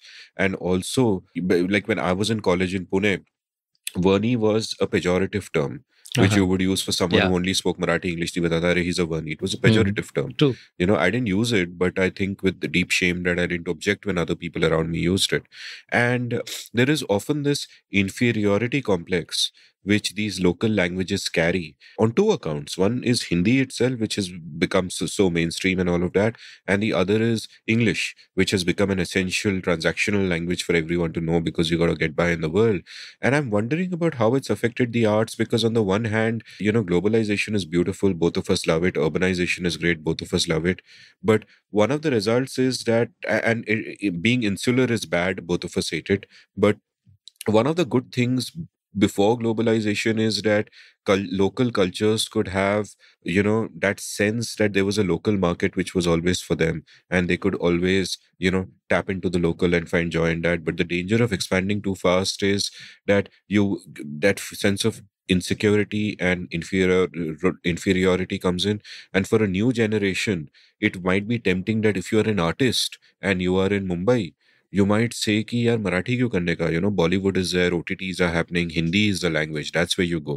Or if you are uh, uh, you know if you start getting a presence on instagram you see what's um, all around you you might even think you know kind of beyond that. So how how has this changed or affected uh, you know uh, since, since you know marathi i'll ask you about marathi but how has this affected marathi literature? Has it become more adventurous and vibrant because of its exposure to influences coming in from elsewhere? Or has it become you know more insipid because a lot of the better talents go on to do different things because for a creative person there are so many things to do? So give me a sense of that because i know nothing about this area. I think uh, marathi literature in those times were amazing. I think the scene on the uh, the theater, the scene on the movie side, the scene on, the scene on overall uh, uh, Marathi was very good. I think everybody is trying to now with the OTTs coming in, in with the I, I see it's it's a, my mistake also that I don't watch too much of Marathi these days. I, I don't have a TV at home, so I don't watch uh, TV much, so I don't know what's happening really onto Marathi as a scene. But I definitely see that homogenization is basically kind of uh, killing the individual cultures. And I think that's not uh, great for the kind of arts and culture of uh, Marathi but i think certain places i'm seeing so there are some interesting uh, movies which are there. So we must have seen you must have seen court is one good movie that is there. Harishchandrachi factory is another good movie that is there. There is something that is happening. I, I, don't know whether you have watched there is a movie called doghi which is about two sisters. One sister, because of the poverty, has to go and uh, kind of become a prostitute, and she doesn't become. And once she starts sending money, the family is happy with money that she's sending, but they don't want her presence for the younger daughter's wedding so so interesting story. So there were a lot of there's that's happening in marathi but it's i think uh, happening in very isolated manner. But during 80s 70s and 80s and 90s i think 80s until then the scene was very good. I have gone and watched a marathi uh, drama what we call as natak. Every 31st uh, of uh, December uh, or the first morning, early morning. So it used to be at 12 o'clock in the night. Mohan Wagh used to come with a new drama every year. And I think almost three, four years I have done that year over year. Uh, going and watching a new drama uh, at Shivaji Mandir in Dadar, 31st morning but there were uh, fantastic movies uh, which were there in Marathi. There's a movie called Jaitre Jait, uh, which is by Jabbar Patel. Jabbar Patel was one of the great uh, directors uh, in Marathi. I think these uh, movies must be between 1978 and 1985, must be this seven, eight years period because I distinctly remember watching them then. it's basically Mohan Agashe and Smita Patil in that. There is a movie called Umbartha, which is amazing. Again, a Smita Patil movie there's a movie called Singhasan. There's no other great political drama uh, like that. That time I was there is one small insight or one small trivia about trivia about that movie is that that entire movie, despite of the uh, the color television available then, uh, this entire movie is uh, made in black and white. And when Jabbar Patel was asked why he did uh, that movie in black and white, he said that this movie is about political, uh, uh, basically politicians and the entire uh, corruption around politicians and that state. And we see politicians only through newspapers because they get their names and their photos get printed in newspapers. All newspapers are black and white. Wow. And if I have to connect the audience with the newspaper and the stories and the news there, then I have to have movie in black and white. So why he did movie in black and white? That was the reason. What a deep thought I had seen, heard that. It's time. an interesting and creative reason, but I don't quite get it. But it's an interesting. it's interesting. Yeah, I, I, was I, at that point of time. I was like, wow, what a thought! And mm. I think he could connect that, and it's a beautiful, brilliant movie that is there. So I think Marathi literature during those period was, I think, was at peak. Today, I, I have not read, so I I'm, I don't know whether I'm uh, kind of competent to uh, make a commentary on that. But I see, I see a nice movie called Court, which is done very well. Masterpiece. Uh, a masterpiece. Very nice movie. These Harishchandrachi Factory again on Dada Saheb Phalke, very interesting movie. These are nice movies that are, they are coming. Uh, now, coming back to your question about whether today this the the, the uh, globalization is it uh, killing? I think every everything has become kind of fast paced everything has become kind of get it get stuff done so i would not see uh, the marathi uh, the vo- in volumes you would not see it in volumes but once in a while you will see some some quote from nice quote or some nice book there but i think it is more rare than more common which used to be very common then that's that's uh, that's I, am and my Marathi reading has gone down. I once in a while I watch Marathi, I read Marathi, I read Marathi, which is all old.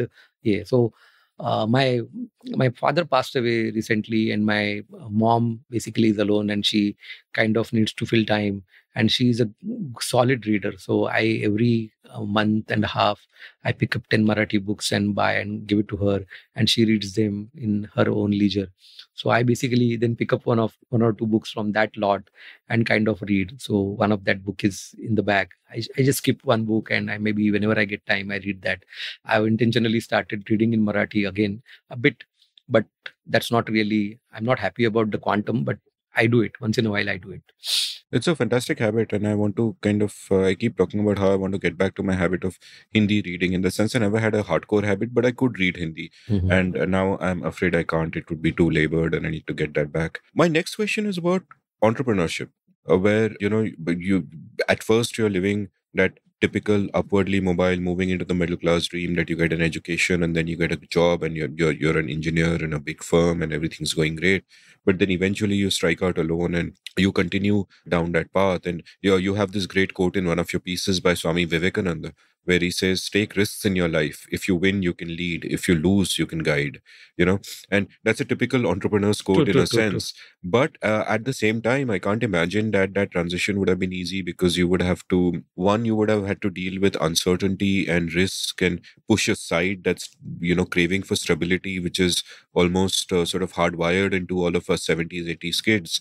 And two, it would have brought a set of new challenges like man management, managing people, motivating them, you know, realizing that you, uh, you have to be self directed, that you no longer have a structure and a routine that is already there, and but that you have to create one for yourself and live by that. So tell me about that process of becoming an entrepreneur. What did you find out about yourself while being an entrepreneur? How did you have to change to manage that? And what are sort of your some of your learnings about entrepreneurship So I think the entrepreneurship is, uh, entrepreneurship is all about uh, kind of uh, values that we. So so all entrepreneurship start about values that you kind of believe into, and you want to kind of test them into real world.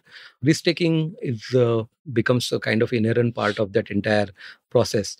Now with your values as as maybe constrained or as basically uh, look at the pillars of what you want to do. You build some kind of a vision and with that vision you set out into the uh, market and uh, build an uh, organization. Now you start small uh, and you kind of uh, face problems every now and then and you can't you kind of creatively solve them and move forward one step and after at the same time if you have to grow one needs to be very clear that you need to kind of build a team and get that kind of a, a delegation uh, happening very clearly. And how how does one do that is basically uh, kind of manage your day uh, build kind of uh, productivity around build network have get right people around leverage whatever resources that you have basically day to day task start moving it out to uh, people down the line and you focus more on strategy you focus more on uh, revenue you focus more on kind of growth uh, part of the business.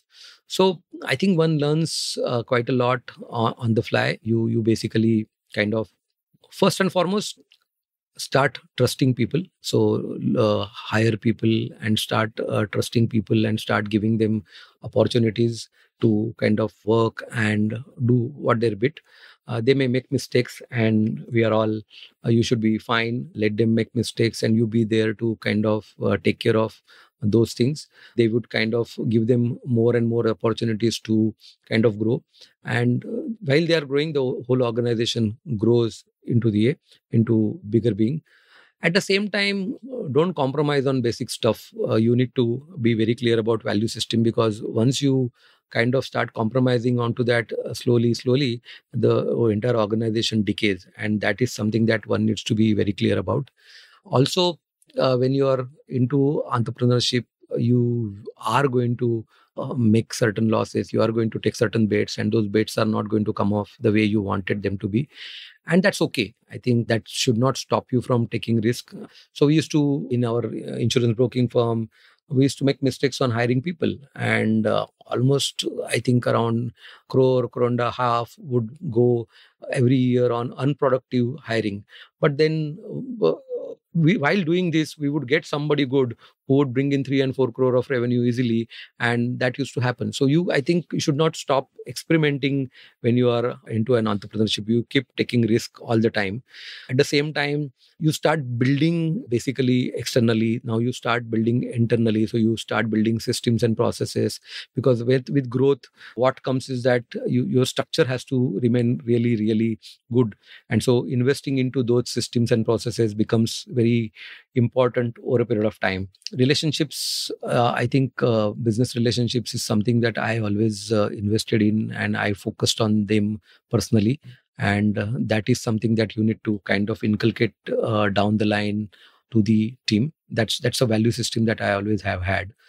Otherwise i think uh, people strategy your own uh, sense of uh, leadership your systems and processes your focus on finances uh, and your focus on the overall financial health of the organization never lose sight from the profit part of the business. I think there are five, six things that one needs to kind of uh, focus and take it forward from there. I think that way entrepreneurship, entrepreneurship is difficult in a way because of the risk taking aspect that people look at. But it is also easy because these are five six things which i think if you really really focus on and be humble and uh, ready to learn from every uh, lesson that comes your way i think it is that way very easy also. Uh, I feel that it is not a big rocket science. It's it's fairly intuitive uh, it's it's fairly simple if you if you stick to basic principles of life. And i, think uh, people can become uh, entrepreneurship is i think it's a very made very glorious and glorified not glorious glorified. But i think people if they are willing to take risk and if they are kind of live with these basic principles i think people can become entrepreneur. And i think everybody should give it a shot at entrepreneurship. I know that ki, some people are not entrepreneur but i think there is a huge amount of uh, freedom. There is a huge amount of kind of expression that one can have about one's uh, belief systems. Uh, we talk so much about our beliefs but then and the entrepreneurship is really a way by which you can uh, test those hypotheses and make them into reality. And i think uh, people should give it a shot. Entrepreneurship is the only way you can i think build uh, and create long term wealth. Uh, i feel that risk taking can get you where you want to uh, build a, a, salary would always grow at certain pace and uh, with uh, the, that pace your exp- your expenditure also goes. What you can really genuinely create wealth is only through entrepreneurship where you can get those multiplier effects through risk taking that one can have. It's like risk to reward proportion can be really really big if you can leverage your resources well. So i feel everybody should give it a shot. And it's not something which is a big rocket science you need to be kind of always open to learning and you can do it well Inspiring words, and in a sense, we are all the entrepreneurs of our own lives, but we behave like we are salaried employees. True, true. And, and one complaint I have for you is you are just saying that on the one hand, you are saying it is easy. On the other hand, it is saying you have to have humility it is so difficult to have humility. Uh, give me a break, Sudhir. On that note, let's actually take a quick break. I need a cup of coffee, and then we will come back and talk for eight more hours. Okay. Long before I was a podcaster, I was a writer. In fact, chances are that many of you first heard of me because of my blog India Uncut, which was active between 2003 and 2009 and became somewhat popular at the time. I loved the freedom the form gave me, and I feel I was shaped by it in many ways. I exercised my writing muscle every day and was forced to think about many different things because I wrote about many different things. Well, that phase in my life ended for various reasons, and now it is time to revive it only now I'm doing it through a newsletter. I have started the India Uncut newsletter at indiauncut.substack.com where I will write regularly about whatever catches my fancy. I'll write about some of the themes I cover in this podcast and about much else. So please do head on over to indiauncut.substack.com and subscribe. It is free. Once you sign up, each new installment that I write will land up in your email inbox. You don't need to go anywhere. So subscribe now for free the India Uncut newsletter at indiauncut.substack.com. Thank you. Welcome back to the Seen and the Unseen. I'm chatting with Sudhir Sarnobat. Sudhir, let's let's talk on the subject which you've spent a lot of time thinking about, and I'm also deeply interested in frameworks. So as I told you earlier, this is all thanks to Bagwe sir, uh, who basically is running this uh, teaching and learning community, and he is a consultant to our company. And whenever we used to go to him, he used to kind of put our whatever pain or problem that we would share with him, he would put it into a framework and then give us a solution. Uh, fundamentally and that solution is kind of uh, long lasting that solution is holistic in a manner so I have this. Uh, I read this uh, fantastic uh, quote from Charlie Munger way back, way back in 1990s. Uh, he, he, had said this in 1990s. I, I just uh, quote. Uh, well, the first rule is that you can't really know anything if you just remember isolated facts and try and bang them back. If the facts don't hang together on a lattice work of theory, you don't have them in usable form. You got to have models in your head and you got to array your experience both vicarious and direct on this lattice work of models you may not uh, you may have noticed students who just try to remember and pound back what is remembered. Well, they fail in school and in life. You have got to hang experience on lattice work of models in your head. So I gotta tell you, I gotta tell you, Sudhir, that when I was in college, I had models in my head all the time. Uh-huh. You know, from Cindy Crawford to Mehr Jesia to yeah. Anyway, let that. I'm sorry. Continue. You're talking You about are- such a serious subject, and I've you know spoiled it all. You- no, no, no. Oh that's God, PJ I'm so bad. come. Yeah. That PJ had to come. What is Amit without that Puneri joke or poor joke PJ? And in those days, also PJs would come. But Hmm. yeah, uh, carry on. so rightly said by charlie munger uh, is that if you have isolated facts those those really don't make sense. And my learning over a period of time last six seven years about everything that is around us is always has been through uh, different frameworks. So i always thought about how world works and how the nations work. And there is so much that you can actually identify uh, kind of talk about in an uh, isolated manner. The nation is like this the state is like this and all that but when I saw a framework of state, society, and markets, and just saw the entire thing, entire world in through this uh, lens of uh, state, society, and market, I think a lot of things fell in place there. Now, how how does government operate? And I saw that there is a legislative arm, there is a executive arm, and there is a judiciary. And if you see the entire government functioning through this lens of this framework, then suddenly everything makes sense. So I have been kind of looking out for uh, these kind of frameworks for some time now. And uh, then i thought that key okay my understanding of the world uh, becomes a bit better uh, or rather a complicated subject uh, that is there or a complicated concept that is there. I can understand it easily if it is kind of uh, bound with a framework as a reference. And i thought that key can we kind of build these kind of frameworks for entrepreneurs in india? So as I told you earlier, that India has a big challenge on uh, kind of increasing its GDP, and I believe that this GDP growth can happen really can come from uh, the middle, uh, so SMEs, the small and medium enterprises. I remember uh, Nitin Pai's uh, uh, quote, Nitin of Takshashila, that every one percent growth in the GDP can bring two to three million people out of poverty and uh, i think india has this challenge of getting people out of poverty uh, more and more people out of poverty. Uh, i have always seen uh, india struggling on uh, kind of revenues. You want to talk about becoming a strong nation. We talk about uh, the 56 inch chest and all that but that chest cannot be really big if you do not have kind of enough money in your banks in your kind of economy. And that can happen only through growth of people the prosperity. And prosperity can come if there are enough jobs. And it's not government's job uh, to give jobs. It is basically the industry. Government can only make certain policies which will make uh, businesses grow faster better. But it is job it is basically businesses will create opportunities for employment. And uh, i feel that key, that can be done well by small and medium enterprises.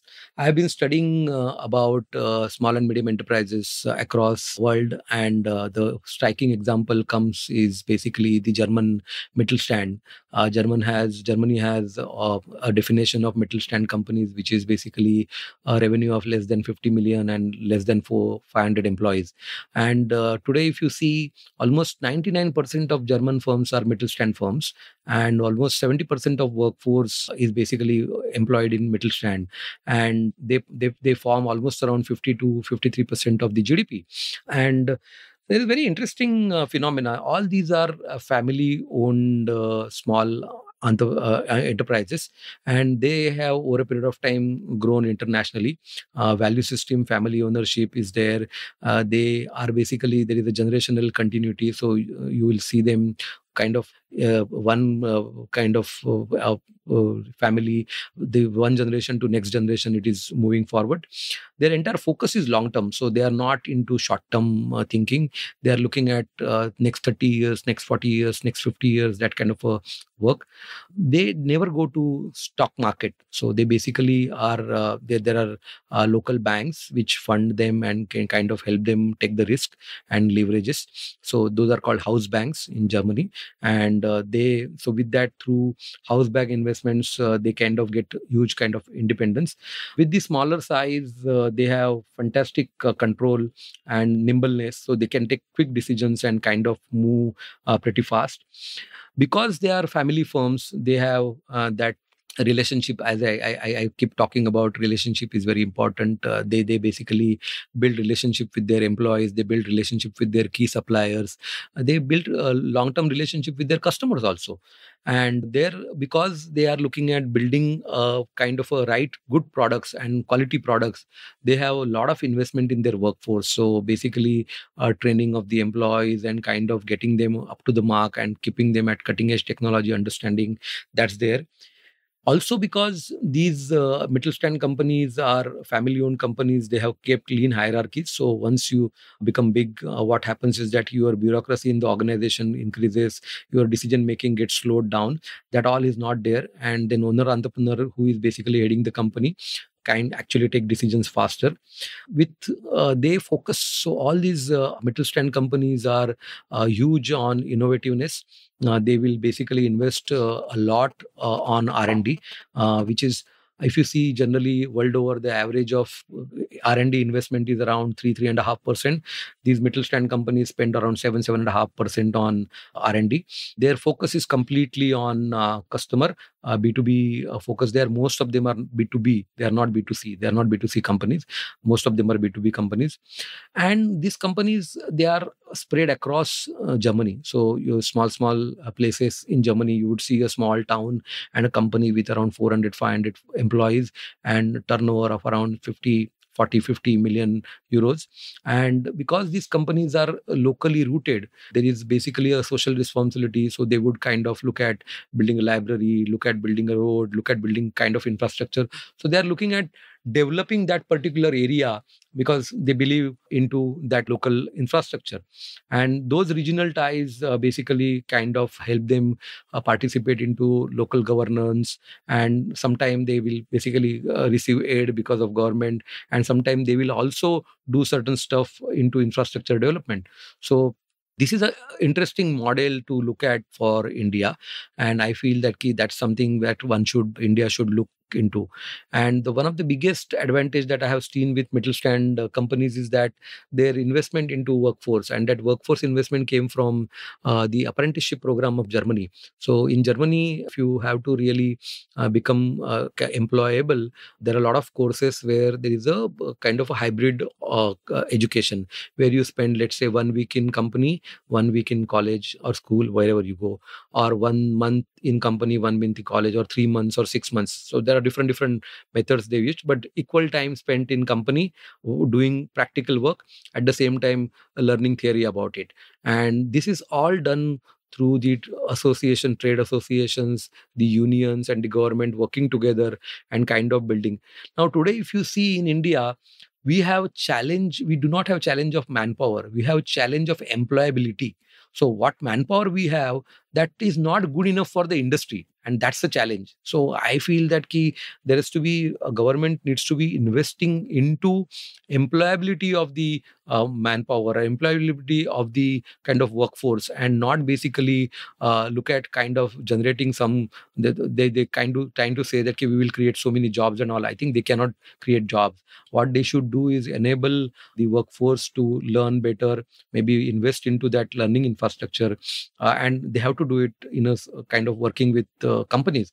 So instead of uh, telling companies randomly uh, give 5% CSR uh, beyond certain profit here and there, if they can kind of work with industry and make them invest into employability of the workforce, I think that is something great. So so this mittelstand model at one place and that's how the focus on sme and then sme today in india thinking uh, from the jugaad perspective which i some, somehow don't like uh, i have been seeing that uh, years over years i have seen that we do not have that understanding of a good design a good product a quality product. If you see i, I remember while going in the school i used to see these uh, bst buses. They have uh, these windows where you raise the window and in the monsoon you would bring the window down. And there is to be a clip. And that clip you put it and you uh, hang that uh, window in the clip. Now many a times that clip would be broken and they would tie it with some kind of a wire, steel wire, and all that. And I used to feel that ki, why? If this clip, which is a simple press metal part, if they can make thousands of it and just replace it, then it would be so nice. But then, no, that's not there. You look at footpaths our footpaths are not basically friendly for pedestrians or maybe somebody wants to on a wheelchair they cannot go the footpath is always cut to for a car to go into a building technically the footpath should be at the same level and the car should go up and down over the footpath. That's what i have seen ag- across everywhere in the world. But here in india what we see is that every now there is a building the footpath is cut and the footpath will go up and down and up and down and the car will go straight. So these are basically nobody gives a thought into building a product. And that's something kind of gives me uh, discomfort or i have always seen that key this is basically a challenge what we have in india is that we look at everything from a jugadu sense and we're trying to make do some things. If we can actually invest into thinking if we can actually invest into kind of looking at what is the right quality what is the right uh, thought process to build quality then there can we can really make good products. I'm, I'm not general i know i'm generalizing this there are a lot of uh, world class products that come out of india but most of the time we believe into this uh, jugadu thought process and that's something which i feel needs to change and that can really really make uh, india go well.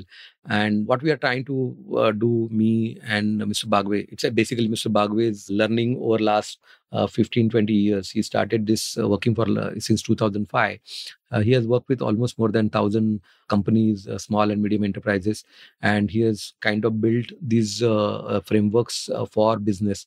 We are converting those into uh, videos, uh, basically animation video and a commentary along with that, and trying to we are building a library of these videos. And on the front end, there will be a questionnaire where will you get problem uh, solution to your problems.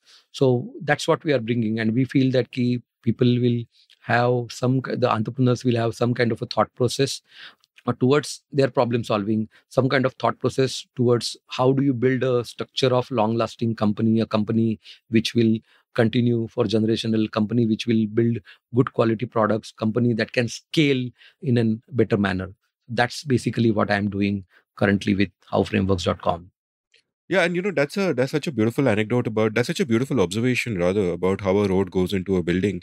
And there is this beautiful thing which I will buy for you if you haven't already read it. It's a masterpiece called The Design of Everyday Things by Don Norman.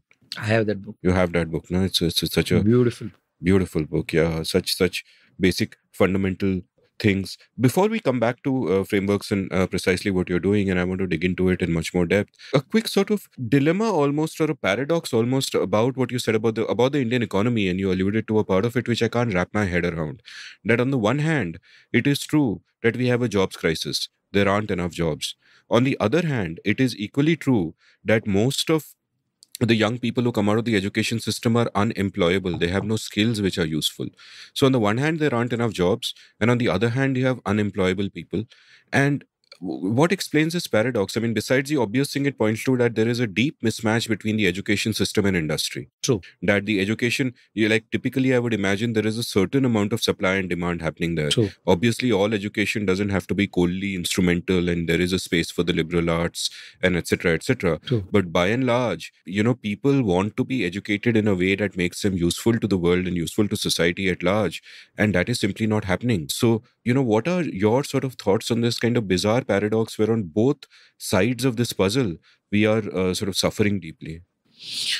So i think uh, industry needs certain kind of workforce and that's not happening at the education level. And uh, how how does one break that? Uh, people uh, when they leave uh, the uh, education institute they are expecting for a job. A lot of people are it is it has become kind of a important and fashionable um, fashionable i'm i'm generalizing it but uh, it's fashionable that you do an uh, engineering you do an mba and then you want to be a manager. And uh, i'm thinking that key if everybody is a manager who would do the work there has to be somebody who is doing the stuff that needs to be done.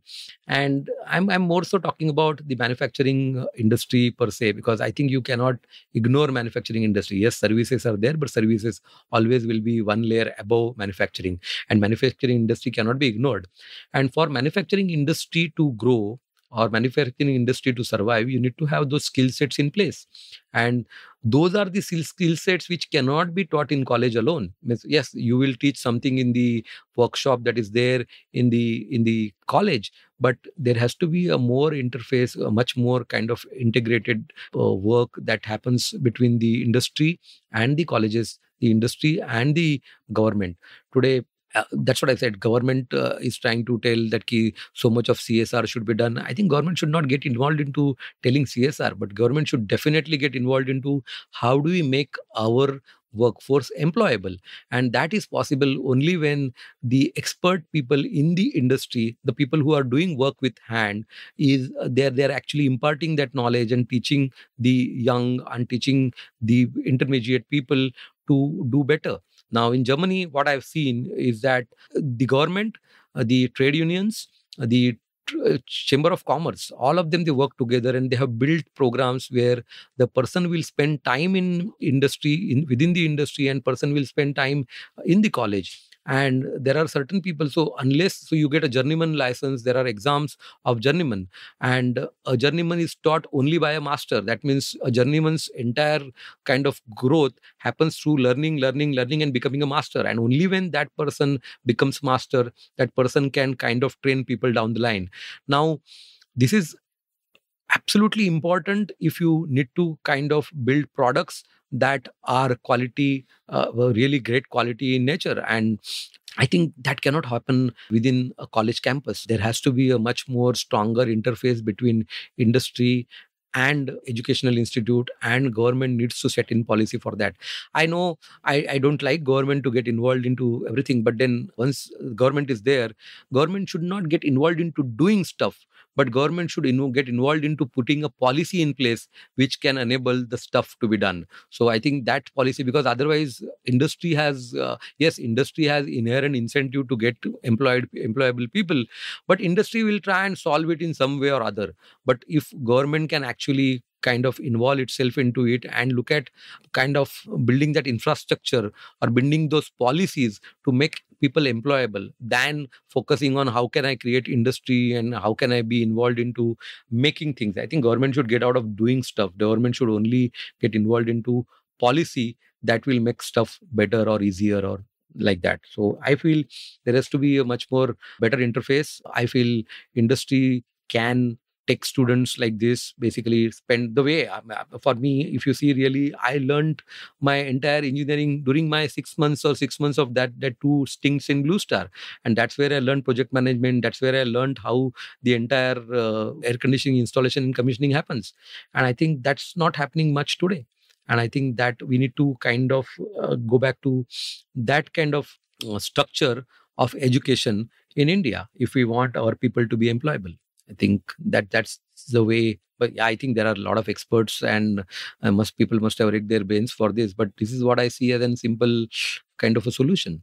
It's, it's yeah, a no. solution. No, you've nailed it. I completely agree with you. And also, there are, you know, I mean, India's messed it up in so many ways. Like, ideally, your manufacturing labor should be coming from agriculture. We have 60% of the country involved in agriculture, where in other country, Western countries, it's like 4% or 5% True. or single True. figures. And the typical way this moves is that people gradually, agriculture gets more productive, productivity goes up, people move to manufacturing. A country like India should have been a manufacturing superpower in the 70s, and blah, blah, blah. We can, uh, you know, go on forever and possibly will have to order a few drinks, which you will have to have all of them because I don't drink anymore. So, give me a sense of the landscape of Indian industry. Like you're talking about a particular size of firm, maybe the Indian version of the Mittelstand companies, mm-hmm. which are sort of medium sized and etc. Mm-hmm. etc.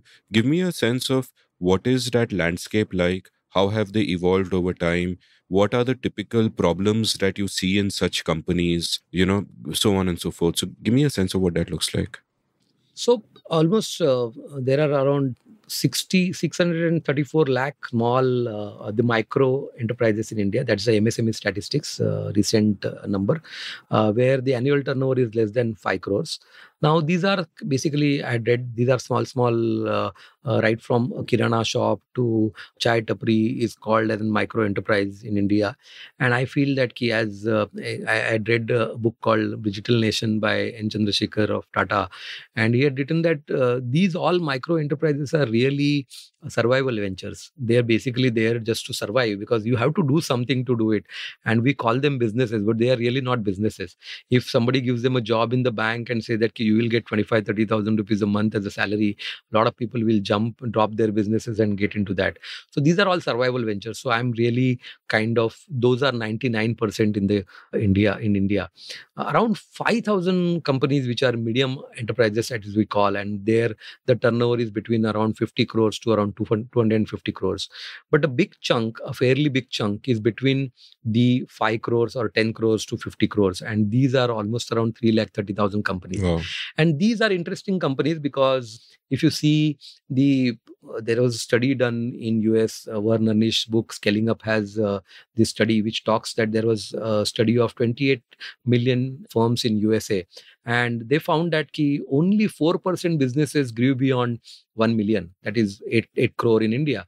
Now once you grow that number then you you really can grow because you have kind of got certain kind of a maturity your maturity in people maturity in strategy maturity in resources and then you can actually grow really really well. So we basically i think we should focus more on these uh, small uh, enterprises which are more than 5 to 7 crores in revenue but not gone beyond 50 60 crores. And those are the kind of companies which can invest into a better strategy a better kind of uh, structure on resources, a better structure on utilization of resources, and grow to become, say, a medium entrepreneur enterprises where they can go up to 200, 250 crore turnover. Mittelstand medium is basically uh, 50 million is roughly around 500 crore what we are talking about, but 200, 250, 300 crore is the right number and these companies are where the uh, it is they are owner driven. So value system is uh, much better in place. Uh, if the owners really uh, kind of invest their time and their thought processes well then they can create good enough jobs. Uh, they are not focused on kind of only money money money. They basically want to do um, growth of uh, people around there the areas around there. And local development also happens with this. Small and medium small enterprises are generally uh, they come from tier 2 tier b b and c class cities it's not kind of focused on to cities like uh, bombay or bangalore delhi like that so the regional development is something which is kind of interest, uh, important for growth of any country. Uh, if you look at Germany, the the Germany is not concentrated growth at one place. You go to small small villages and you will find one company which must be doing around 50 60 million but then it takes care of that village which is around town which is around 1000 1500 people town and maybe uh, 100 of them are working in this one particular factory so I think that is the kind of model that we are looking at. But in India, the share of uh, total MSME uh, in the overall GDP is around 30%. The uh, manufacturing GDP is around 37%. So MSME that way is kind of fairly big share and they can grow that share. And I think for India to solve its employment problem, the growth of MSME is uh, important because only MSME can solve the employment problem in India because they have that kind of a patience to train people kind of absorb people train people get them make them employable. In our company also we get freshers and we basically push them through our training programs make them work with somebody who is senior for 3 to 6 months time and then they start doing independent work. Now this entire model is being done because we want good manpower and we are doing it at our own level. But if there can be a infrastructure where these employability challenges are solved uh, in in uh, kind of collaboration with industry you would get ready workforce available. And that that is very important for growth of medium enterprises. I i believe into that. And given that you're targeting uh, these firms essentially mm-hmm. with your venture, and given that your venture is uh, uh again focused around frameworks and and their utility, the the the implicit assumption there is that a significant lack, a significant gap in uh, what the uh, within these firms and in what these firms can do is exactly in this area in frameworks in the way they think about business in that kind of expertise and understanding and so on and so forth. So can you elaborate a bit on that? Like what are the typical kinds of mistakes that these firms make that you know using better frameworks would help them avoid? Like what are the challenges they face? What are the kind of mistakes they may give me a sense of that that landscape? So uh, if you look at uh, business you you need to think the way one needs to think in framework. What is, there is one framework that we have. So we have put up around 10 frameworks right now onto our website and there is going to be a subscription model over a period of time. One framework is basically the basic basic framework is how do you look at your business. And then we say that key there is one leadership which is basically uh, how the entrepreneur kind of leads the company uh, what kind of values what kind of vision that he puts forth uh, he or she put forth and takes the company forward. Second is what kind of people you attract what kind of people you get into your company and how do you kind of grow them? How do you kind of uh, delegate uh, authorities uh, delegate uh, work to them and make them empower them to do better so that the uh, leadership gets freed to do a larger uh, growth related strategy related work. Third is uh, important is strategy. We basically what we see with sme is that they basically move from one thing to other. They don't have the overall plan in place. Okay fine. This is a particular industry that i'm in what is the kind of market share that i want to earn what is the kind of uh, growth that i want to plan how will i have my growth how will i expand my product how will i expand my geography? Those kind of thought process those kind of strategy is not in place. Uh, sales and marketing again very important part but this this sales and marketing at what stage one should invest into uh, uh, sales? At what stage one should invest into marketing and kind of grow your business? And uh, there there are always this method where you do an internal integration and external integration. So you will never see a constant growth uh, of any industry. You will always see a growth then some taper and then some growth and then some taper. And what is exactly happening is that you are basically doing an internal consolidation. So you are actually working on your internal products or internal processes and improving them. And at that point of time uh, you your external focus may be diluted and that's why you don't grow uh, the way you're growing. But once you do that internal consolidation you again have gained momentum and then you grow again. So you don't see a straight line growth. You always see a taper straight taper straight taper straight. And that's the way you need to kind of look at uh, you can't you can't do everything at all times. So if you are focusing on sales and marketing and you are focusing on internal processes, the owner is only one. There is a empowered team that is there, but focus you cannot do all things at a time. So you need to kind of focus some time on internal processes, focus some time on external integration. And then uh, ultimately finance that's the most important part. That's that's why you started a business because you wanted to earn returns. But at the same time that's a major and that's a means of the business and that's a major of the business also. So you see your business from the financial lens and see whether you are really doing well or not. Uh, how how are you kind of what are the, what is the metric that one is looking at? So this six levers of business is one framework that we have uh, given we have given another framework where how do you grow rapidly? So how do you select 10 so you look at problem. Now you cannot solve all the problems. So you do a simple pareto and look at what is most severe pain that you have. So you use a 80 20 principle that key which pain is giving you a 80% issue and maybe one of the pain one, one of the 10 or one of the five pains. And you take that so if you have five pains one you pick up one which is most severe tackle that solve that and then move to other. Don't try and chew too much beyond your capacity. Or maybe how do you manage risk? So basically uh, become risk literate understand what is risk. Understand what are your fears? Typically uh, there is nothing called risk. It is actually a fear that is underlying behind risk. And one needs to understand what what you fear. And uh, that fear is what we need to kind of address and figure figure out solution to address that fear uh, mitigate that fear and evaluate kind of strategies uh, build financial muscle over a period of time ultimately uh, if you if you look at really all risk they will they will the biggest risk that you would ha- have is the financial failure risk in the business. And the moment you start building resources the moment you start building financial capital and financial strength your risk taking abilities improve. Uh, there are a lot of uh, contingency plans uh, through insurance through other mitigation techniques uh, one can basically keep the risk at bay. So so we have one framework on how do you manage risk. We have another framework on how do you build your team. So how do you optimize resources? How do you do employer branding? So as a small entrepreneur i have always seen that I will always be fighting with the big uh, guys.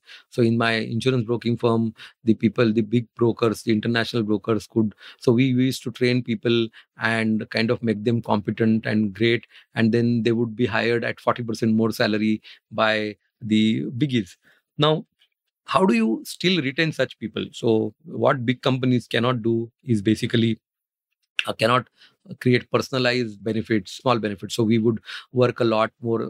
Before the covid we used to do a lot on work from home uh, flexible working hours and give those kind of leverages to people. And th- create those uh, kind of by by these leverages we could actually attract talent because there was a lot of flexibility that was given. Paid leave for mother-in-law's 75th birthday. yes yes yes. So those are the those are so these are the things. So we understand that uh, now a lot of our employees uh, they go on site and they are on site for months together. And they don't get to kind of enjoy with their family. And ultimately if uh, if you look at uh, see we, we all can talk about higher principles and higher objectives of life. But at at that level they are all working for their family. And if they can't enjoy their uh, somebody's daughter's birthday fifth birthday or 10th birthday or 18th birthday i think uh, that's something that they miss. And we say that you no problem. You don't have to you just have to you know this birthday is going to be there at certain point of time you just have to take a flight or take a train and come back you don't have to inform anybody and just spend time with your family and go back and manage a day's work or two days work and that's okay And company is paying for the flights. so and company is paying for the flight and everything so those are the small small things that flexible things that you can do which large companies Can I ask a do. question? Yeah. Supposing I'm working in your company, Uh-huh. okay? My colleague on the next desk who gets paid the same as me Hmm. has three children. Hmm. Okay, one mother-in-law, one father-in-law, etc., etc. Mhm. So he's getting like a huge number of paid leaves Mhm. because of family. Mhm. I have nobody.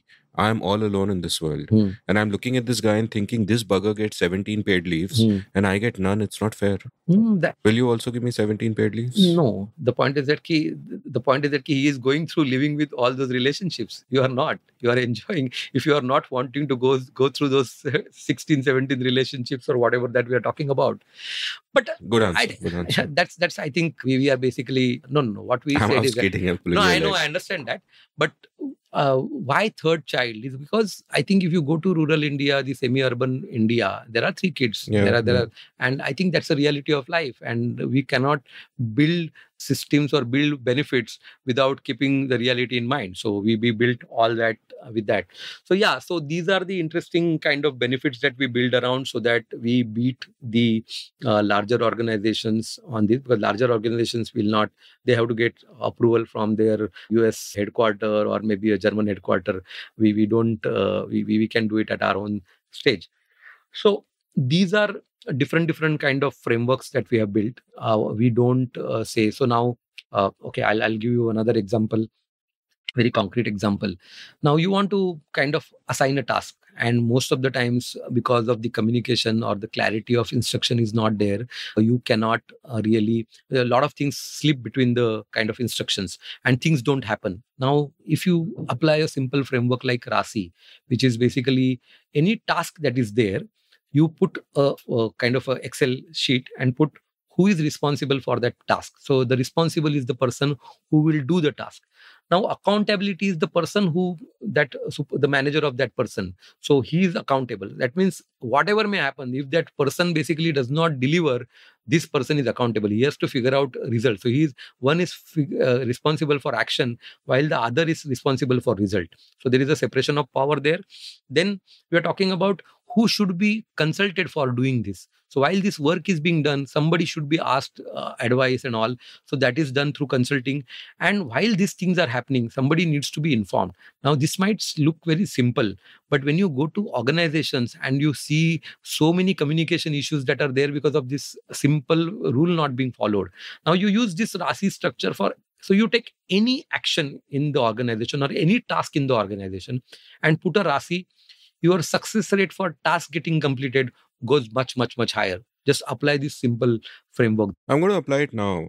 Like Food Lovers of Bombay is you, me, Naren, and Subrat. Mhm. Now Subrat is not in town, right? but uh, we have to meet Naren for dinner after this recording. True. So it is therefore going to be my responsibility to choose where to go. Right. It is your, uh, but you are accountable No, you on are making sure that uh, we get there. true. And Naren is a person who has to be consulted that can he make it in time, True. and Subrat has to be informed okay. With the selfies. Yes, we can do that. So- Okay, so we yeah, applied this. I've sorted this out. but but tell me more. So uh, so there is something called another uh, framework that is called rapid uh, framework that is basically a decision making uh, role clarity so what happens is that in organization everybody looks up to the top and says that ki, that is the person who is going to do everything and then things don't happen so you can actually give roles to different different people so somebody can get a role to recommend somebody can uh, get a role to agree somebody can get a role to perform somebody can get a role to give inputs and somebody can get a role to decide. Now if we basically based on everybody's competencies if we can basically recommend is somebody who has a 360 degree of world who basically is into kind of research and all that person will kind of take a view of multiple things and recommend that "Okay, okay this is the right thing to do. Now somebody who is a good evaluator would say okay fine this is a person i have i have checked whatever he's done is right he has done his homework and he or she has done his homework and I can say okay i agree with what is being proposed so that is agree. Now somebody has to m- make that happen. So that role is going to be performed. So who is going to perform that thing? And then there are inputs that are needed at various stages for that. So there is somebody who will keep giving inputs for that. And there is somebody who will decide on this. So basically that decide person is the person who is the final authority on what should be happening. Now if you apply if you want kind of decision making for anything you apply this simple rapid framework and you can actually get decisions happening in the organization much faster. So these are very small small interesting frameworks for business.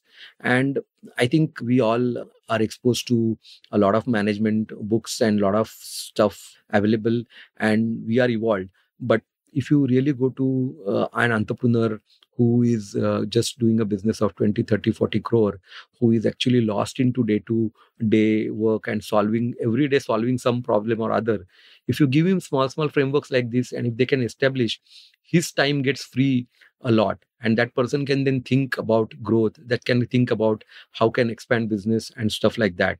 So these are operational frameworks. These are frameworks that you solve your day to day problems that you solve uh, structure problems in the organization. And these are things that we are trying to build. Mr bagwe uh, is basically uh, through his learning over a period of time he has this uh, repository of frameworks. Many of them he has developed on his own. And those are the things that we are trying to kind of structure into how frameworks Looking back at your own uh, sort of career and entrepreneurial journey in hindsight, do you remember making mistakes or not doing things you should have done that could have been different had you had one of these frameworks available to you then? absolutely so there is a framework which talks about uh, how do you kind of grow within grow your company. Now there is something called the existing products and uh, new products and there is something called as existing market and new markets. And you cannot go into new market with a new product ever because everything is unknown unknown. Now what you do ideally you should do is basically you have uh, existing customer.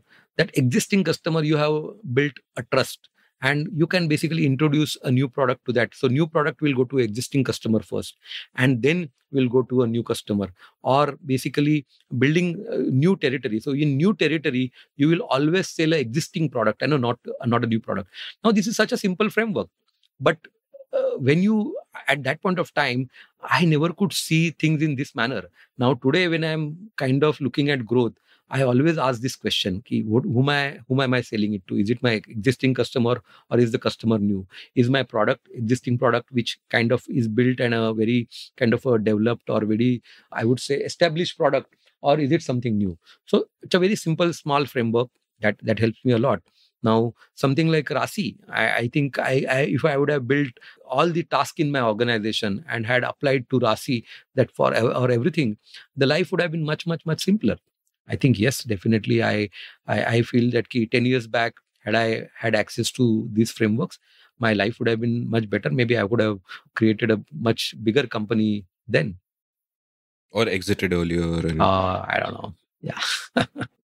so tell me what is a model so one goes to your uh, so, so let's say i run a business which is 30 40 50 crores maybe started by my father or my uncle or whatever is kind of a family business. Has gotten to a certain size but is plateaued. Right. Every day i'm spending time basically firefighting. Uh, the world is changing really fast around me. And so what happens? I, I how do i benefit from your services? So what we basically are looking at building so right now it's a mvp minimal viable product just 10, 10 videos we have put in. Uh, we plan to build at least 100 videos in next three to six months time. And what we are going to do is that all algorithm in the front.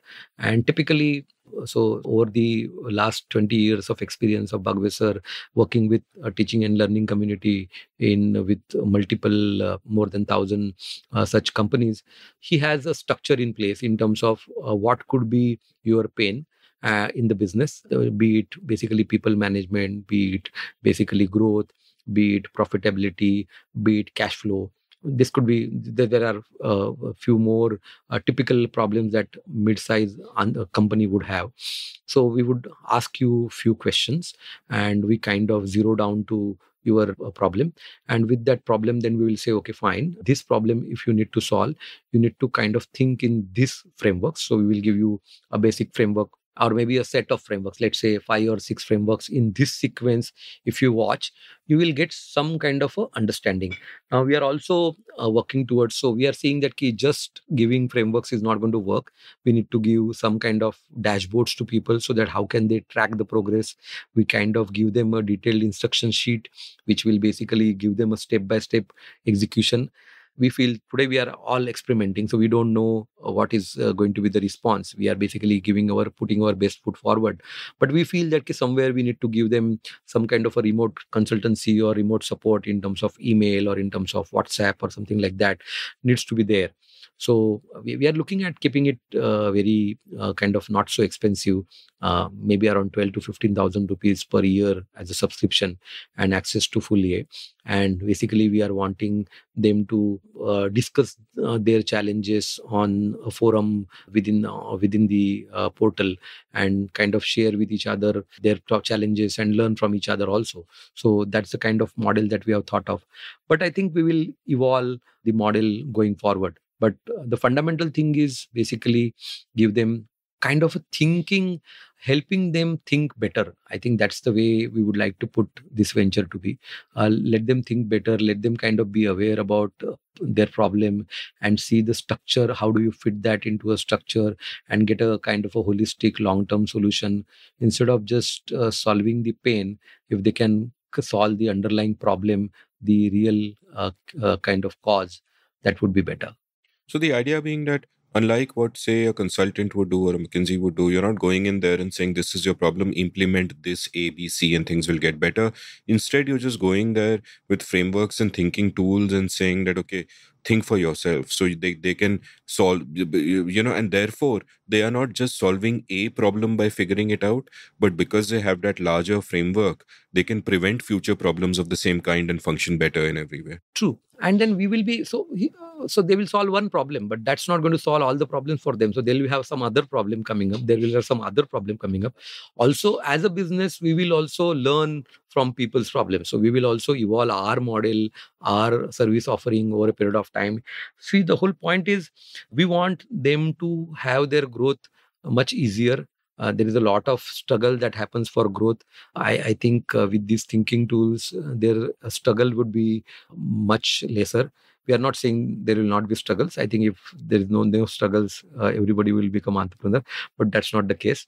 I think struggles will be there but we are trying to kind of elevate the pain. We are trying to kind of give them a direction we are not uh, going to claim that we will solve their problems because again how does one in every individual learn and their pace of learning their pace of implementation all that matters. But we are definitely giving them kind of nudge to think better and move forward.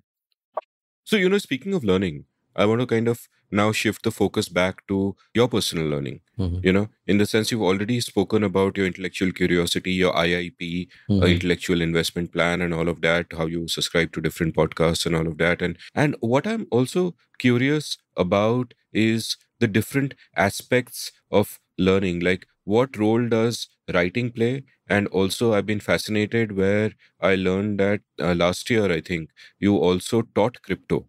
And the reason that you taught crypto to a group of people, I think it was the Ascent Finance Special Interest Group. Mhm. The reason you taught crypto to this group of people is because you wanted to learn crypto. Yeah. And the moment I heard that, mentally I started clapping because I just think that that's beautiful. In fact, these days when I try to learn something, I try to tell myself कि मुझे ऐसे सीखना है कि मैं पढ़ा सकूं. True. Because you know, as Krish Ashok said in his episode with me, that there's a pyramid of learning, True. and the shallowest form of learning is maybe just reading something casually True. and you're skimming over it. But the deepest form of learning is to teach it. Right. And you decided because you really want to learn crypto, you will offer to teach it, make that commitment, so you will be forced to learn it well yourself. True. Tell me about this philosophy and and uh, how this process was. So uh, there was a group of uh, people we were uh, discussing. I, I so there are multiple uh, uh, WhatsApp groups that Ascent has, almost around 800 entrepreneurs uh, with Ascent now, and there is a group called Business and Finance, and I curate that group, and we wanted to engage people there in that group, and we want to wanted to keep people together and keep coming back to that group again and again. And so I just uh, had a poll. I think WhatsApp had just had poll that time uh, that that new feature had been like in, introduced. And i asked people that what you would like to kind of learn? And people said there are a lot of uh, noise around uh, crypto and people wanted to learn crypto. And there was a lot of speculation around crypto and prices going up and all. And as an entrepreneur everybody was like uh, can i risk and can i get into it? But i want to know so I said, fine, no problem. Uh, we can do this. And uh, then what I said that, "Ki, okay, fine. If I have to teach, uh, so make everybody teach, I need to learn something first. And I don't know anything about it. And then I said, okay, fine. I can do one thing is that ki, I can teach while I'm learning. And maybe I have to be a, week ahead or a 10 days ahead of everybody else. And that's how then, and I think uh, everything is possible uh, with video, YouTube. YouTube has such a rich uh, information and knowledge available that you kind of so i went on to uh, search. I basically created so uh, ctq compound ramanand uh, and harish that model was there. So i said okay i'll use the same model. Uh, so we moved everything to telegram. I said i don't want everybody to be there on linkedin uh, on whatsapp. So we moved to telegram made people so out of this 800 we had almost around 60 odd people subscribing to this. And some people even asked that my friend is interested who is not from ascent would you be okay having them? And i said fine no problem. And we had around 60 people there. And what i did was that i went from so i created a structure in mind that what I, I look at like look at it like I don't know anything about crypto. So then you need to basically go to the basics of what is currency, what is money. So so I started with that basic as a yeah, see what is money, what is currency, how did currency come into play, how did transaction happen what is the store of value what is speculation. So all those things i get got into that. I built create got so there is a lot of uh, material available onto internet. Uh, so basically uh, I, I use the simple model of why and how and what. So i said that ki why crypto is the first thing. So what is happening currently in the market? Uh, what is the currency that is there in the market? And so picked up videos on that.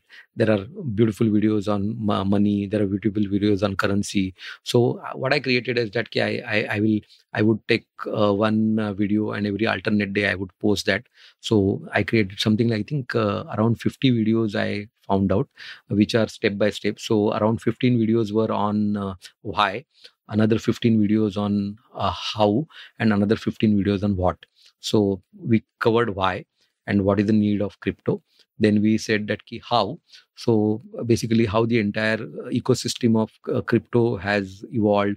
What are the different different kinds so what is platform uh, what are the different different currencies which are available and why what, what do they do? Then speculation and then there are co- basically people who are trying to dupe others and so so all those things were covered into the second why how and then we moved to what. So now people wanted actual advice in terms of ki, which cryptocurrencies they can buy uh, what they can buy for what other options are there. So that entire structure was done. And i just said that ki, okay fine. The way i would like to learn is the way i will teach. So I, I went like and i don't know anything about crypto. I don't know anything about money. And how would i kind of structure my learning? Same principles i applied there picked up videos from YouTube, uh, created links, and delivered that delivered that entire course. And it was a very interesting course. Uh, I I learned uh, I I understood that the way people were trying to kind of invest in crypto, there's a lot of speculation around it.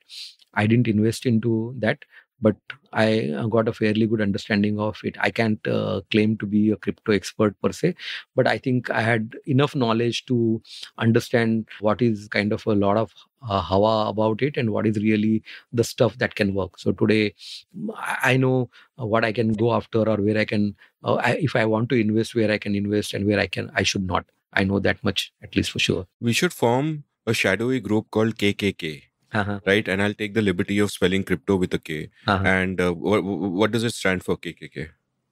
KKK. Oh, okay. Tell me. Crypto ke kutte kamine.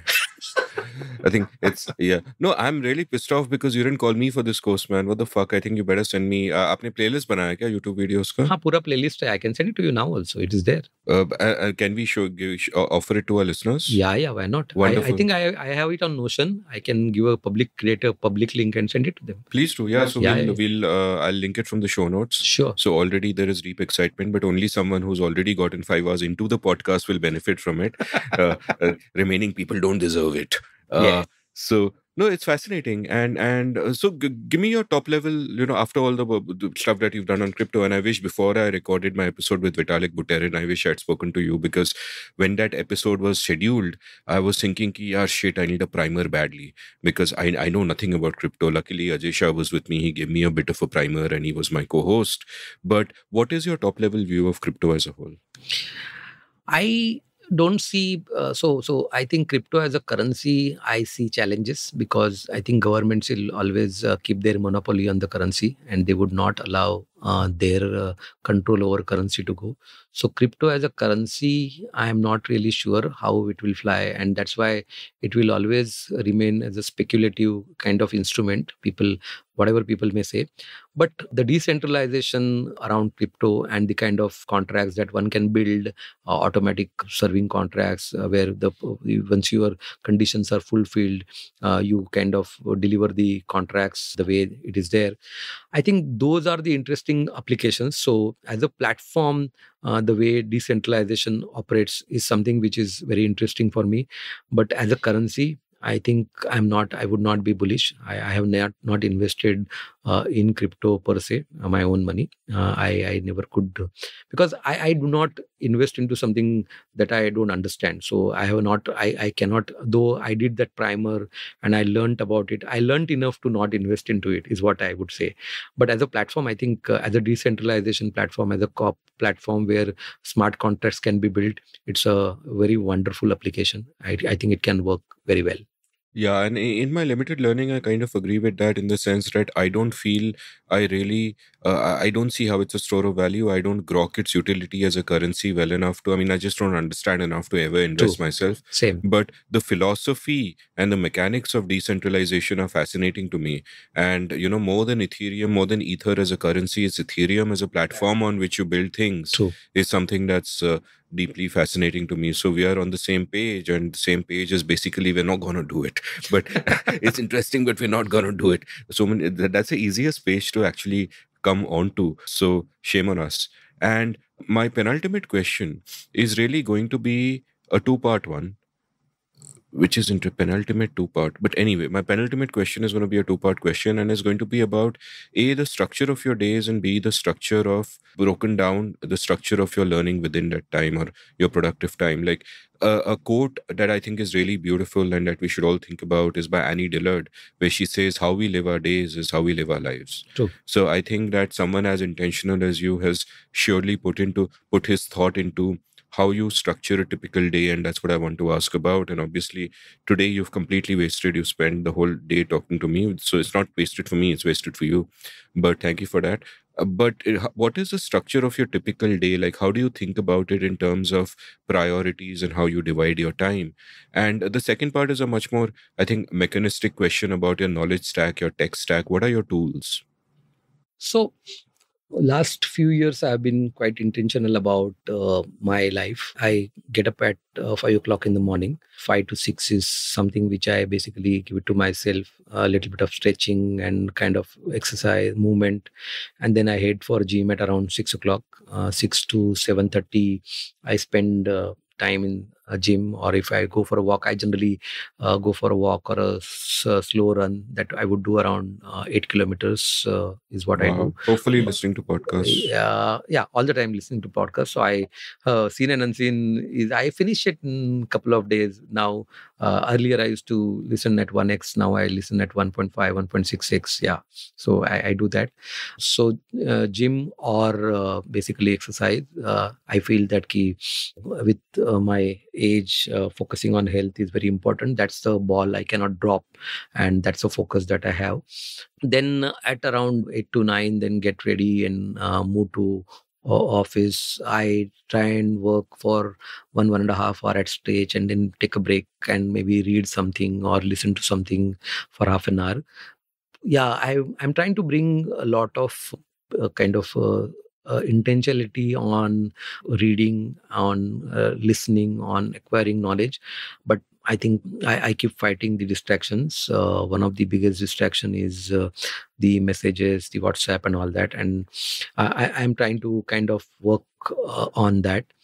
Uh, typical day ends at around uh, 5 5.30 i squeeze in an hour or so on thinking about ideas that i want to write about. I believe that writing is the way you have been talking about it very uh, again and again that key writing is basically a way of thinking. So i, I when i when i think I, my thoughts are all jumbled but when i write i kind of see the dissonance i kind of see that how they are not structured. And when i start writing the structure uh, comes in place and uh, that that's kind of peaceful also. It's a very writing for me is meditative. Actually when i'm writing i i get stuff that i have in my head onto a piece of paper or maybe mostly onto a screen uh, onto maybe word or whatever.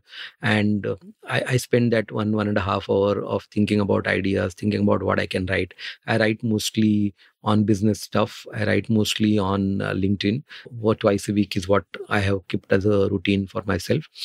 Uh, evenings generally i feel so i i eat uh, two meals a day. So uh, same like you after i think you talked about cgm i also um, bought cgm and uh, my i was around 6.6 6.7 on my hba1c which i have brought it down to 5.7 Oh, after uh, yeah lost around i was around 80 kg now i'm 68 kg I put lost you onto CGM, right? yes you put me onto And CGM. Ajay put me onto CGM. So you're like Ajay's CGM grandchild. yes i'm cgm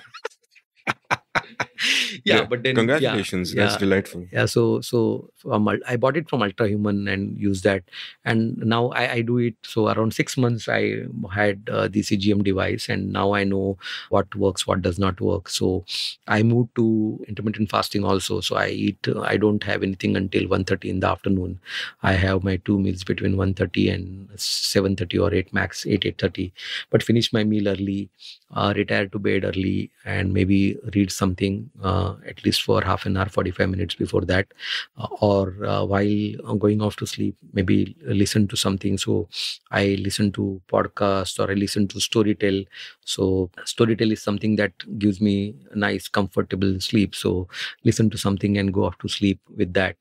Get up at uh, five o'clock in the morning. So get around seven and a half hours sleep at least every day because i think that's uh, very important if you want to have a productive day every day sleeping on time sleeping uh, almost uh, winding down an hour before you sleep very important. So a couple of hours between your last meal and sleep is very important. So 7:30 to 9:30 is the time that i generally consciously build. This has been happening for last at least uh, three three and a half years now. That's the way i spend day I've destroyed your schedule today. oh, Your not streak is gone. so once in a while i do that that's What is okay. like your tech stack? So tech stack basically uh, very simple. I um, uh, use so I I basically will write down ideas and then kind of uh, expand them. Then I use uh, Grammarly uh, sometimes. Sometimes I will use ChatGPT and get some kind of a drafts uh, done. But I don't pick up uh, regular the way I, I don't write or I don't put whatever is ChatGPT given. I don't do that. I use it as more of a prompts and more of an idea and kind of a structure points more most of the time points and then expand those points and uh, build on that. So I do that there. My reading most of the time happens uh, through CTQ compound, uh, whatever articles that come, or I have. Uh, so what I have done is that I have my regular email ID and I have a specified email ID from Hey. So Hey is a service, uh, email service, uh, charges around hundred dollars a year, and my all uh, newsletters go to Hey. So if I go to Hey, it's only newsletters and nothing else. And they have interesting feature that you cannot get spam over there at all. So every time there is a mail, you have to first agree or rather kind of uh, white label the mail coming from some source. And only when you white label that mail will come into inbox. Otherwise it will not come. It will just be deleted.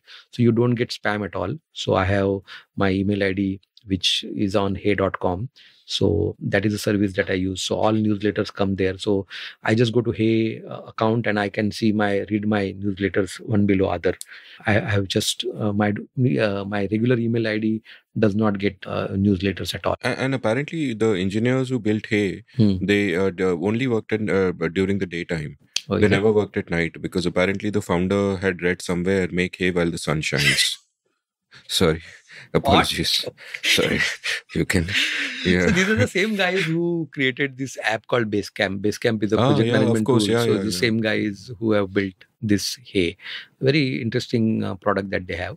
So Hey is what I used, and uh, then basically, if I like something, then I cut paste and kind of push that to Readwise. So Readwise is something where I uh, store everything. I have almost around I think 3,000, 3,500 nuggets of that and i use those nuggets again for uh, my uh, linkedin uh, posts so sometimes i may not have something interesting to write about or maybe i'm being too lazy then i pick up one of these interesting kind of quote from there and i would write around 100 words around that. But i do that but I, I ensure that i do two posts a week because i think that's a kind of a discipline that i wanted to want to keep. So use that use uh, notion to create the entire uh, kind of repository. So i have some kind of a gold readings which i keep putting recently what i did is that uh, i wanted to become regular onto linkedin and i wanted to be i wanted to learn from young. So i now have one uh, intern whom i have hired.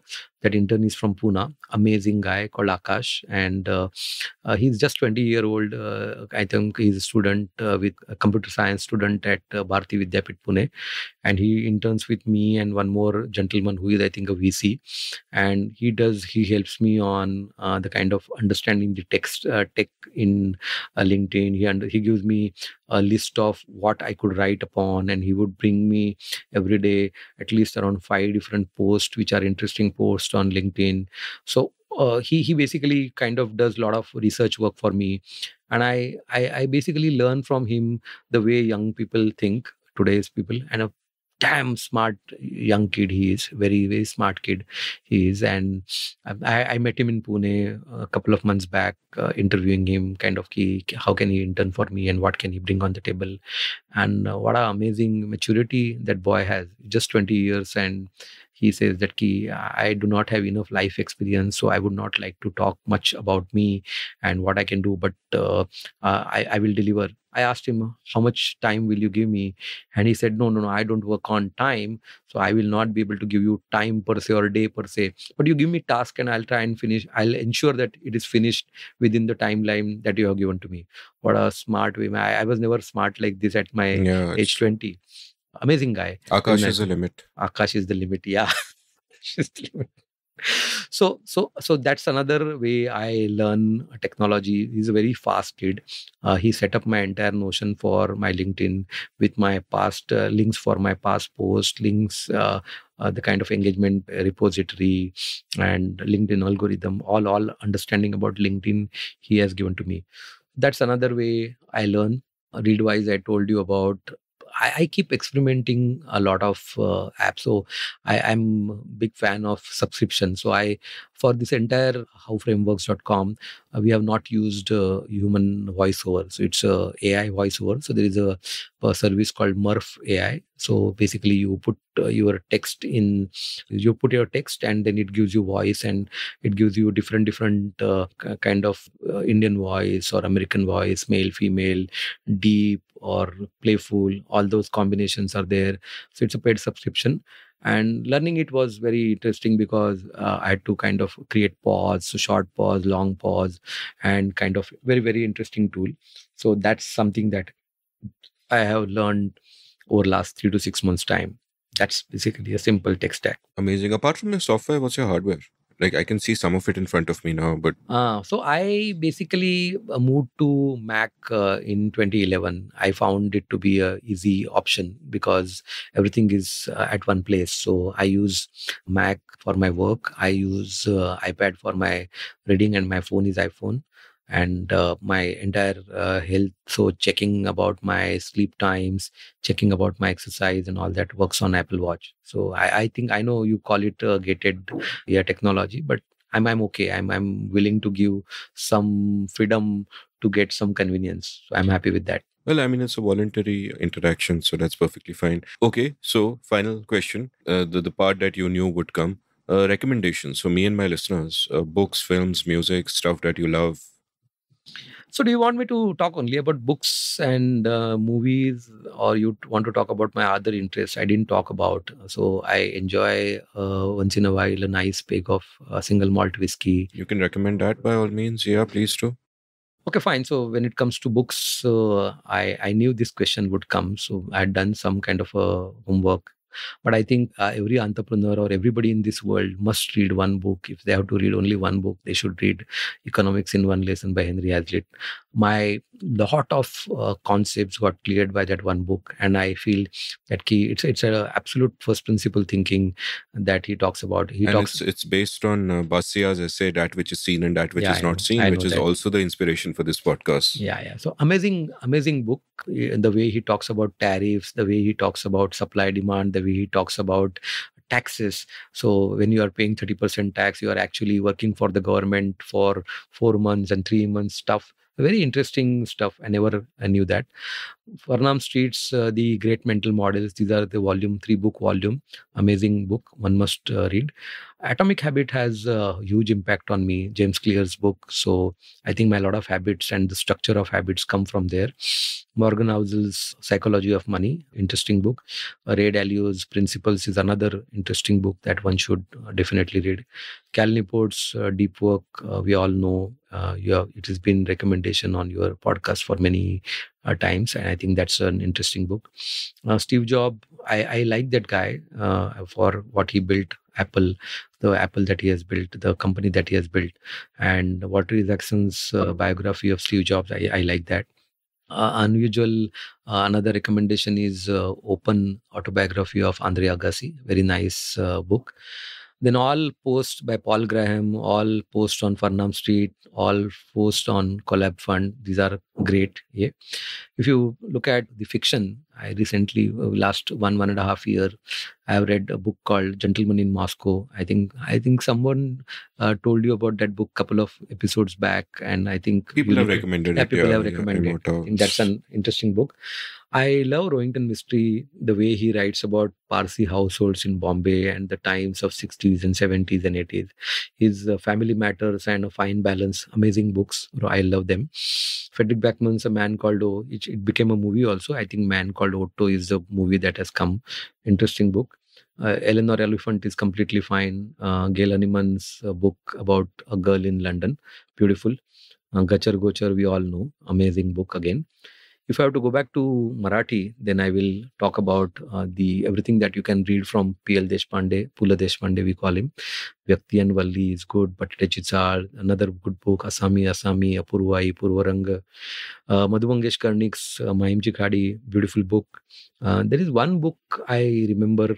Uh, this book I had read way back in 1992 or 93, a book called Avirat by a guy called uh, author called um, Anand Samant.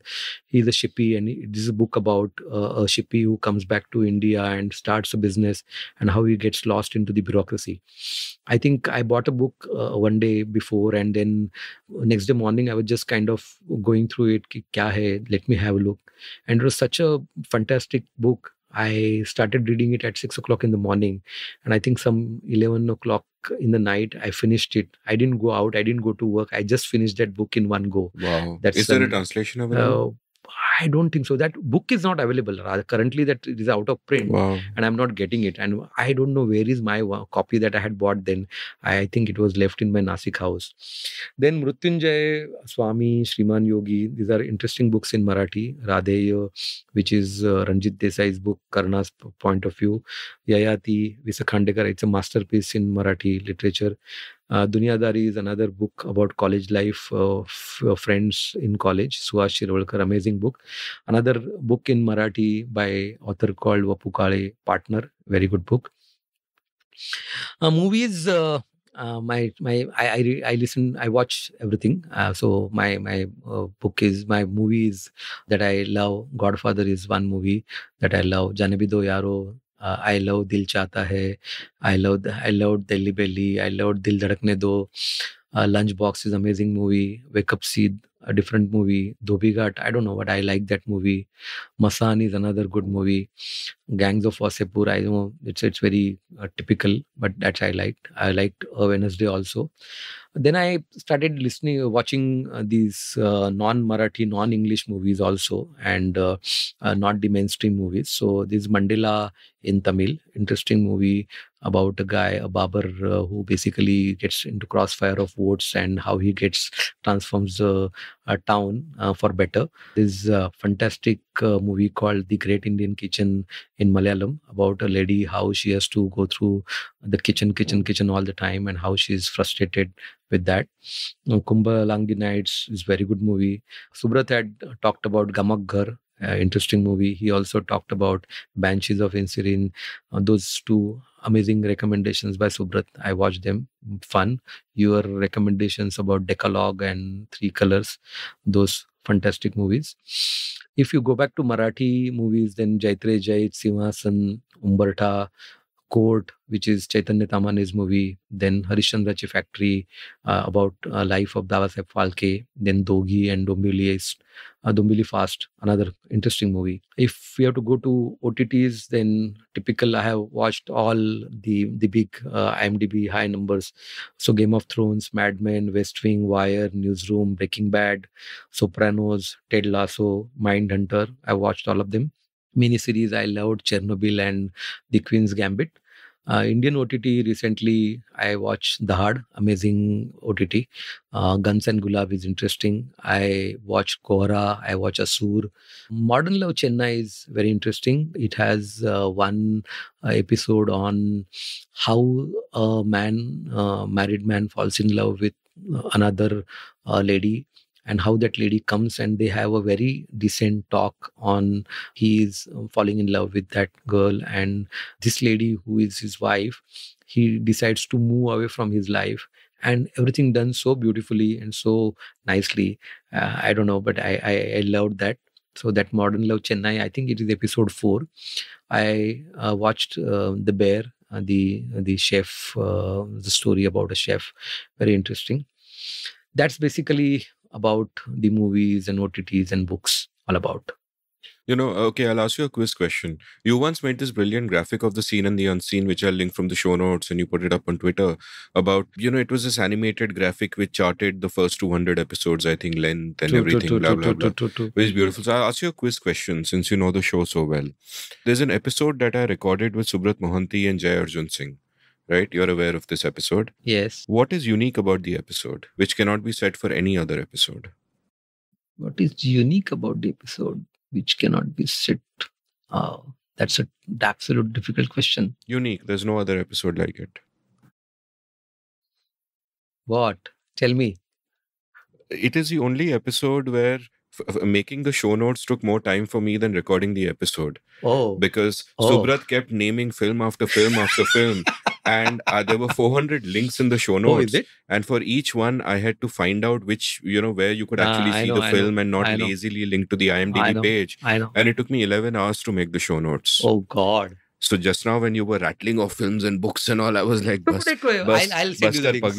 I'll send you, No, no, no. I'll send you the no i'll still have to put them in my format so it'll take me that much time only no no it will it will restaurants you're a foodie tell me about your relationship with food So I think I, I love experimenting food, and though my uh, tastes are very traditional, but I within that traditional thing I'll kind of uh, experiment a bit, and uh, I, I love Indian food. So I'm, I'm like I don't waver too much. So I, I I'm a biryani fan. I, I would I, I would love.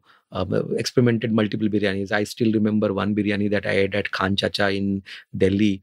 Khan Chacha is known for his rolls, but then I loved his biryani. I'd, and at just plain rice, uh, I think uh, it was cooked in the the the, the meat and the kind of uh, flavors were amazing. Not no no spices, nothing. It's a plain simple biryani, white biryani. It was amazing. So. I, I I love uh, so I I if you ask me which biryani I like I look I like I love Calcutta biryani I, that's my uh, biggest uh, yeah I, I I had uh, traveled to Calcutta just to kind of uh, go around the city because I love Cal- Calcutta and I love food culture over there. I have gone. There is a place. Uh, there, there's an agency called Calcutta Walks. They take you on a kind of uh, different different walks. Though, so you will they will take you to the various uh, parts of Calcutta, and there is a food trip also that they take you around with. So so i have done that and it's not something which is very huge but yes uh, wherever i get an opportunity i try and uh, kind of experiment so i love konkan cafe in bombay which is basically a konkan cuisine next to that uh, there is thai pavilion both these restaurants uh, are ananda solomon restaurants he was he's a uh, kind of a legendary chef from uh, Taj Group, and he I think uh, recently retired, uh, moved out, and started on his own. He has this uh, restaurant called Thai Nam uh, near Bombay Airport, International Airport.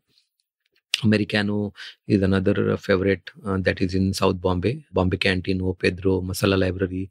These are again another uh, the restaurants uh, here in Bombay. I love Sin Sin for their Italian food, Hakkasan for its Asian, Pan Asian food. Uh, Nutcracker is a vegetarian place. Uh, they give, yeah, but then their Turkish eggs are amazing. So eggs and vegetarian. Masque when Prateek Sadhu was there was a fantastic place. Uh, enjoyed that. Uh, unusual places in Bombay. I think there is a place. Uh, I think I, I don't know whether you have eaten there or not, but me and Naren, we have eaten. We are both fans of that place called uh, Hotel Sureka, which is uh, between Thane and Bhainder. There is a place called uh, Chena. It's a creek, and this is this fisherman family. Two brothers have started this restaurant, which is a small place. Then now it has become a big restaurant with a family section and all, and air condition and all.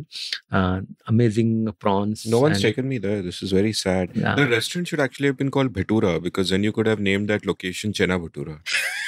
Carry on. What jokes? Carry on. Okay, so carry this is basically Hotel Sureka. So I have always been in Dadar because of my school, and then there is a place uh, called Hotel Prakash. I had once taken Naren to that Dadar tour. So there is Hotel Prakash, which gives amazing sabudana vada, best sabudana vada in the world Wow. you can get. So I still remember uh, when I used to be in school, I used to eat that sabudana vada once in 15 days. So father used to give two rupees uh, as a pocket money, and uh, we would. I had a friend uh, who was used to travel from Vikhroli uh, to Shardashram with me, and every 15 days on Saturday we would spurge that on sabudana vada. So sabudana vada was one rupee a plate then Wow. one rupee a plate. And now I, I keep going there. So recently, I think a couple of months back, I must have gone there. It is, I think, 73 rupees a plate now. Did you have your CGM on? Like Uh, pure starch. I know that, but once in a while, it's fine. It's okay. I do that once in a while just for the sake of it. So Prakash is amazing. There is Ashok Vada Pav. I think everybody loves near Kirti College. That's an amazing Vada Pav. Then uh, if you ask all cricketers, so Sachin or maybe even Vinod Kambli, they would swear by uh, there is bhaji pav, so batata bhaji and pav. Uh, at Udyan Ganesh. There is a temple in Shivaji Park called Udyan Ganesh Mandir, and next to that temple there is a bhaji vada pav wala, and he has a, this bhaji pav which is very famous. All the cricketers uh, who played at uh, Shivaji Park would know them. And then there is this uh, Chabildas vada that everybody knows, which is called Shri Krishna vada, which is amazing. Uh, used to be around 55 paise then. Uh, in 1983 84 i think it's some 40 bucks now a plate and they have amazing samosa which is filled with kanda poha. They're very different these are all full of carbs full of carbs but once in a while i go for the nostalgia that is there. Then there is this uh, Thane, we have Mamledar misal, which is basically very spicy misal. And they, they're, so they, the way they say is that ki, it is uh, tikkat, it is kup tikkat, आणि भरपूर तिखट so which is basically spicy super spicy and super super spicy and super spicy is really really thing I Naren and me we have thought of going there next time when is around in Thane then there are some interesting restaurants in Thane, in Nasik. Uh, so we have been there. They're all again mutton restaurants. Uh, Pune, I love Marz-o-rin, which is sandwiches, amazing sandwiches that are there. I have when I was in Blue Star, I used to go to a restaurant called Cafe Naz in Pune. I think it is still there. Amazing samosas. And the speciality of that is that you won't order a plate of samosa they will always get you a dozen samosas and you eat and whatever is remaining then they will bill it. So they will remaining they will take back and bill you for the rest. So if your remaining is two that means you have eaten 10 they will always give you a dozen samosas. If there are three four people they'll give you a dozen samosas. but they'll bill you for 10 if you've eaten 10 yeah, or they'll yeah, bill you for all 12 no they will they bill you for 10 only. They'll bill you for 10 but they'll put 12 in front of you. but they will put 12 in front of you the what a marketing strategy. This is both very good and very bad. very bad. but interesting. Cafe Naz in Pune. In Bangalore, interesting restaurant called Karavli, which is at Taj. Then there is Ponnuswamy in Chennai. Kolkata, there is Arsalan, amazing food. Flurys is amazing breakfast. Peter Cat uh, has chelo kebabs there. There is typical Bangla food if you want to eat a thali. There is a place called Aheli and Six Ballygunge place. Uh, there are famous Nizam rolls there. And then there is a typical jhalmuri, which is what we call uh, bhel in Bombay, but they call jhalmuri, a, a different taste. The Middleton and Camac Street Junction. Recently, I think. Did you enjoy Subrat this episode of the Calcutta, and we, If so, would you like to support the production of the show? You can go over That's to seenunseen.in slash support on and contribute any amount you like to keep this podcast alive and kicking. Thank you. Sorry, carry on. So I think that's it. Basically, I think I would not like to take too much of time. Uh, these are the things that I enjoy and love. Perfumes. You told me something very interesting about perfumes once, and you know the importance they have in your life.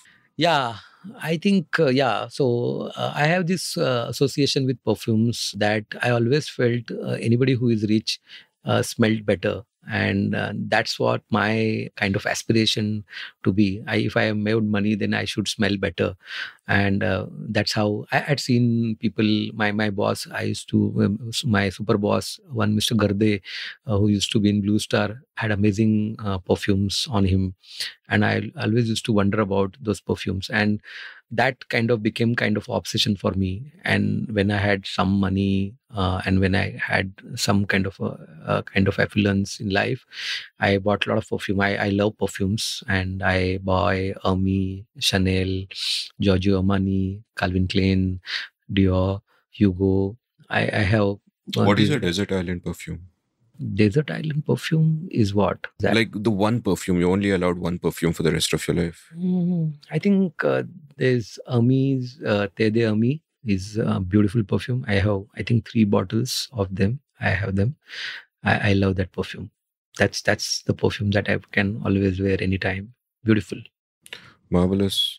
On that note uh, sudhir uh, thank you so much. I've had you know i don't know where the day went. It's been such a wonderful time. And yeah and this is the first time you're here, obviously not the last time. So thank you so much for your time. Thank you so much for having me here. Thank you. Bye bye. If you enjoyed listening to this episode, check out the show notes and rabbit holes at will. You can follow Sudhir on Twitter at Sudhir Sarnobat, that's one word. You can follow me on Twitter at Amit Varma, A-M-I-T-V-A-R-M-A. You can browse past episodes of The Seen and the Unseen at seenunseen.in. Thank you for listening. Did you enjoy this episode of The Seen and the Unseen? If so, would you like to support the production of the show? You can go over to seenunseen.in slash support and contribute any amount you like to keep this podcast alive and kicking. Thank you.